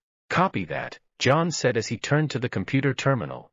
Stand by, John said. He punched a key on the computer terminal and dumped Cortana to a data chip. A moment later the terminal pulsed green. He removed the chip and slotted it in the back of his helmet. After John slotted Cortana into his helmet, Matt nodded at Locklear and Johnson. Let's go. Sergeant Johnson hit the door release, and the side hatch slid open. Locklear shouldered his rifle and poured fire through the opening. A pair of grunts who had crouched near the longsword to protect themselves from the fire flew backward onto the deck. Phosphorescent blood pooled beneath their prone forms. Matt dived through the open hatch and rolled to his feet. His motion tracker picked up three targets to his side. He whirled about and saw a trio of Covenant engineers. He removed his finger from the weapon's trigger. Engineers were no threat. The odd, meter-high creatures hovered above the deck, using bladders of some lighter-than-air gas produced by their bodies. Their tentacles and feelers probed a tangle of fuel lines, quickly repairing the pipes and pumps. Funny that there's no welcoming committee yet, Crystal whispered. Cortana and I looked over this ship's personnel roster 3,000 Covenant, mostly engineers. There's a light company of grunts and only a hundred elites. Only a hundred, Matt muttered. That's just great, John murmured. Matt waved his team forward toward a heavy door at the back of the launch bay. The air was full of smoke and fire-suppressing mist, which reduced visibility to a dozen meters. The rattle of assault rifle fire echoed through the bay. Matt spun to his right and brought his own rifle to bear. Locklear stood over the twitching corpses of the engineers. He fired another burst into the fallen aliens. Don't waste your ammunition, Corporal, the sergeant said. They may be ugly, but they're harmless. They're harmless now, Sarge, Locklear replied. He wiped a spatter of alien blood from his cheek and smirked. Matt tended to agree with Locklear's threat analysis of the Covenant when in doubt, kill. Still, he found the young Marine's actions unnecessary, and a little sloppy. The architecture of the Covenant fighter bay was similar to the interior of the other Covenant ship he and John had recently been inside, the Truth and Reconciliation. Low indirect lights illuminated the dark purple walls. The alien metal appeared to be stenciled with odd, faintly luminescent geometric patterns that overlapped each other. The ceiling was vaulted and unnecessarily high, maybe 10 meters. In contrast to a human ship, it was a waste of space. Matt spotted a large door at the back of the bay. The door was a distorted hexagonal shape and large enough that the entire team could enter at the same time, not that he'd ever be foolish enough to take up such a formation in hostile territory. The door had four sections that, when keyed to open, would silently slide away from the center. That will take us to the main corridor, Crystal said. And from there, to the bridge. Matt waved Locklear to the right side of the door, Sergeant Johnson to the left, and John to stay with him. Lieutenant Haverson, he called out, you're our rear guard. Pulaski hit the door controls. Hand signals from now on. Haverson tossed an ironic salute to Matt but tightened his grip on his weapon and scanned the bay. Pulaski moved forward and crouched by the panel in the middle of the door. She turned her cap around and leaned closer, then looked back to Matt and gave him a thumbs up. He raised his rifle and nodded, giving her the go-ahead to breach the door. She reached for the controls. Before she touched them, though, the door slid apart.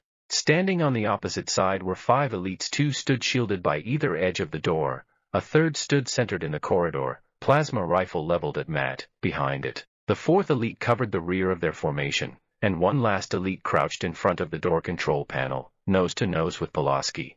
Matt fired two bursts directly over Pulaski's head. His first shot struck the elite in the middle of the corridor.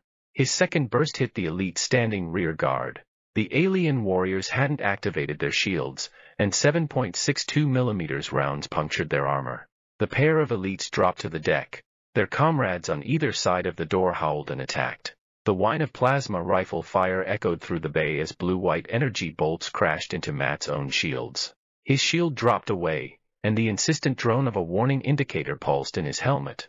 His vision clouded from the flare of energy weapon discharges, and he struggled to draw a bead on the elite in front of Pulaski. It was no good, he had no clear shot. The elite drew a plasma pistol. Pulaski drew her own sidearm. She was faster, or luckier. Her pistol cleared its holster, she snapped it up and fired. The pistol boomed as a shot took the elite right in the center of its elongated helmet. The elite's own shot went wide and seared into the deck behind Pulaski. Pulaski emptied her clip into the alien's face. A pair of rounds rocked the alien back. Its shields faded, and the remaining rounds tore through armor and bone. It fell on its back, twitched twice, and died. Johnson and Locklear unleashed a hellish crossfire into the corridor and made short work of the remaining elites as Pulaski hugged the deck plates. Now that's what I'm talking about, Johnson crowed. An honest god turkey shoot. Ten meters down the passage a dozen more elites rounded a corner. Oh-ho, Locklear muttered. Sergeant, Matt barked. Door control chief cover me. Matt moved to Pulaski's position in two quick strides, grabbed her by her collar, and dragged her out of the line of fire. Plasma bolts singed the air where she'd been. He dropped her, primed a grenade, and tossed it toward the rushing elites. The sergeant fired his assault rifle at the door controls, they exploded in a shower of sparks, and the doors slammed shut. A dull thump echoed behind the thick metal, then an eerie silence descended on the bay. Pulaski struggled to her feet and fed a fresh clip into her pistol. Her hands shook. Crystal, Matt said. We need an alternate route to the bridge. A blue arrow flashed on his heads-up display. Matt turned and spotted a hatch to his right. He pointed to the hatch and signaled his team to move, then ran to the hatch and touched the control panel. The small door slid open to reveal a narrow corridor beyond, snaking into the darkness. He didn't like it. The corridor was too dark and too narrow, a perfect place for an ambush. He briefly considered heading back to the primary bay door but abandoned that idea. Smoke and sparks poured from the door seams as the Covenant forces on the other side tried to burn their way through. Matt clicked on his low-light vision filters, and the darkness washed away into a grainy flood of fluorescent green. No contacts. He paused to let his shields recharge, then dropped into a low crouch. He brought his rifle to bear and crept into the corridor. The interior of the passage narrowed, and its smooth purple surface darkened. Matt had to turn sideways to pass through. This looks like a service corridor for their engineers, Crystal said. Their elite warriors will have a tough time following us. Matt grunted in acknowledgement as he eased his way through. There was a scraping sound and a flash of sparks as his energy shield brushed the wall. It was too tight a fit. He powered down the shields, which left him just enough room to squeeze through. John followed behind Matt, Locklear followed behind him, then Pulaski, the sergeant, and finally Haverson. Matt pointed at Haverson, then at the door. The lieutenant frowned, then nodded. Haverson closed the hatch and ripped out the circuitry for the control mechanism. There had been dozens of engineers in the launch bay, and there were enough on the ship to merit their own access tunnel. Matt hadn't seen anything like this on the Truth and Reconciliation. In fact, he hadn't seen a single engineer on that ship. What made this ship different? It was armed like a ship of war, yet had the support staff of a refit vessel. Stop here, Cortana said. Matt halted and killed his external speakers so he could speak freely and he switched to Blue Team's com channel. Problem? He asked Cortana. No. A lucky break, maybe. Look to your left and down 20 centimeters. Matt squinted and noticed that a portion of the wall extruded into a circular opening no larger than the tip of his thumb. That's a data port, or what passes for one with the Covenant engineers. I'm picking up handshake signals in shortwave and infrared from it. Remove me and slot me in chief. Are you sure? John asked. I can't do much good in there with you. Once I'm directly in contact with the ship's Battle Net, however, I can infiltrate and take over their systems. You'll still need to get to the bridge and manually give me access to their engineering systems. In the meantime, I may be able to control secondary systems and buy you some time. If you're sure, Matt said. When have I not been sure? She snapped. Good point, John said. Go ahead and slot her in chief, Matt said. John nodded and slotted Cortana's chip into the Covenant data port. Locklear's face rippled with disgust, and he whispered, You couldn't pay me to stick any part of myself in that thing. Matt made a slashing gesture across his throat, and the Marine fell silent. I'm in, Cortana said. How is it? Matt said. There was a half-second pause. It's different, Cortana replied. Proceed 30 meters down this passage and turn left. Matt motioned the team forward. Commander, Cortana said. We may have a prob. Hold transmission, Cortana, Matt interrupted. We're outside the command center. Can you tell how many are inside? Negative. They have disabled the bridge sensors, she replied. You heard Cortana, Matt said, addressing his companions. Expect anything. Sergeant, you and Locklear get in position. Roger that, Sergeant Johnson whispered. In position and ready to kick Covenant ass. We're about to blow the door on this end, Cortana. Stand by. Commander, Cortana said. Hurry. Plasma grenades on my mark, Matt said on the com. Mark toss them and take cover. Matt and John tossed one plasma grenade each. They burned magnesium brilliant and adhered to the heavy alloy of the bulkhead doors that encased the bridge, one of the alien weapon's more useful properties. Matt moved around the corner of the passage and shielded Haverson and Pulaski. Five seconds elapsed, and a flash filled the hallway. Matt moved back to the doors. They shone mirror bright where the grenade had detonated but was otherwise unharmed. A hundred grenades wouldn't have blasted through these doors, but when Covenant plasma grenades detonated, they disrupted electronics and shielding. Matt dug his gauntlet fingers into the door crack, hoping that the disruption had knocked out the motors and shielding keeping these doors closed. He braced himself and tried to pull the doors apart at the seams. They slid a few centimeters, then ground to a halt. Matt adjusted his footing and strained at them again, but the doors remained frozen in place. Matt's motion sensors pulsed a warning, there was movement directly on the other side of the door. He shoved the muzzle of his assault rifle into the narrow opening and squeezed the trigger. Spent shell casings clattered to the floor. A howl echoed from the other side, and a curl of gray smoke drifted through the crack. Matt slung his rifle, grabbed the doors, flexed, pulled, and this time the heavy metal moved. A flash of plasma fire washed over his shields, blinding him. He ignored it, closed his eyes, and continued to force his way through the door. Another plasma shot struck him in the chest. The doors were half a meter apart, good enough. He rolled to the side and gave his shields a moment to regenerate. Nothing. The suit's alarms pulsed insistently.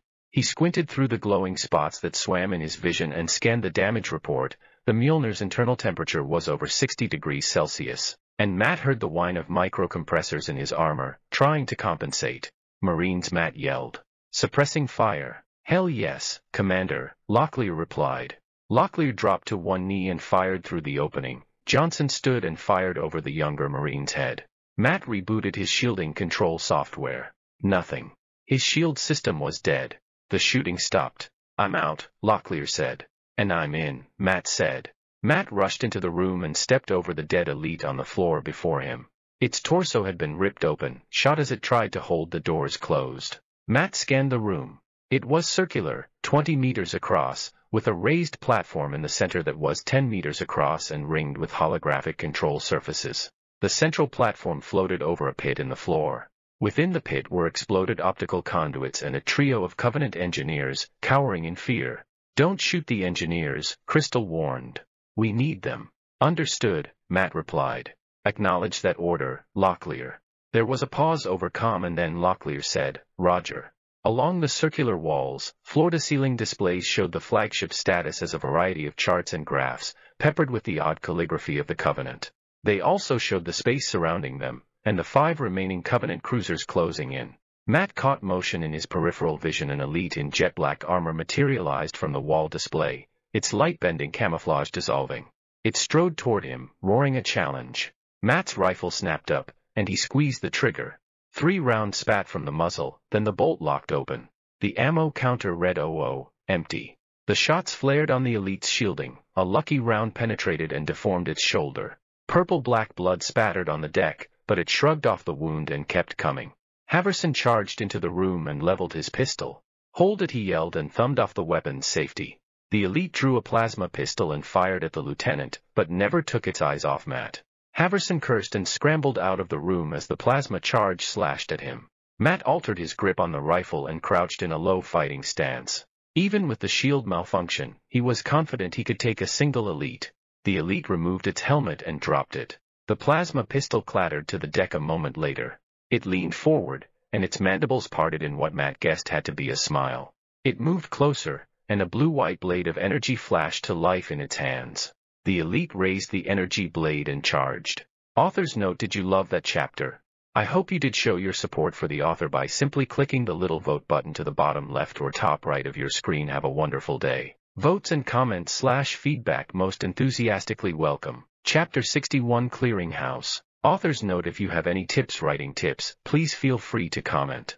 Again, I gratefully accept constructive criticism as a means to help me develop my skills further as a writer. Chapter 61 Clearinghouse. Location Uncharted System, aboard unidentified Covenant flagship, Halo Debris Field. September 22, 2552, 1802 hours. Matt ducked as the hissing energy blade slashed at him. He dived toward the elite and slammed the butt of his rifle into the alien's midsection.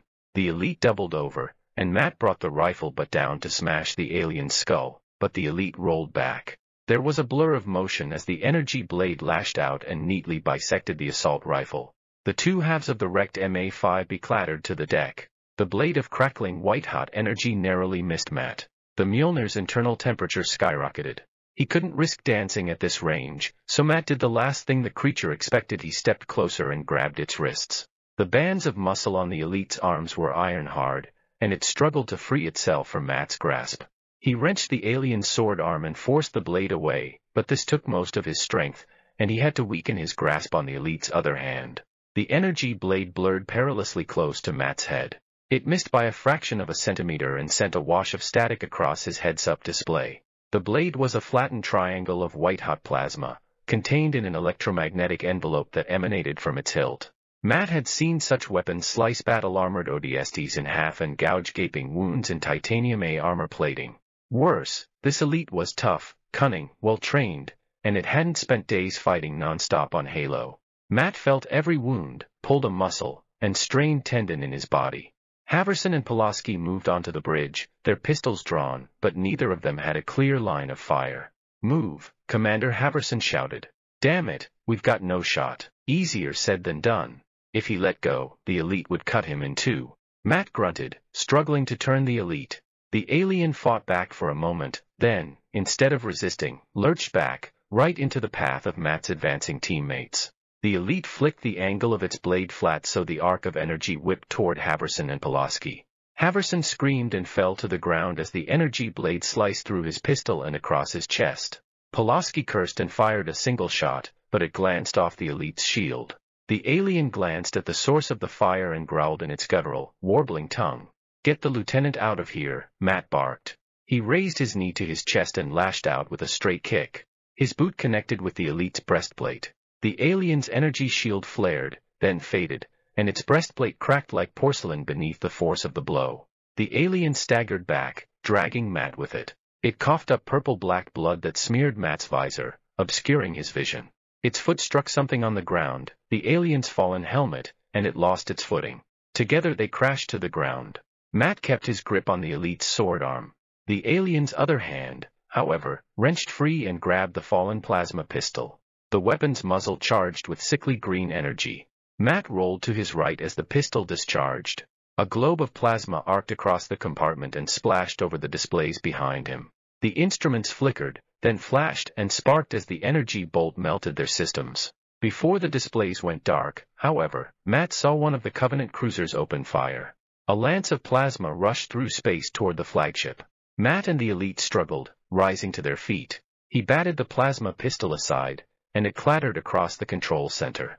The elite's mouth opened, and it snapped at the mat. It was angry or panicking now, and he felt it getting stronger. His grasp on the alien loosened. There was motion behind the elite. Sergeant Johnson and Locklear still struggled to get their hatch open more than a crack. Chief, Sergeant, prepare to fire. Ready, Commander. John cried from the other side of the hatch. Matt tightened his grip on the elite's sword arm, shoved his forearm into the alien's throat and drove it backward, across the bridge. He slammed the creature into the partially opened hatch. The energy blade cut into Matt's armor, boiling through the alloy that protected his upper arm. Chief, Sergeant now fire. Gunfire exploded from the hatch, oddly muffled because the rounds impacted directly into the elite's back. The alien snarled and contorted, but it held on to Matt. The alien warrior sawed the blade deeper, cutting through the tough crystalline layers of the Mjolnir armor. Hydrostatic gel oozed from the wound, mixed with Matt's blood. Keep shooting. A bullet hole appeared through the elite's broken chest plate, bits of shattered armor and torn flesh spattered over Matt. Matt slammed the elite into the bulkhead, and a control panel behind the alien sparked. The door to the escape corridor hissed open, and the creature reeled back. The alien was off balance, and Matt finally had leverage. He buelled the elite backward and hammered its arm into the wall. The alien metal rang like a gong, and the elite dropped its energy sword. The blade guttered and went dark as its failsafes permanently disabled the weapon. Matt forced the alien back, step by step. The deck was slippery with blood. Finally, he twisted the elite to the right and launched a powerful open-handed strike into the alien's wounded chest. The elite howled in pain and flew back, through the open hatch of an escape pod. Get off this ship, Matt said. He hit a control stud and the hatch slammed shut. There was a sharp, metallic bang as the locking clamps released. The pod screamed away from the hull. Matt exhaled. Sweat dripped in his eyes, momentarily blurring his vision. Good work, Chief, you two Marines, he panted. His shoulder burned. He tried to move it, but it was stiff and wouldn't respond. The ship lurched.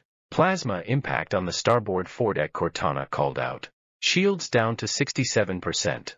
She paused and then added, amazing radiative properties. Commander, you need to disable the navigation override so I can maneuver. Haverson and Pulaski strode toward the chief.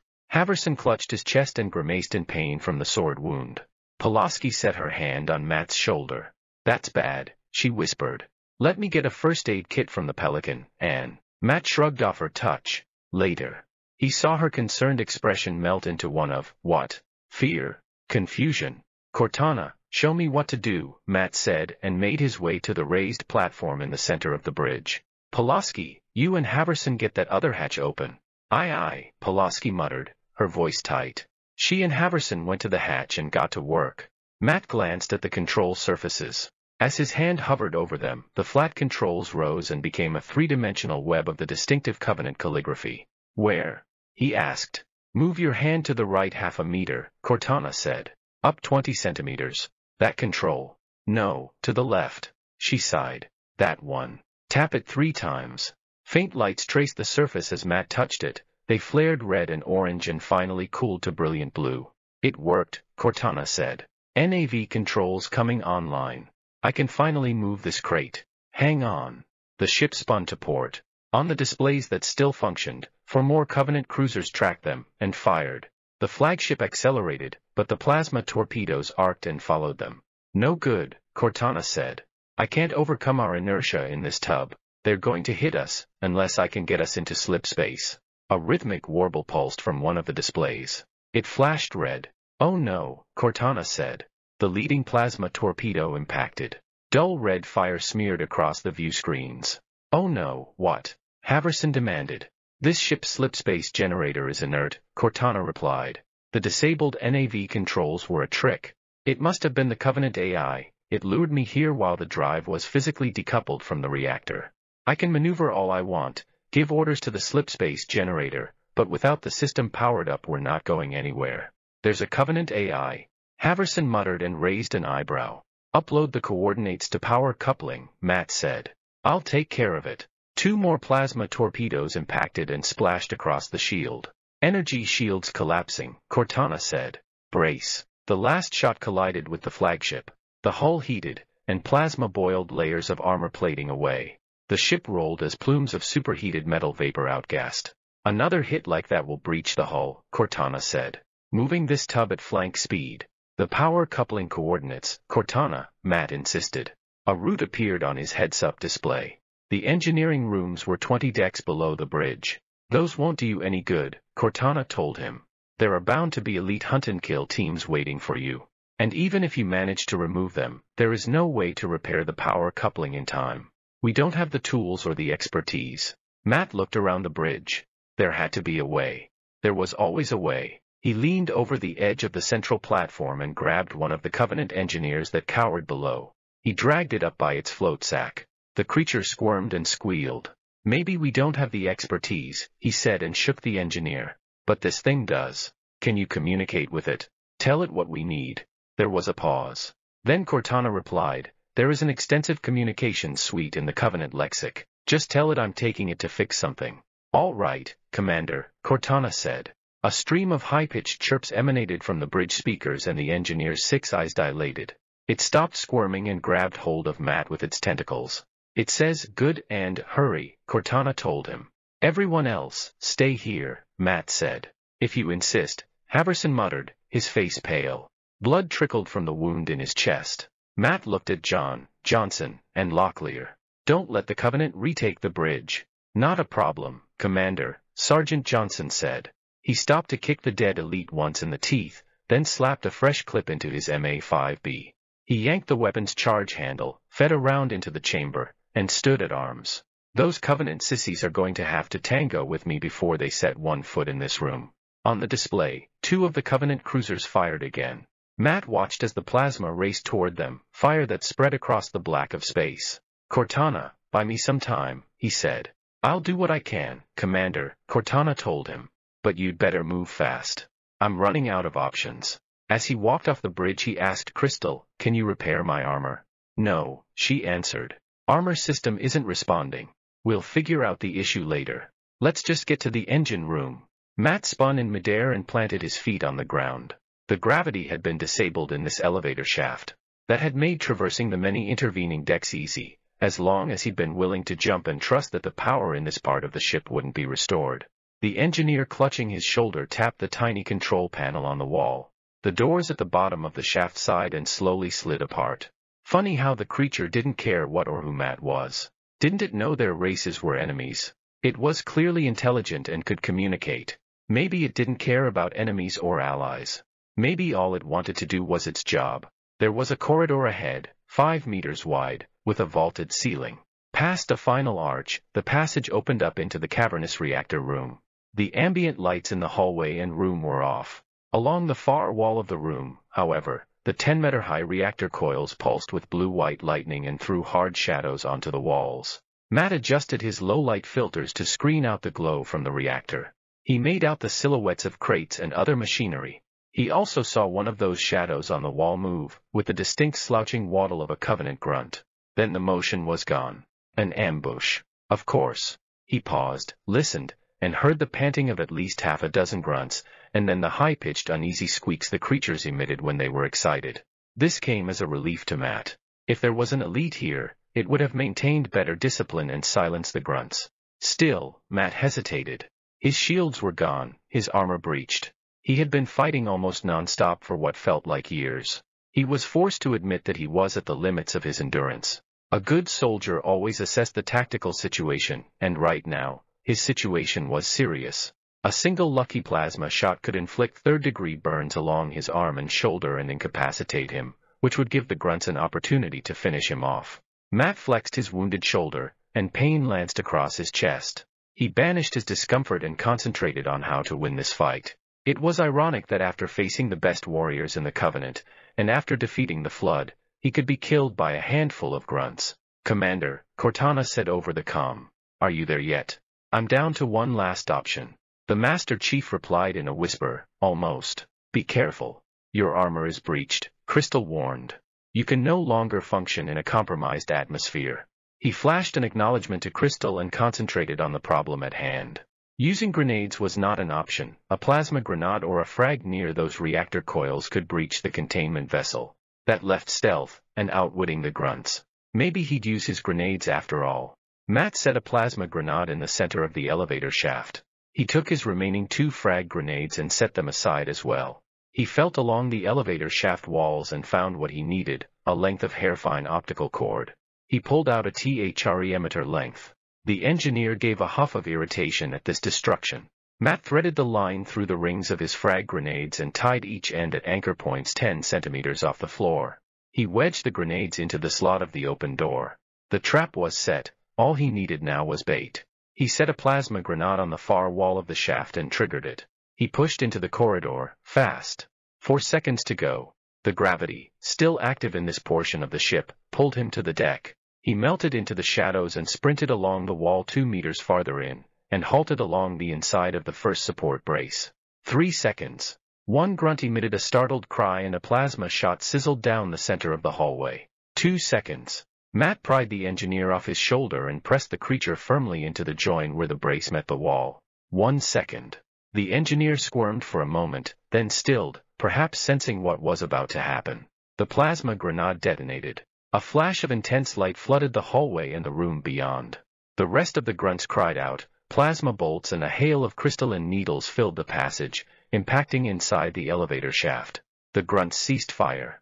A lone grunt cautiously stepped out from behind a crate and crept forward. It gave a barking, nervous laugh and then, encountering no resistance, waddled down the passage toward the elevator.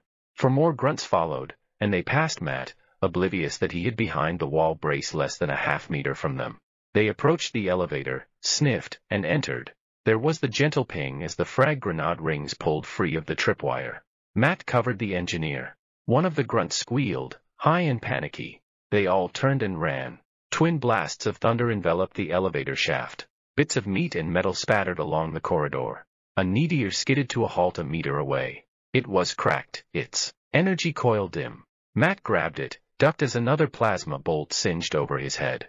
He withdrew to the cover of the bracing support. He tried to activate the weapon. No luck. It was dead. The engineer snaked a tentacle around the weapon and tugged it away from Matt's grasp. It cracked the case and peeled the housing open. The tip of one of its tentacles split into a hundred needle-fine cilia and swept over the inner workings. A moment later it reassembled the weapon and handed it, grip first, to Matt. The Needier hummed with energy and the glassine quills the weapon fired glowed a cool purple. Thanks, he whispered.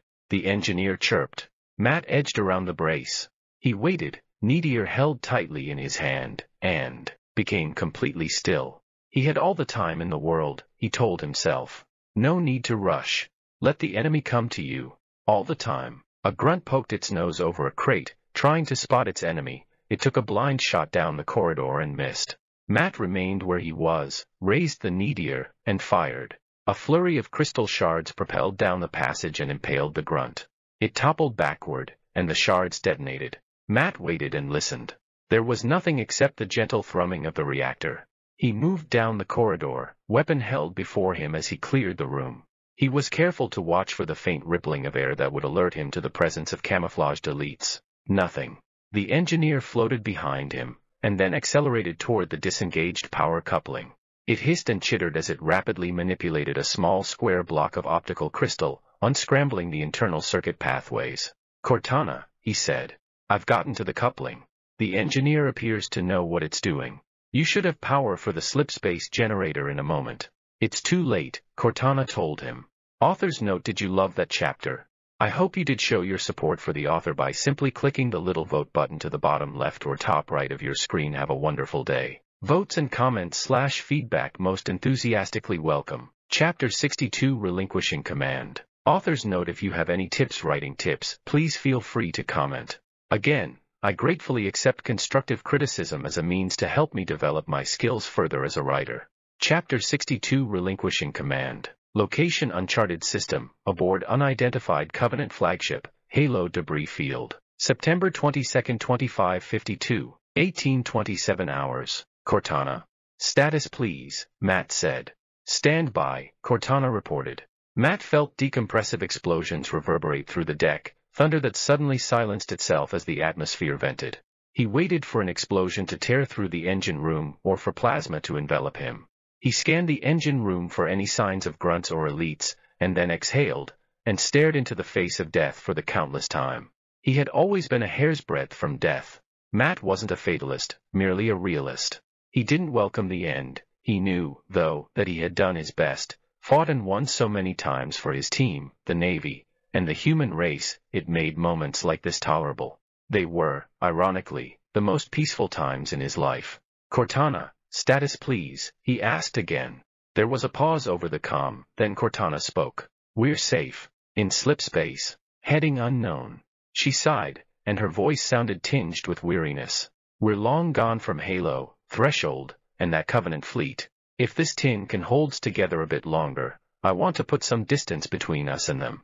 Matt replied, Good work, Cortana. Very good. He moved toward the elevator.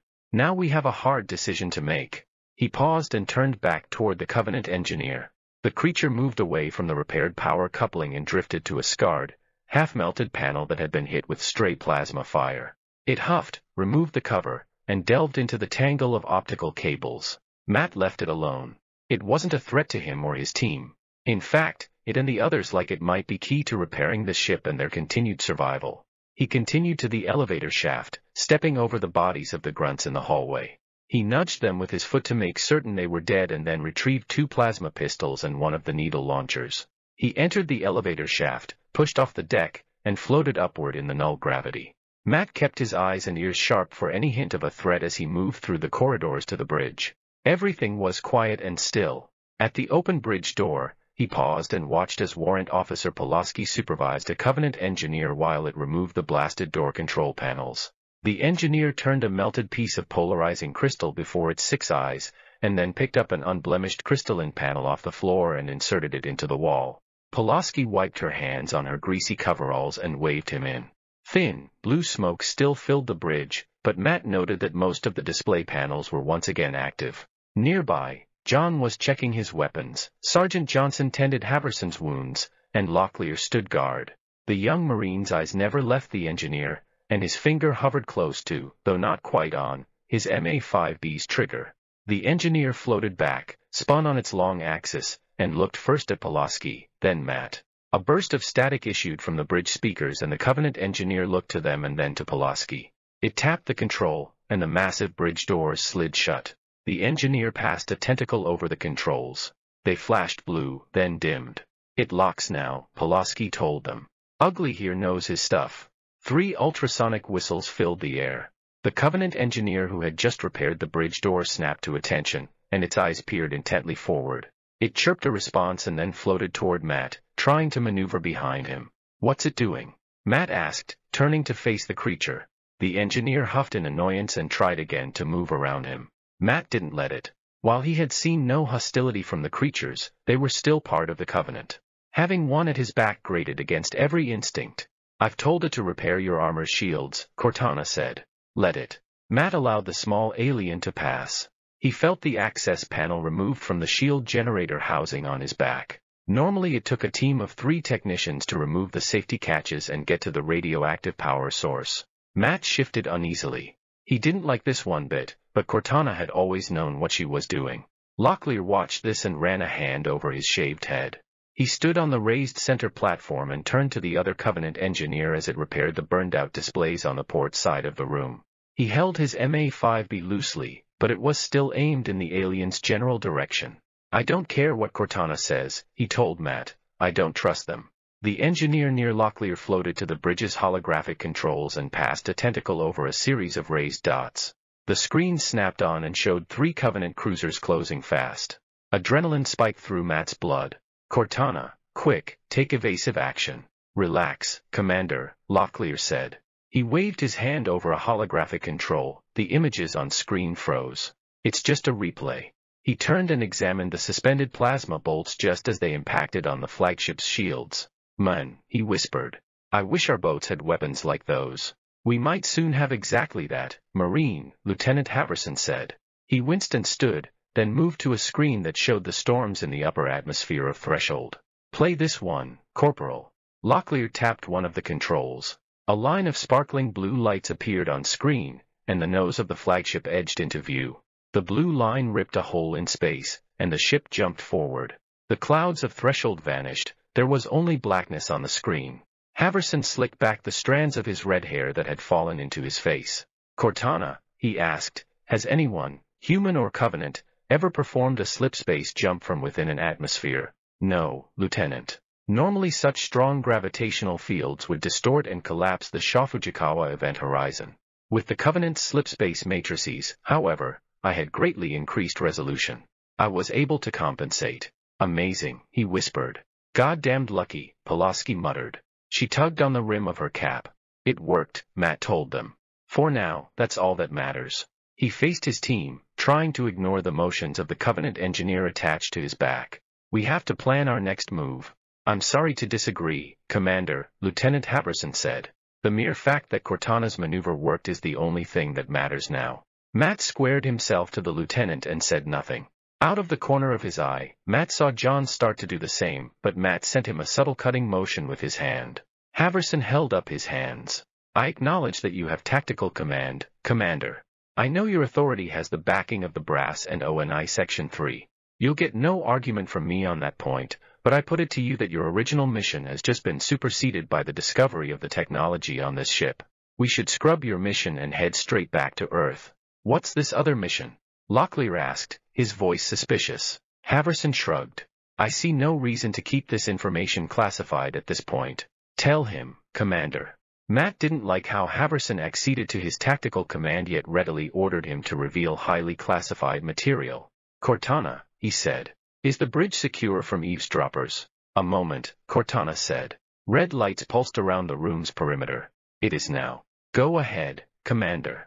My team and I, Matt started. He hesitated, the thought of his fellow Spartan stopped him cold.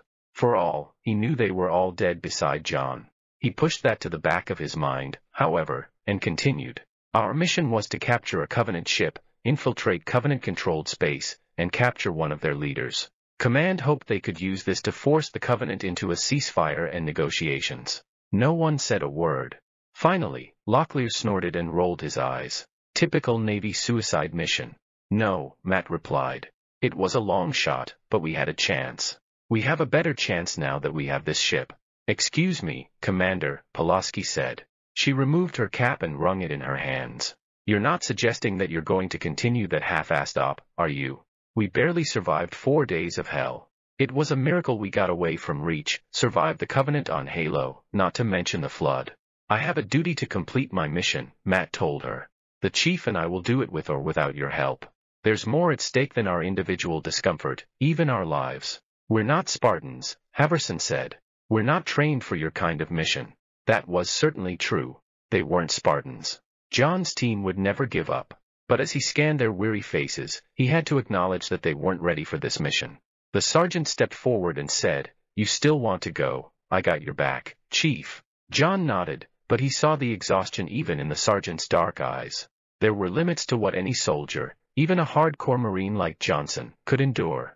And as much as he didn't want to admit it, his original orders, given only a week ago, felt as if they'd been issued a lifetime in the past. Even Matt felt the temptation to stop and regroup before continuing. What's on this ship, Haverson said, can save the human race. And wasn't that the goal of your mission? Let's return to Earth and let the Admiralty decide. No one would question your decision to clarify your orders given the circumstances, he paused, then added, and the loss of your entire team. Haverson's expression was carefully neutral, but Matt still bristled at the further mention of his team, and at the attempt to manipulate him.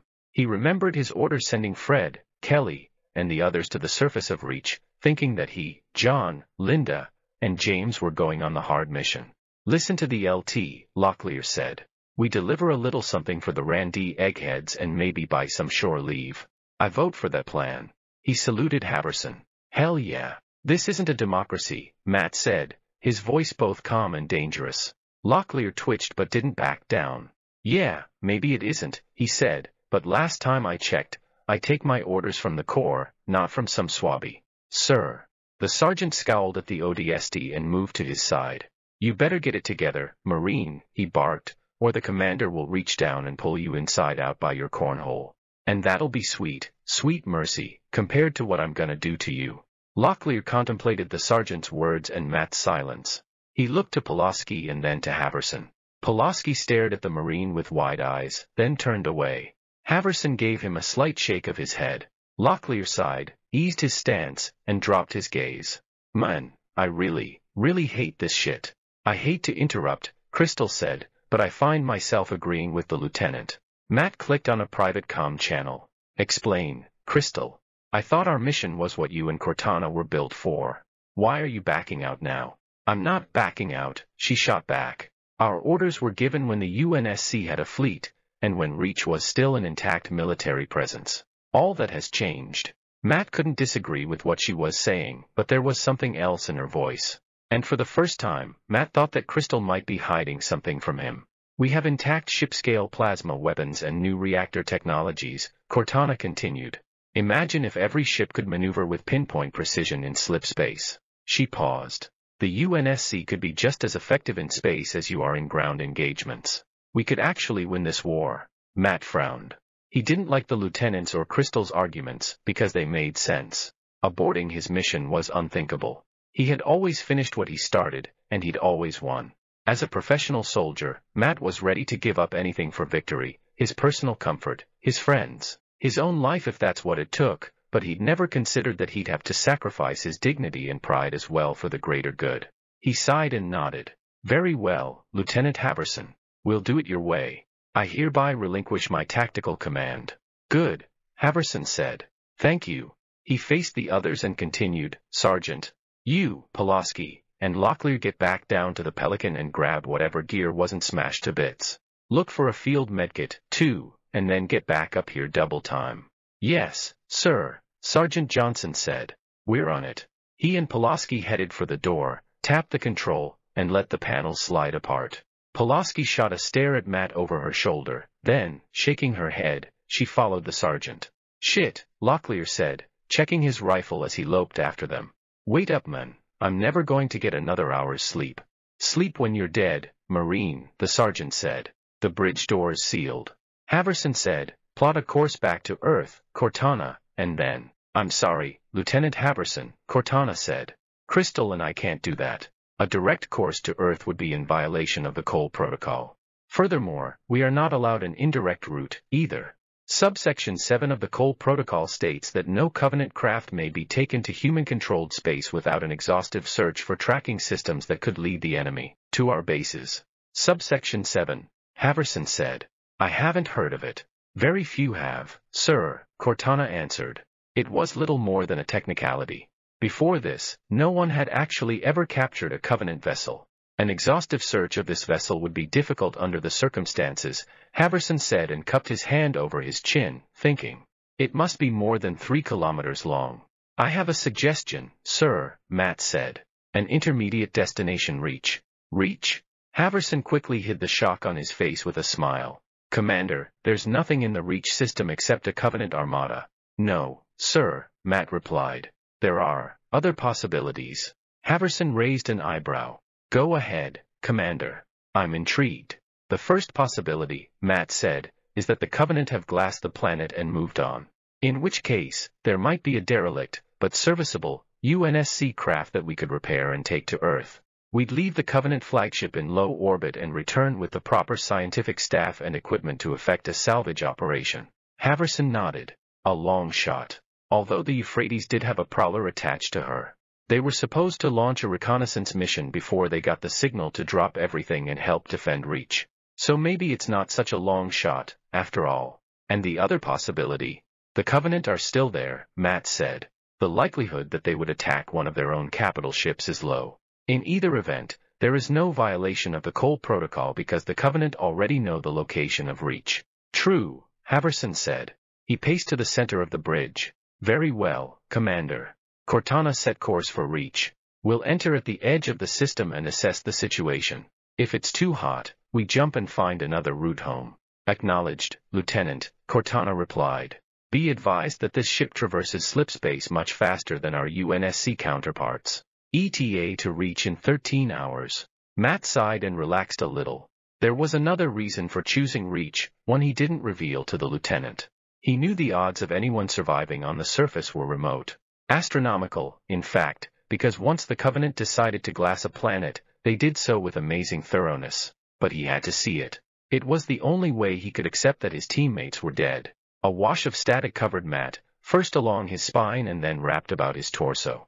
There was an audible pop, and sparks crackled along the length of his Mjolnir armor. The engineer released its grasp on him and cluttered with excitement. Diagnostic routines scrolled upon Matt's heads-up display. In the upper right corner, the shield recharge bar flickered red and slowly filled. They work, Crystal said in awe. These Covenant engineers incredible. Matt was relieved to have his shields back. He wouldn't forget what it was like to fight without them, though. It had been a wake-up call not to become dependent upon technology. It was also a reminder that most battles were won or lost in his head before he engaged an enemy. Impressive little creatures, Haverson remarked. He scrutinized the Covenant engineer as it floated toward the wall of displays and began tinkering with one. I wonder how the Covenant caste system. Sir Sergeant Johnson's voice blasted over the com, breaking with static. You've got to get down to the Pelican ASAP. You, the commander, and the chief. Are you under fire? John asked. Negative, he replied. It's one of the cryotubes you recovered. What about it, Sergeant? Haverson snapped. Commander, Chief, there's a Spartan in it. Author's note Did you love that chapter? I hope you did show your support for the author by simply clicking the little vote button to the bottom left or top right of your screen. Have a wonderful day. Votes and comments slash feedback most enthusiastically welcome. Chapter 63 Arrival at Reach. Author's note If you have any tips writing tips, please feel free to comment. Again, I gratefully accept constructive criticism as a means to help me develop my skills further as a writer. Chapter 63 Arrival at Reach. Location captured Covenant flagship, in slip space, location unknown. September 23, 2552, 0455 hours. Matt brushed off the frost buildup that clouded the top half of the cryo tube and revealed the green armored figure sprawled behind the plastisteel shell. Spartan 058. Linda. She'd been mortally wounded during the raid on Gamma Station, just before Reach fell. He dragged her burned, limp body back to the Pillar of Autumn, and the medics had placed her in deep cryostasis just before the jump. When the Autumn crashed on Halo, Keyes must have jettisoned the active cryo tubes, standard operating procedure. They had frozen her while she'd still been in her suit. That was for the best, considering the extent of her injuries, but he would have given anything to see her face one last time. Linda had been unique among the Spartans with her blood-red hair and dark emerald eyes, but her appearance was not what set her apart. Besides himself, she was the unit's best sniper scout and could hit targets the rest of them couldn't. While the other Spartans preferred to operate as a team, Linda was content to separate, hide and post in some remote location, and wait for days for the single, critical shot that could turn the tide of battle. Although snipers in the UNSC were always trained to function in pairs, a shooter and a spotter, he and Linda were the exception to that rule, both had proven time and again that they were most effective on their own. If any one of the Spartans could be called a lone wolf, it was he and Linda. In many ways that made the two the strongest of them. To see Linda like this, Matt wiped away the condensation that formed over her helmeted head. She was neither dead nor alive. She was in some twilight place in between. That uncertainty was worse than seeing her broken and burned body on Gamma Station. It felt like an open wound in Matt's chest. Linda's prognosis was good. The occupants of the other two cryopods hadn't made it. Some kind of energy discharge had deactivated the units, and the occupants had died cold bleak deaths. Matt felt an armored land on his shoulder. He glanced out of the corner of his eye and saw John standing slightly behind him. You care about her, don't you? John said. I don't think we should talk about this right now, John, Matt answered. Don't go there. No, I think we should about this right now, John replied. We never got a chance to have our talk back on the autumn. Matt sighed. Okay fine, let's talk. What do you want to talk about? You care about her don't you? John asked again. How do you know?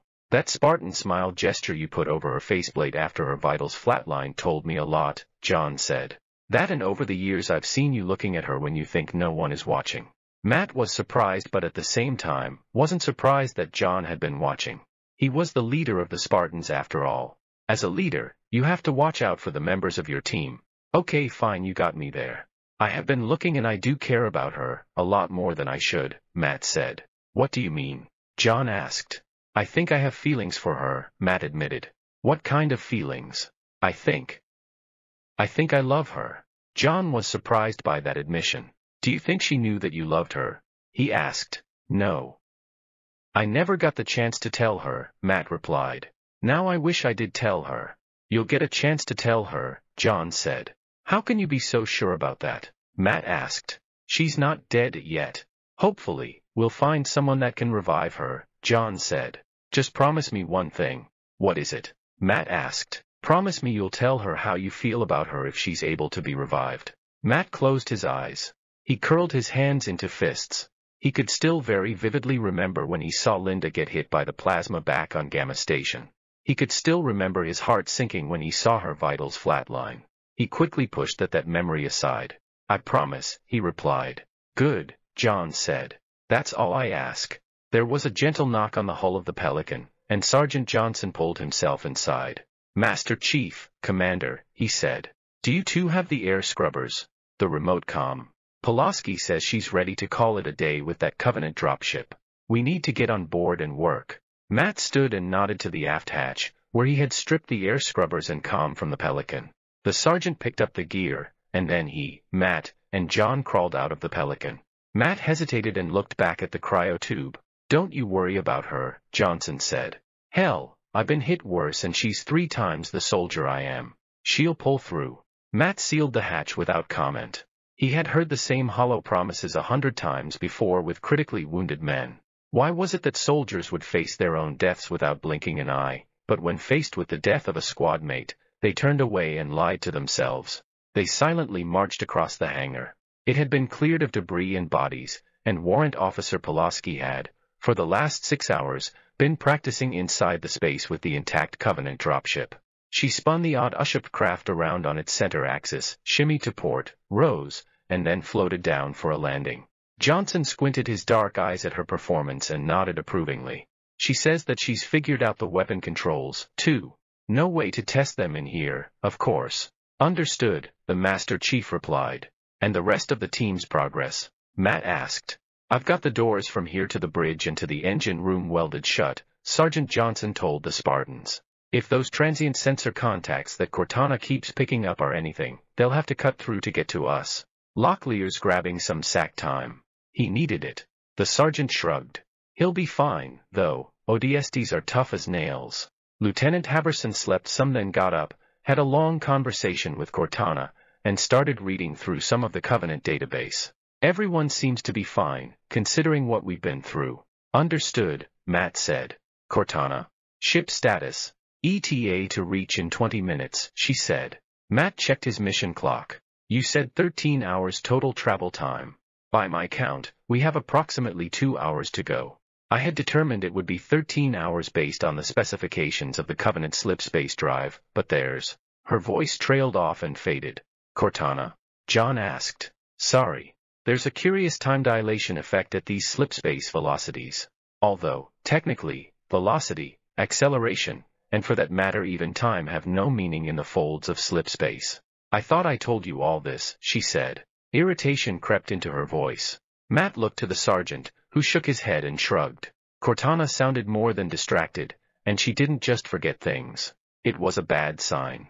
They depended on her to fly this ship, and if she started falling apart they were in real trouble. Matt opened a comm channel. Change of plans, team.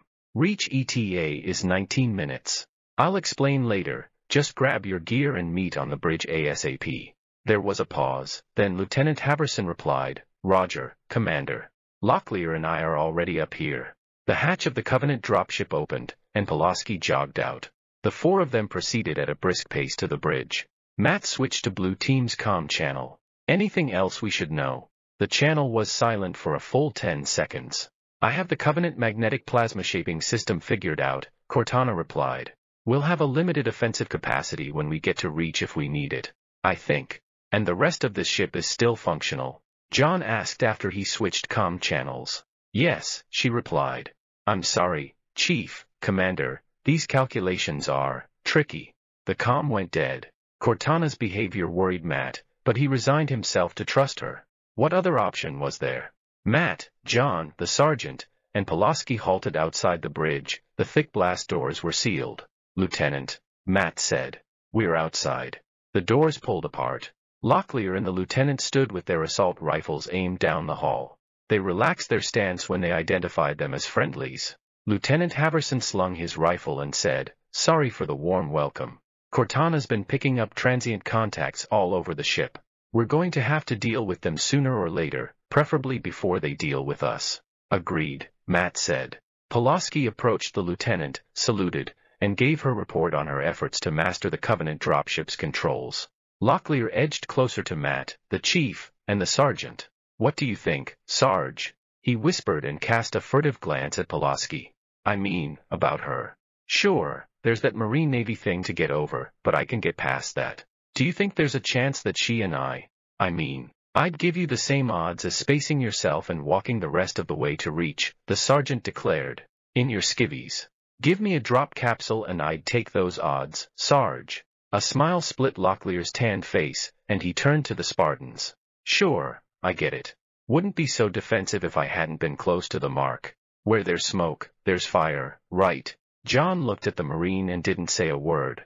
Matt stared at Locklear and slowly shook his head. Locklear's smile faded, but not entirely. You guys are just jealous, he muttered and absent-mindedly ran his finger over the scar that lined his jaw. That's cool. I get that all the time.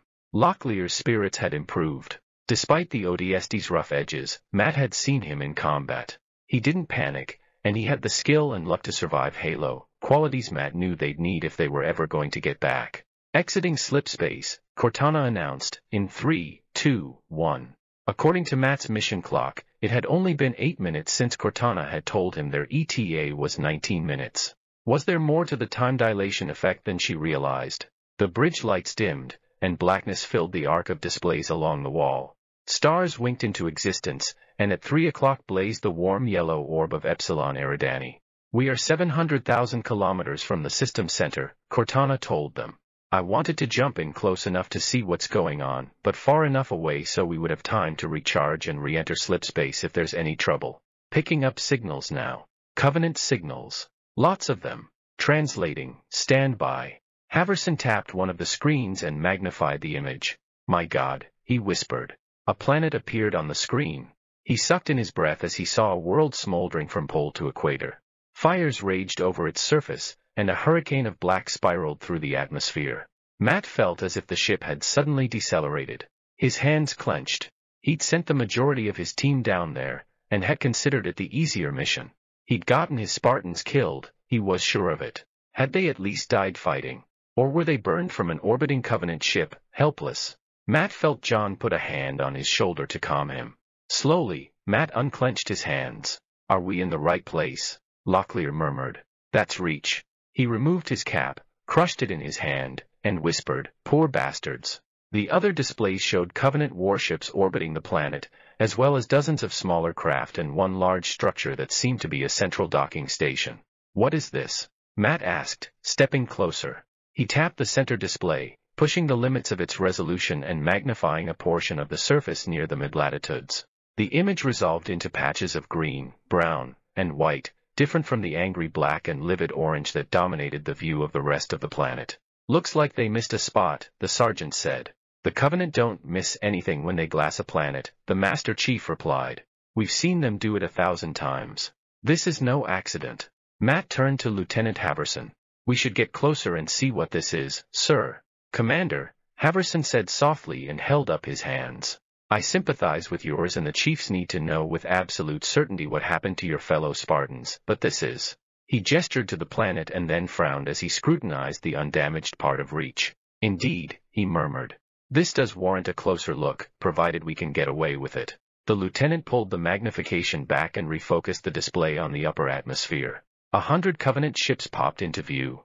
There are several smaller vessels circling over that spot. Forget what I just said, Haverson whispered. If the Covenant are so interested in this region, then we should be as well, as long as our cover holds. Cortana, take us in closer. Yes, Lieutenant, Cortana replied. The Covenant flagship smoothly accelerated in system. They're hailing us, Cortana said, preparing the proper counter-response. Matt counted the ships on the display. There were hundreds, most no larger than a Covenant dropship, but there were at least a dozen cruisers and two of the Titanic carriers that each carried three squadrons of Seraph fighter craft. There was more than enough firepower to turn their captured flagship into molten slag. Many of the smaller ships herded debris from the battle into one spot over Reach, a floating junkyard of UNSC and Covenant ships.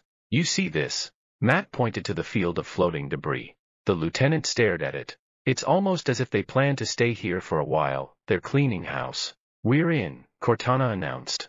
The fleet is curious why a Covenant flagship is here, but not suspicious enough to question our authority. The translation is tricky, but apparently, from the string of honorifics attached to their responses, there's supposed to be someone of extremely high rank commanding this ship, someone they referred to, among other things, as the Guardian of the Luminous Key. Damn silly name, muttered Sergeant Johnson. Can you tell what they're doing down there, Cortana?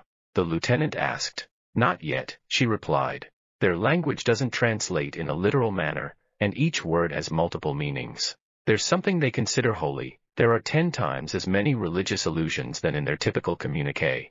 Hang on, picking up a new signal. Weaker than the others. Not on a covenant frequency. It's the UNSC band. Lieutenant Haverson licked his lips. Play it, he said. A message beeped through the speakers, six tones, then a Tuscan pause, it repeated. Matt stiffened. Beside him, he felt John do the same. That's it, Cortana said. Just those six notes over and over. It originates here. A tiny NAV triangle appeared on the edge of the intact region on the planet's surface. It's not Morse code, Pulaski said. Not any code I've heard of. Maybe it's a test signal. Something automated, like an air traffic repeater relay, maybe. It's not automated, John said. Everyone gear up and get ready. We're going down there, Matt said. There are Spartans down there. And they're still alive. Matt whispered so softly that only he, John, Crystal, and Cortana heard Oli Oli Oxen Free. Author's note Did you love that chapter?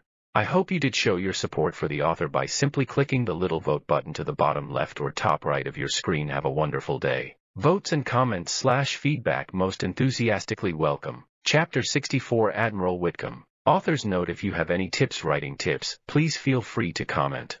Again, I gratefully accept constructive criticism as a means to help me develop my skills further as a writer. Chapter 64 Admiral Whitcomb. Location Epsilon Eridani System, aboard captured Covenant dropship, en route to surface of Reach. Date Time Record Anomaly. Estimated date September 23, 2552. Estimated time 0530 hours. Matt stood on the deck of the Covenant dropship. He stood because the crash seats had been designed for elites and jackals and none of the contours fit their human backbones. It didn't matter, he preferred to stand. They drifted through the upper atmosphere of Reach, descending like a spider on a thousand-kilometer thread of silk. They passed close to a hundred other ships moving in orbital arcs, Seraph fighters, other dropships, scavenger craft with grappling tentacles that dragged sections of salvaged metal. Dominating the skies were a pair of 300-meter-long cruisers.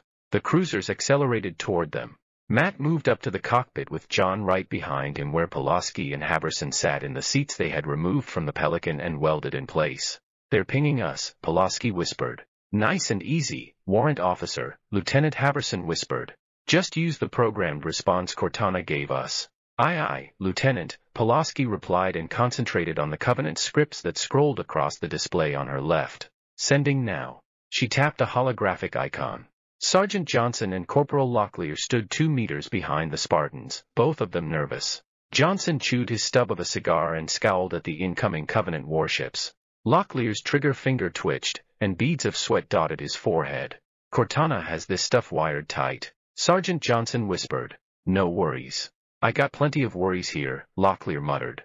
Man, I'd rather be in an HEV pod on fire and out of control than up here. We're sitting ducks. Quiet, Lieutenant Haverson hissed at Locklear. Let the lady concentrate. Pulaski kept one eye on the communication screen and one eye on the external displays as the twin cruisers grew larger, filling the holographic space before her.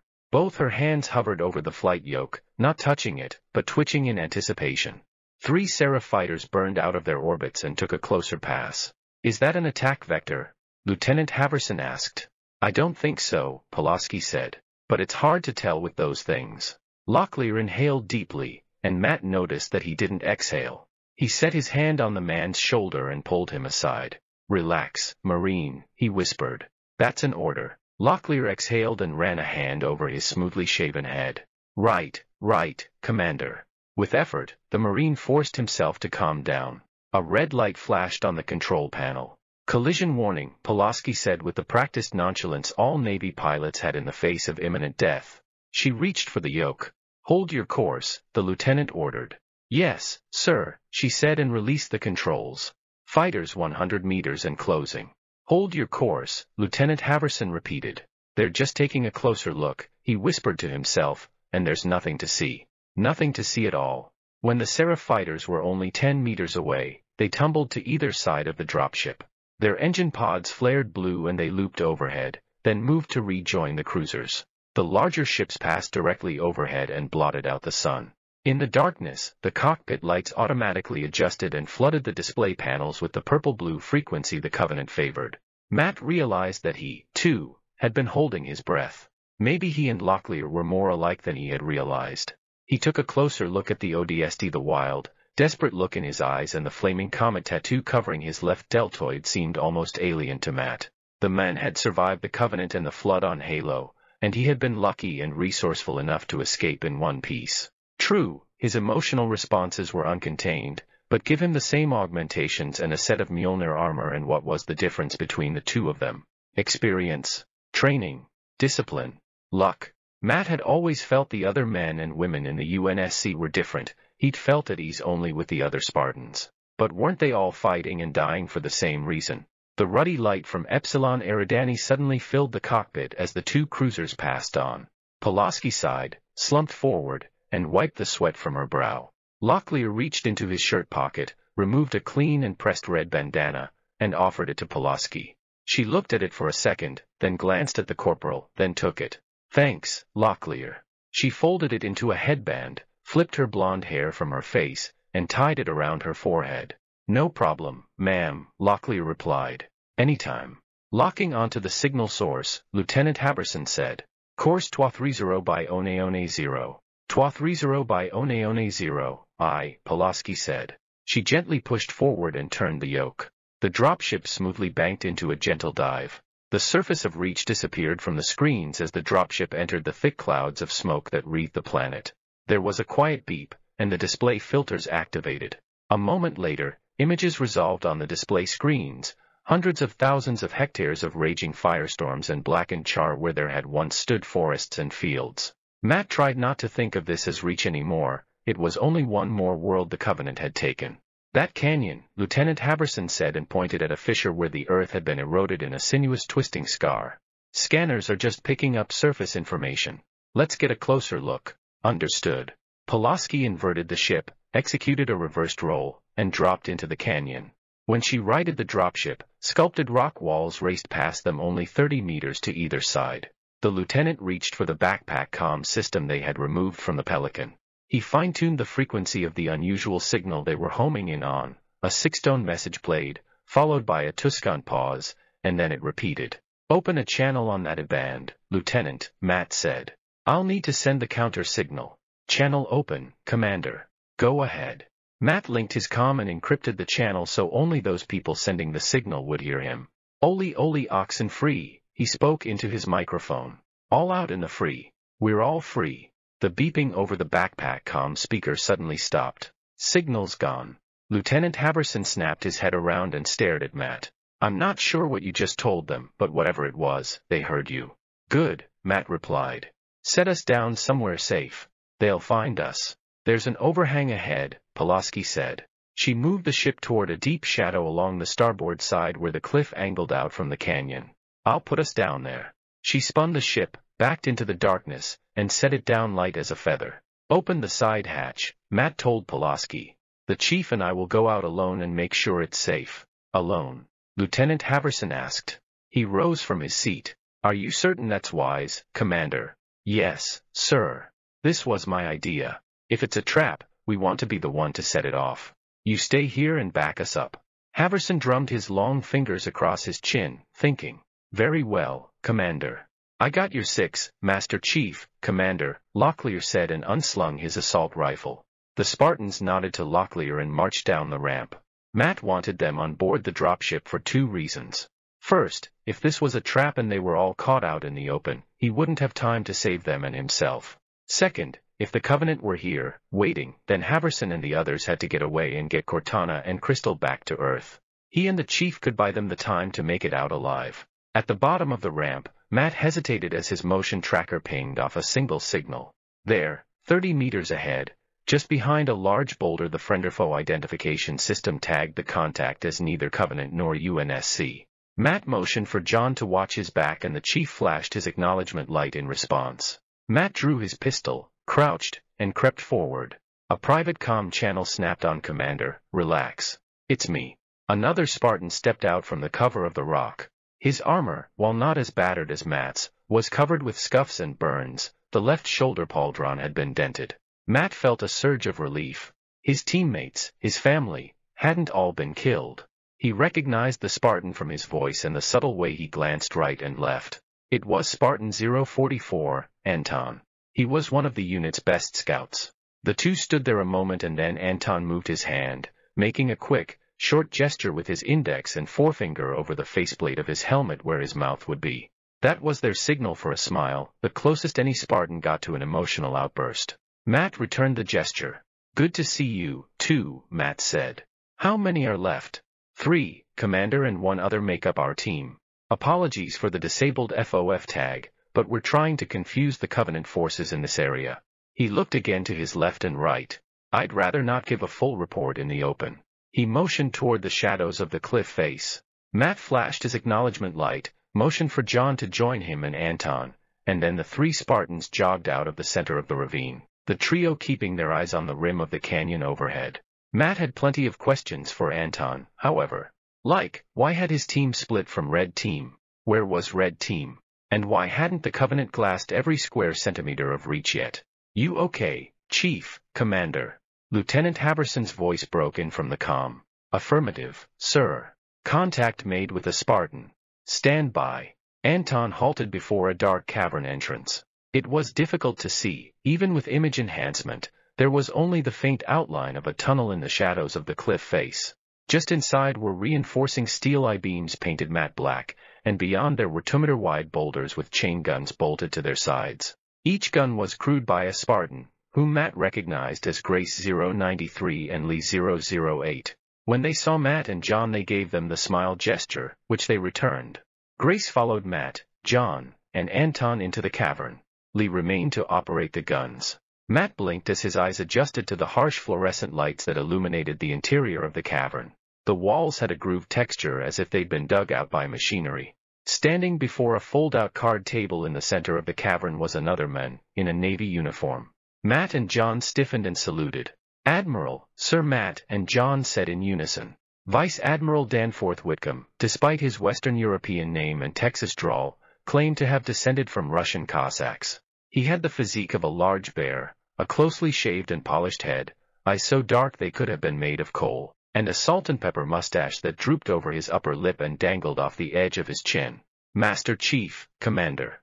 The Admiral snapped off a crisp salute. At ease, Spartans. Damn good to see you too. He strode to the duo and shook their hands, a gesture very few non-Spartans cared to endure, pressing bare flesh into a cold unyielding gauntlet that could pulverize their bones. Welcome to Camp Independence. Accommodations ain't four stars, but we call it home. Thank you, sir, John said. Matt and John had never worked with the Admiral before, but his accomplishments during the battles for New Constantinople and the siege of the Atlas Moons were well known. Every Spartan had studied Whitcomb's record. Matt opened a comm channel to Lieutenant Haverson. Move up, sir. All clear. Roger. Haverson said. On our way. I'm happy to see you, Chief, Commander, Admiral Whitcomb said, so don't take this the wrong way, but what the hell are you two doing here? Keyes had orders to take you on a mission deep into Covenant territory. Yes, sir. It's a long story, Matt said. The Admiral twisted the end of his mustache, glanced at his wristwatch, and smiled. We got the time, son. Let's hear it. Matt sat on a rock and recounted to the Admiral what had happened since they had left reach the recovery of the NAV database on Gamma Station, the Pillar of Autumn's harrowing escape, the discovery of the Halo construct and its eccentric caretaker, 343 guilty spark. He hesitated, then described his and John's encounters with the Flood and subsequent destruction of Halo, ending with their capture of the Covenant flagship. During the story, Lieutenant Haverson and the others from the dropship arrived. They remained silent as Matt told the tale. The Admiral listened without speaking a word. As Matt finished, the men gave a slow, low whistle and sat contemplating it all. That's one hell of a tale. And if it had come from anyone but you two, I'd order a psych exam. He stood and paced. He stopped and frowned. I believe it all, but something still doesn't add up. His face wrinkled as he thought. Can't quite put my finger on it, though. Sir, Lieutenant Haverson meekly said. Pardon me for asking, but how is it you are alive? Here. The Admiral smiled. Well, that's another long story, Lieutenant. Let me give you the short and sweet version. He leaned against the cavern wall and crossed his arms over his chest. The second those Covenant bastards entered the system I knew Reach was history. The Covenant don't do anything halfway. Everyone planetside was busy evacuating, which was the right thing to do, but I had to stay behind. Several emotions played across the Admiral's face concern, amusement, and then his features settled into a firm stare as he looked into the past, recalling what happened. We've been working on a new bomb, called the Nova. It was a cluster of nukes, each with a lithium tritium casing. Now, these things, in theory, when they detonate, not only make a big bang like you expect a nuke to, but they also force their tritium cases together in one big superheated and pressurized center. He made a fist and slammed it into his other palm for emphasis. Boosts the yield a hundredfold. A grin spread across his face. Planet killers. We had planned to use these things in space battles to level the playing field. His grin faded and he stroked his mustache. Well, things didn't quite turn out as planned, and we got caught flat-footed with those novas on the ground. So I decided to repurpose them. Lieutenant Haverson's face wrinkled with confusion. He didn't dare interrupt, but the Admiral saw his expression and said, Think, son. All that ordnance around with plenty of Covenant to blow up. Haverson shook his head. I'm sorry, sir. I still don't understand. Intelligence officer, huh? Whitcomb snorted and turned to Matt. What would you have done? Arm them, sir, Matt replied. Activate the failsafe tampering detonators and start a countdown timer. Say, two weeks. The Admiral nodded. I gave it only ten days. There's no need to give them too much time to tinker. He set one of his heavy hands on Lieutenant Haverson's shoulder, and Haberson flinched. There are two possible outcomes to this plan, Lieutenant. Either the Covenant pack up the Novas and take them home for study, a possibility I pray to God happens. A bomb like that would crack their homeworld in half. Or the bombs stay here, and they'll stop the Covenant on reach. I see, sir, Lieutenant Haverson replied in a whisper, then glanced at his watch. This was how many days ago? Got plenty of time left, the Admiral told him. Around twenty hours. Lieutenant Haverson swallowed. There's just one snag in that plan, though. The Admiral removed his hand from Haverson and his gaze settled onto the dirt floor of the cavern. I had a team of Marines, Charlie Company, that got wiped out before we could get to those Novas. He sighed. Brave kids. Damned waste of good men. That's when I picked up Red Team on Coded Com. I convinced them to lend me a few of your Spartans. We got to the Novas, armed them, and we've been raising eight kinds of hell down here with Hitandran exercises, just to keep everyone busy, you understand. Wouldn't want to get bored. And the rest of Red Team, sir? John asked. Whitcomb shook his head.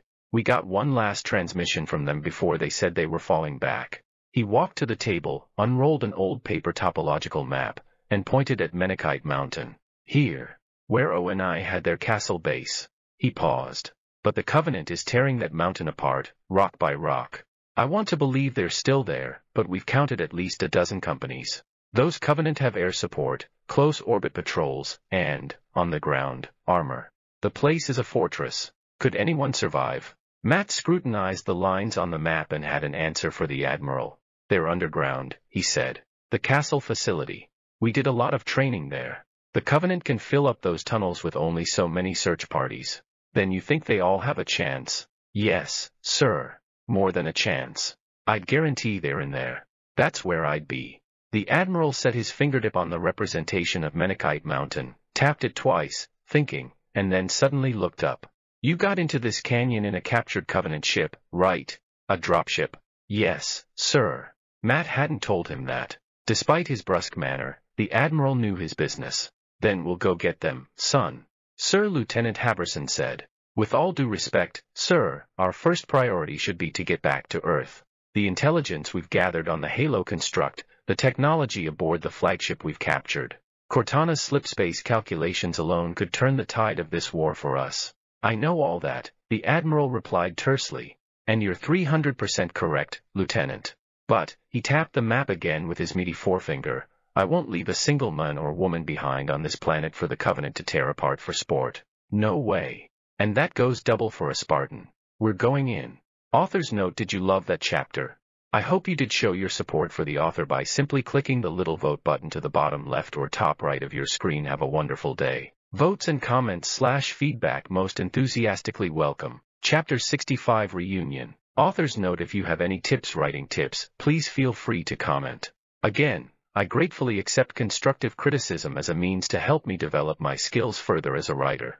Chapter 65 Reunion. Location Epsilon Eridani System, aboard captured Covenant dropship, en route to surface of Reach. Date Time Record Anomaly. Estimated date September 23, 2552. Estimated time 0610 hours. Pulaski accelerated the captured dropship to its maximum velocity, just under Mach 1.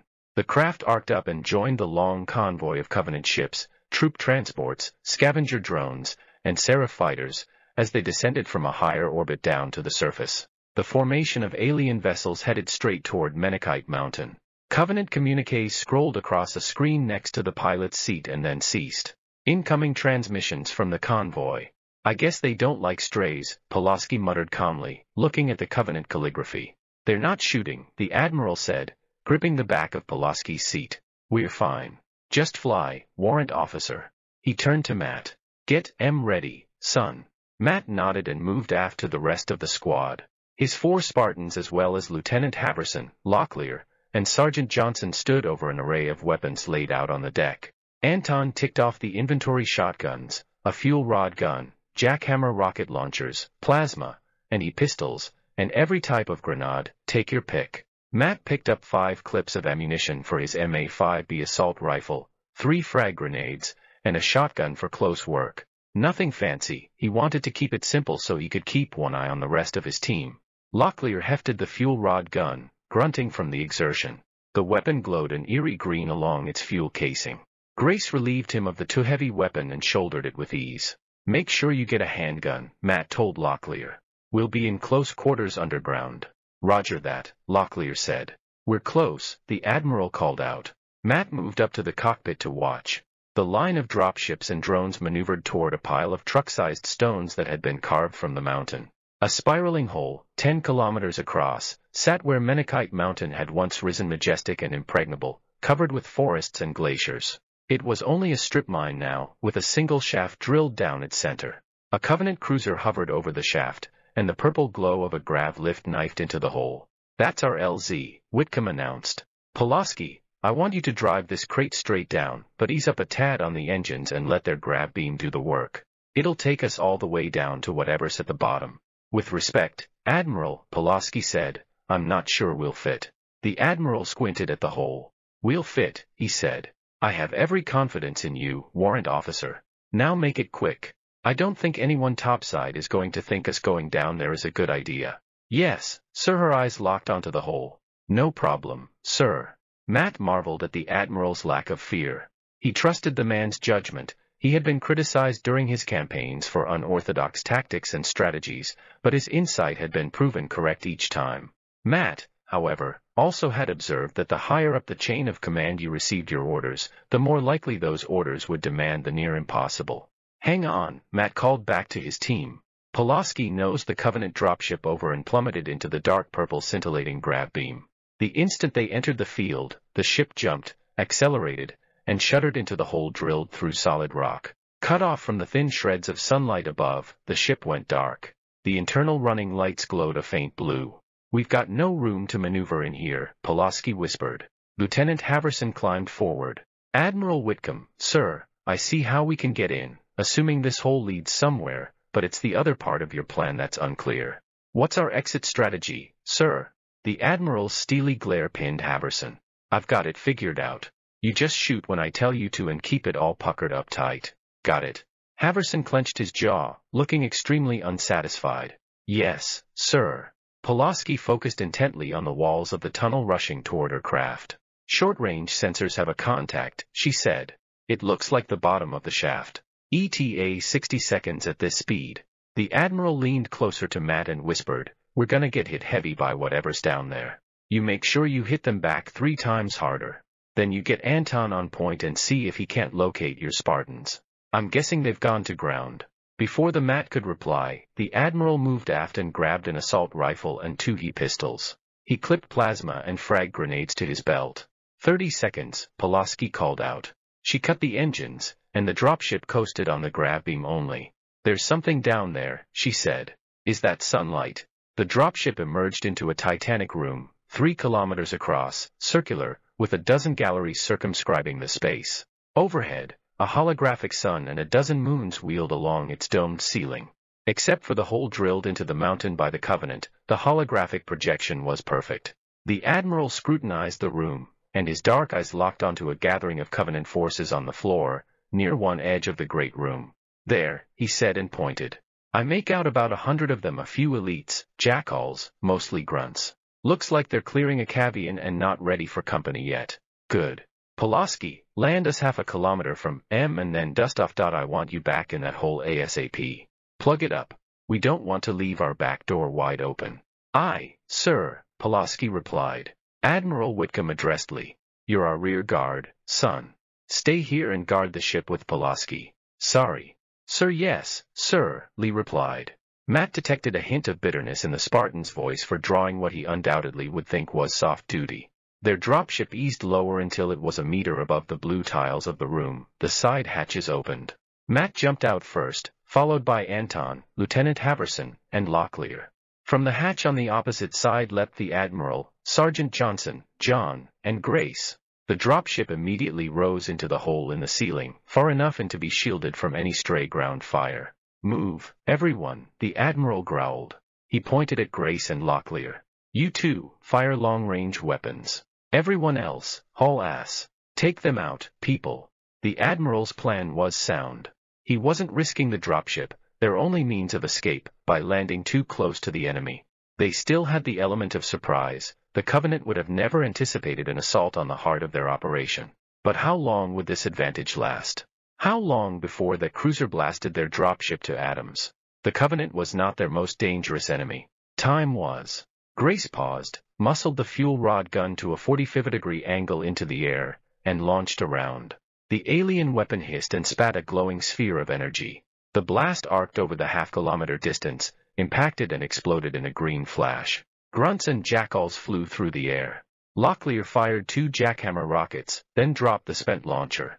The pair of rockets connected with a cluster of elites who had, until a second ago, been running the show.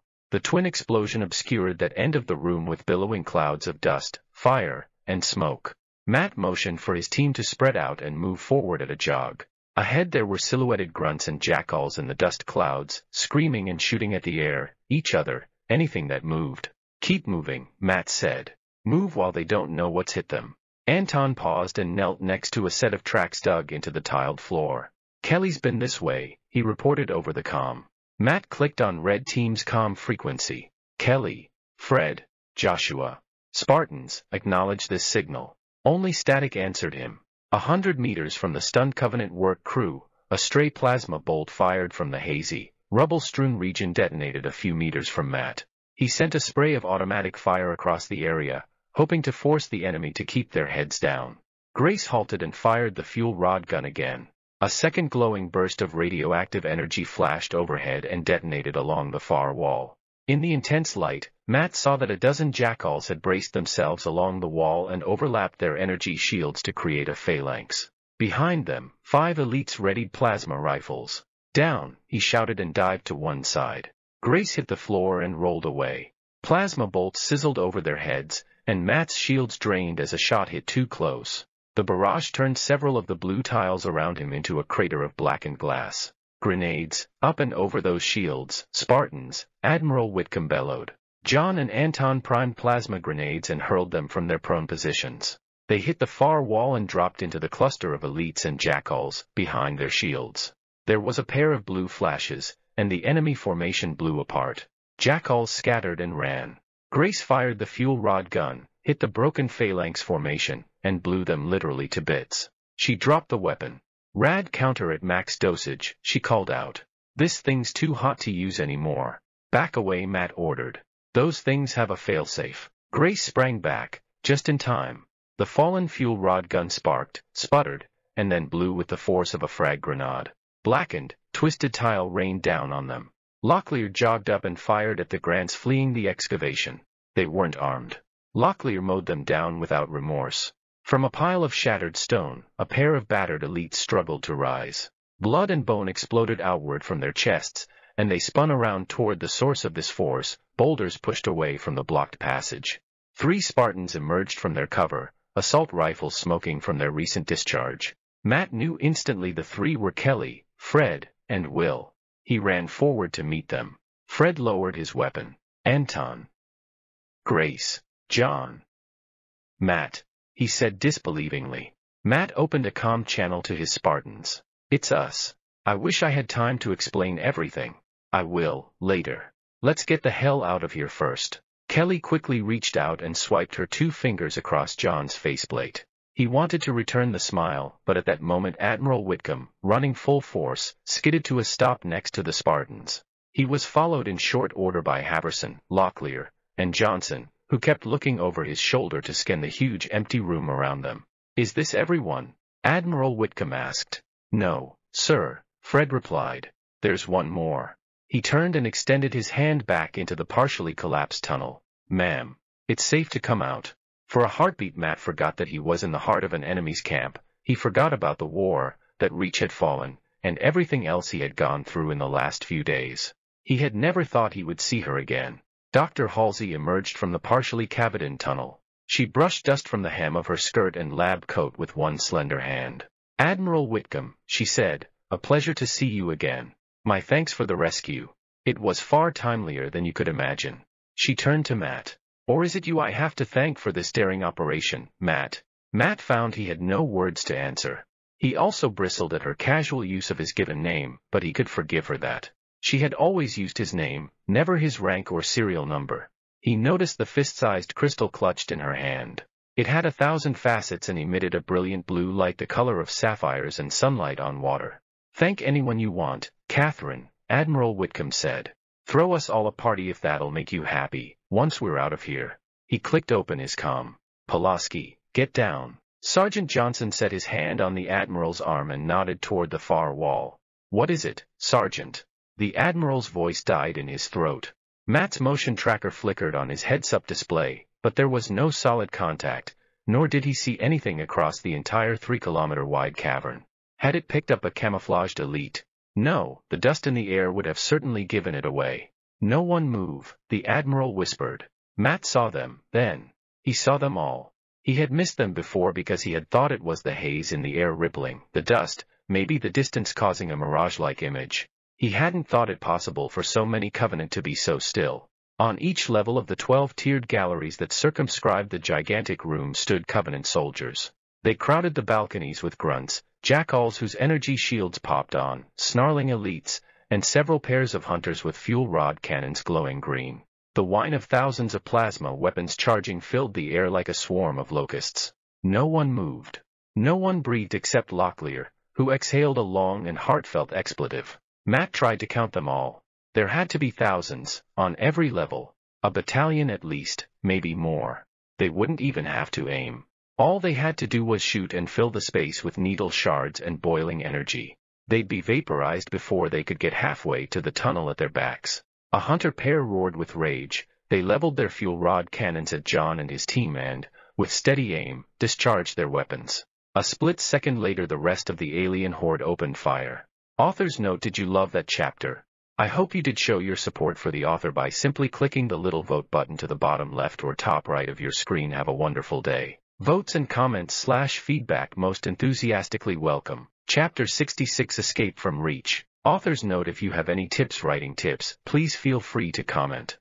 Again, I gratefully accept constructive criticism as a means to help me develop my skills further as a writer. Chapter 66 Escape from Reach. Location Epsilon Eridani System, Tunnel Complex below surface of Reach. Date Time Record Anomaly. Estimated date September 23, 2552. Estimated time 0640 hours. Matt tensed as he watched the thousands of Covenant crowding on the gallery surround him and his team. He didn't dare move. His team was on the wrong end of too much firepower. They couldn't win this fight. On the third gallery off the floor of the great room, at the four o'clock position, a hunter pair roared with anger. They raised their fuel rod cannons and then leveled their weapons, and fired. Kelly moved before anyone. She was a blur of motion and stepped in front of Dr. Halsey. Matt and Fred moved to either side of Kelly, while Anton grabbed the Admiral and threw the older men behind them. The blinding white-hot plasma charges struck the Spartans' shields and splashed over their chests. Matt's shield drained completely. The overpressure forced him to take a step backward, and the skin on his forearms blistered. Then the heat was gone, and he blinked away the black dots that swarmed in his vision. Kelly lay at his feet. Her armor smoldered and hydrostatic gel boiled from the emergency release vent along her left side. A thousand more shots rang out from the gallery, and John instinctively crouched to cover his fallen comrade. He braced for the inevitable burning energy impact. Plasma bolts and crystalline needles crisscrossed the gallery's overhead, a spiderweb of energy and projectiles. Every shot was directed at the pair of hunters who had fired upon Matt and his team. The hunter pair raised their shields in unison and ducked behind them. The quarter-meter-thick slabs of metal could repel almost any single weapon's fire. But not this merciless barrage. These mightiest Covenant soldiers burned, their armor and shields ignited as well, and John caught their outlines for only a split second before they were vaporized. The section of the gallery where they had stood blasted into dust and smoke and the debris rained onto the floor along with dozens of grunts and jackals who had been unfortunate enough to be standing too near the pair. Three heartbeats pounded in Matt's chest. Neither the humans nor the Covenant hosts in the great room moved. What the hell is this? Sergeant Johnson muttered. Shouldn't we be dead by now? Matt linked to Kelly's biomonitors. She was in shock, and her suit's heat pumps were strained to the failure point. He had to get her to safety. From the uppermost gallery, a Covenant elite in golden armor raised its energy sword high into the air and shouted. Translation software in Matt's helmet whispered half a second later take them, but the next one to fire at the holy light will be skinned alive go. Holy light? Crystal questioned. What the hell is he talking about? Dr. Halsey pressed the arm of her glasses tighter against the back of her ear, listening as the built-in translator whispered. The crystal, she murmured. They're after the crystal. Teams of elites dropped slithering, plasticine ropes, which glowed a ghostly blue. They rappelled to the floor, a hundred grunts squealed with excitement and danced from one foot to the other. Jackals followed their elite leaders on the ropes. Pulaski Admiral Whitcomb shouted into his comm. Get down here ASAP we need immediate extraction. Roger that, Pulaski replied in her cool never flinch Navy flyer voice. John, Fred, Grace, and Anton turned and fired three-round bursts straight up as a team of elites tried to descend on their position. The elites fell, spattering purple blood across the tiled floor.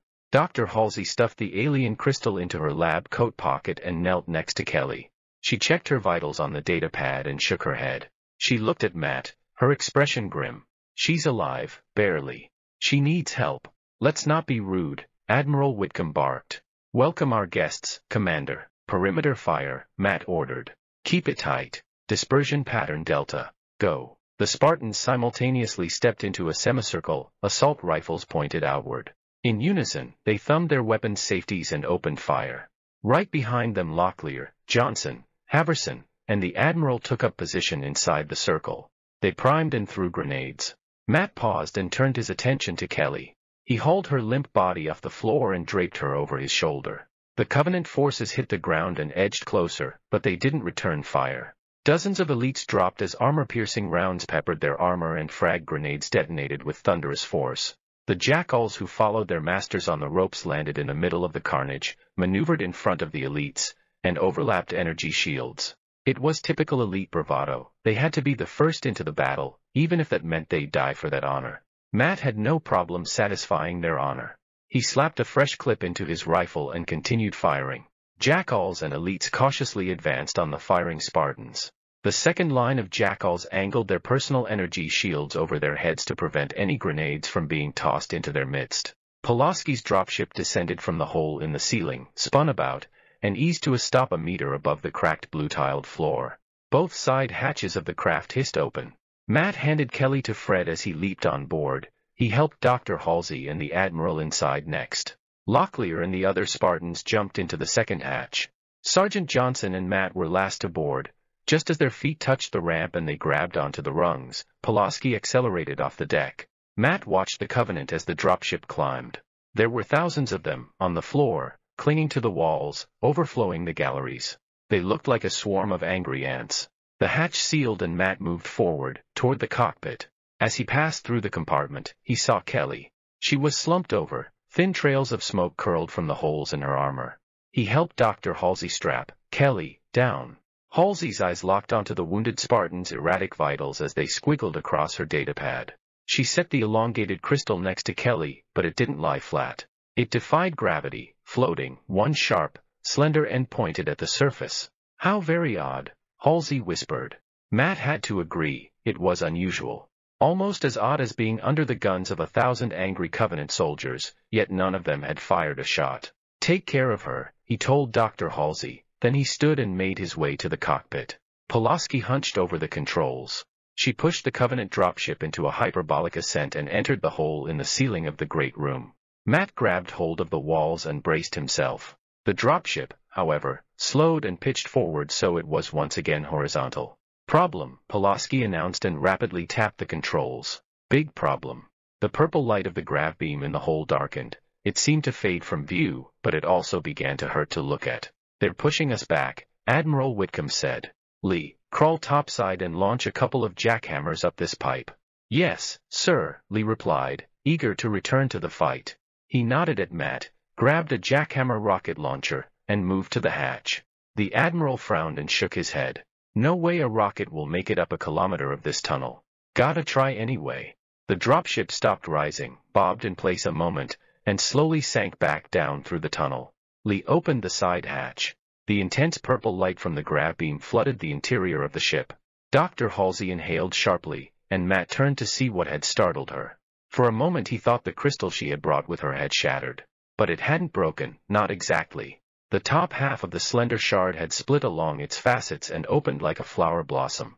The sapphire petals undulated, and as the ultraviolet light of the grav beam fell upon them, the crystal opened wider. The facets twirled and spun in a complex geometric dance. The crystal seemed to reshape itself, and it pulsed a cool green.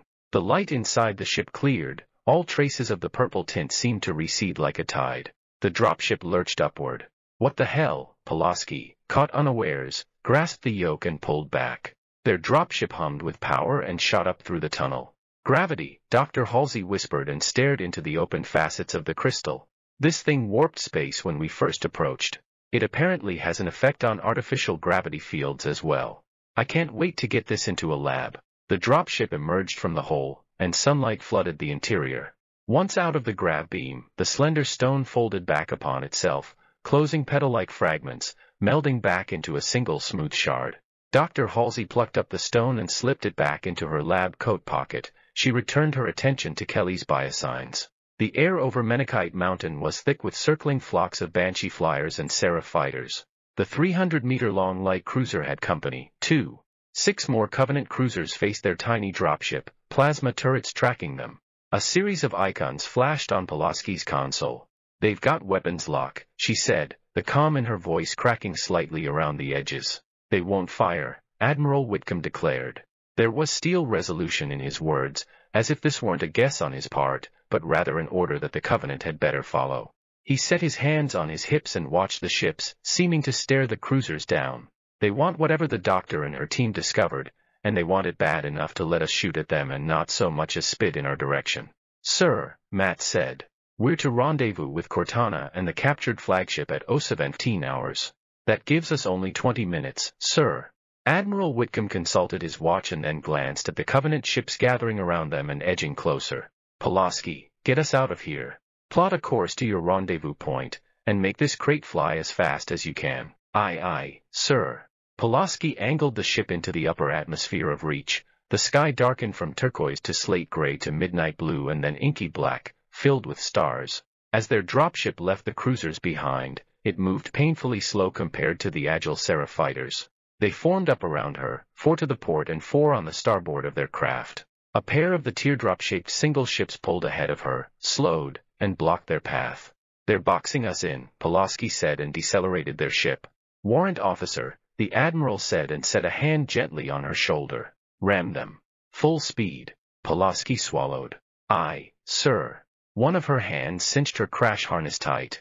The other hand passed over the velocity stripe on the control panel and shoved it to full power. The dropship jumped, straight toward the Seraph fighters in their path. The two fighters tumbled aside with a scant three meters to spare, and the dropship raced past them.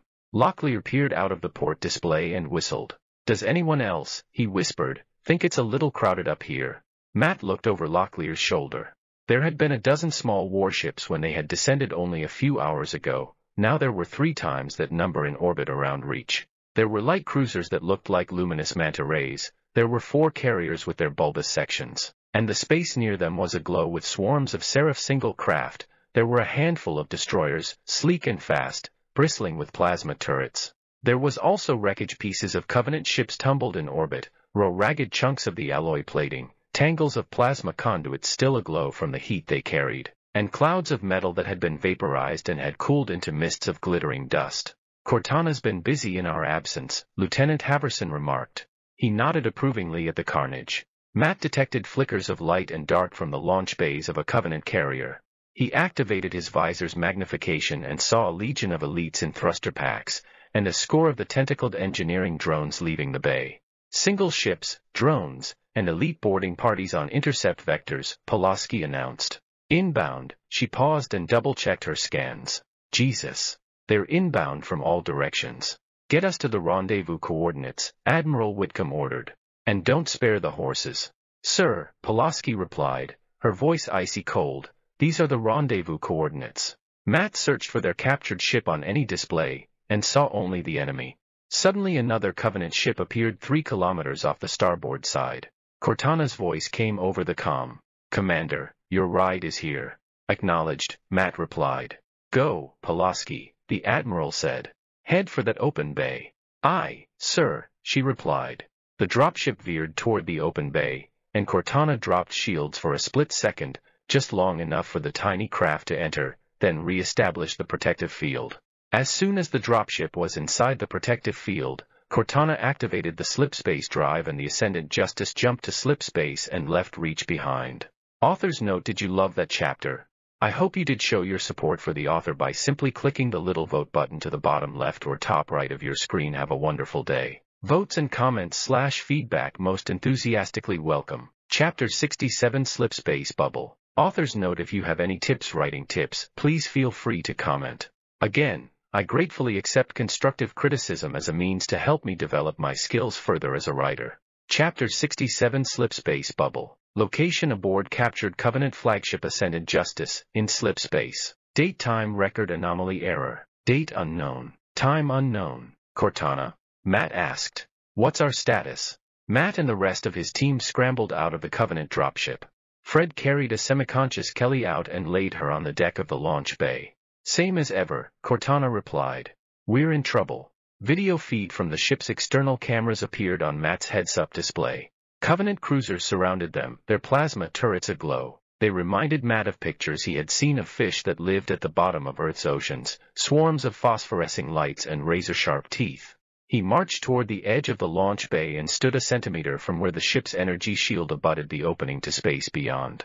He looked directly into the vast blue fields and the giant warships far too close for his liking. We jumped to slip space, didn't we? Lieutenant Haverson asked uncertainty. Yes, Dr. Halsey replied. And no. She withdrew the crystal from her lab coat pocket and frowned as she discovered that it was no longer a slender shard. The facets had rearranged like the pieces of a jigsaw puzzle, but in a configuration that differed from the one the artifact displayed in the Covenant grav beam. This time it was a starburst of edges and refracted light. We jumped, she said, examining her reflection in the artifact's mirrored planes. But not to the slipspace we know. Matt's radiation counter clicked and a shrill alarm screamed through his helmet. Secure that, Anton, he said and nodded toward the glowing stone. Get it into the reactor compartment of the Pelican. Anton relieved the crystal from Dr. Halsey, who only reluctantly released it from her grasp. He sprinted toward the wrecked Pelican. There was a radiation surge, Doctor, Matt explained. And that thing is the source. Matt noticed that the intensity of the radiation did not drop off as Anton moved it into the Pelican. Whatever it is, Dr. Halsey said as she scrutinized the blue field outside their ship, it warps space. When we first approached it in the Great Room, space curled around the crystal. And again in the grav beam, it dispersed that field potential. And now, Admiral Whitcomb asked, this tiling is affecting our passage through slip space. Apparently so, Dr. Halsey said and stepped next to Matt to get a better look outside. The Admiral joined her and watched as the Covenant ship's turrets heated. Can they even fire those things in slip space? If they can, we're sitting ducks. Matt could make out more ships in the distance. The Covenant vessels flickered, faded, disappeared, and then reappeared in the fog. The nearest enemy Covenant ships fired. Amorphous balls of superheated gas belched from their turrets and accelerated toward them, tinging the blue space purple. Matt saw Locklear as he helped Pulaski out of the Covenant dropship. He kept her hand in his, and they watched together as the plasma sped toward them. The balls of plasma streaked on, then curled and spiraled off their trajectories. Several simply winked out of existence, only to reappear somewhere else.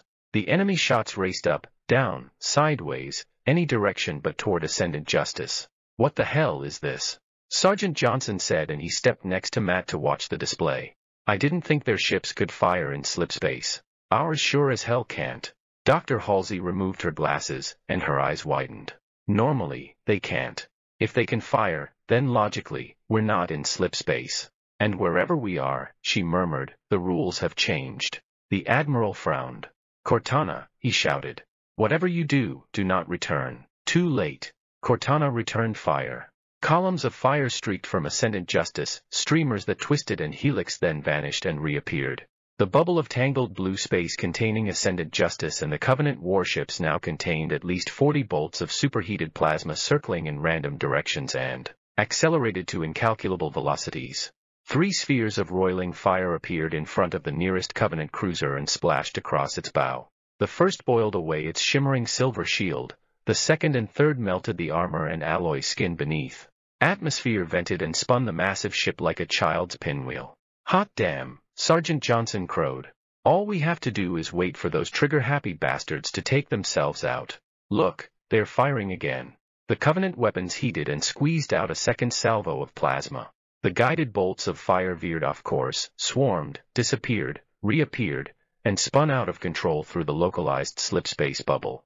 No, Sergeant, Dr. Halsey said, her voice turning cold.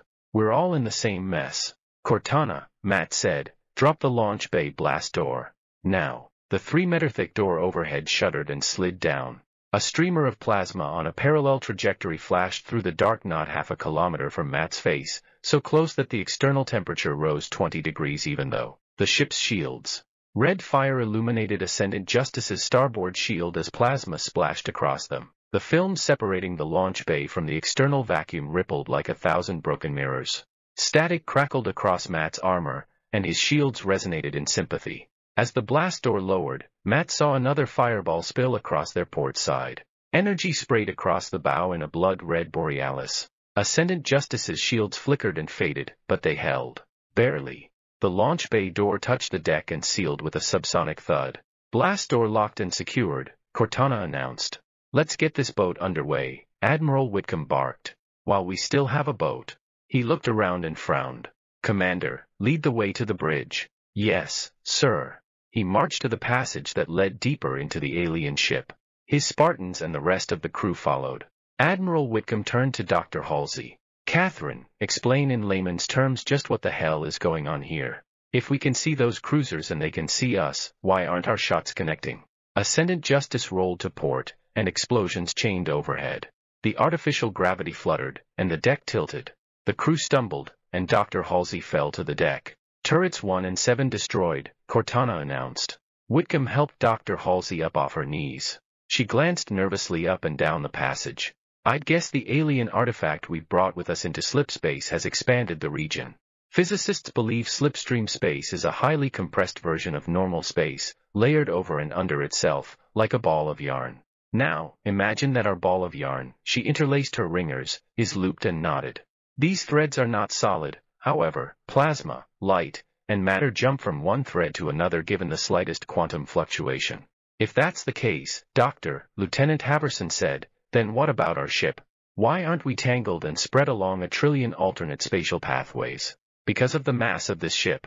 She pushed her glasses higher onto her nose. Imagine a rumpled sheet that represents this space. If you set a heavy mass upon that sheet, it draws it taut, smooths it out. Matt came to the heavy bulkhead door and held up his hand, telling the rest of them to halt. He opened the door and stepped onto the bridge, sweeping the space with his rifle. Clear, he told them.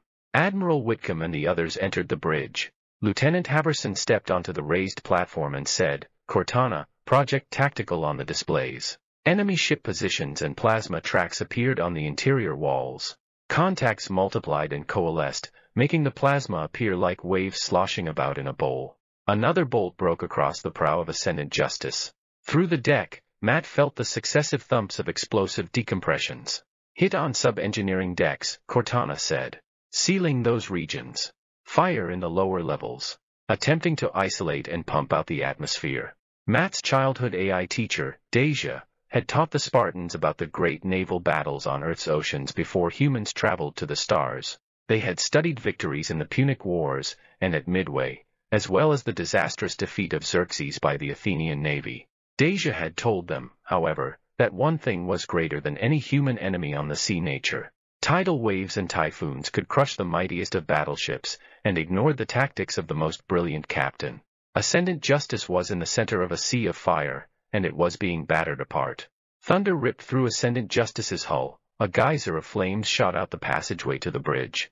The air jumped and hissed as it escaped the pressurized chamber. The bulkhead door slammed shut, and the air stilled. Sergeant Johnson shook his head clear from the sudden drop in pressure. Let's drop out of this mix-it-up slip space and start fighting. Yeah, or just get rid of that crystal, Locklear said. If it's the cause of all this mess. He drew his pistol. One round and boom problem solved. Don't do that Dr. Halsey snapped. A drop back to normal space has us facing a dozen or more cruisers. And if you destroy the crystal, the expanded slip space bubble we're in would instantly collapse. Every separate mass in the bubble will compact into a single mass.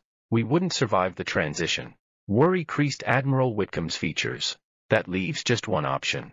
Cortana, give me flank speed and heat up every weapon we have. We're going to run right over these Covenant ships. Tangled space or not, we're going to blast them right back to normal space from point-blank range. Yes, Admiral, Cortana said. Engines answering flank speed. A dull thump echoed from the aft section.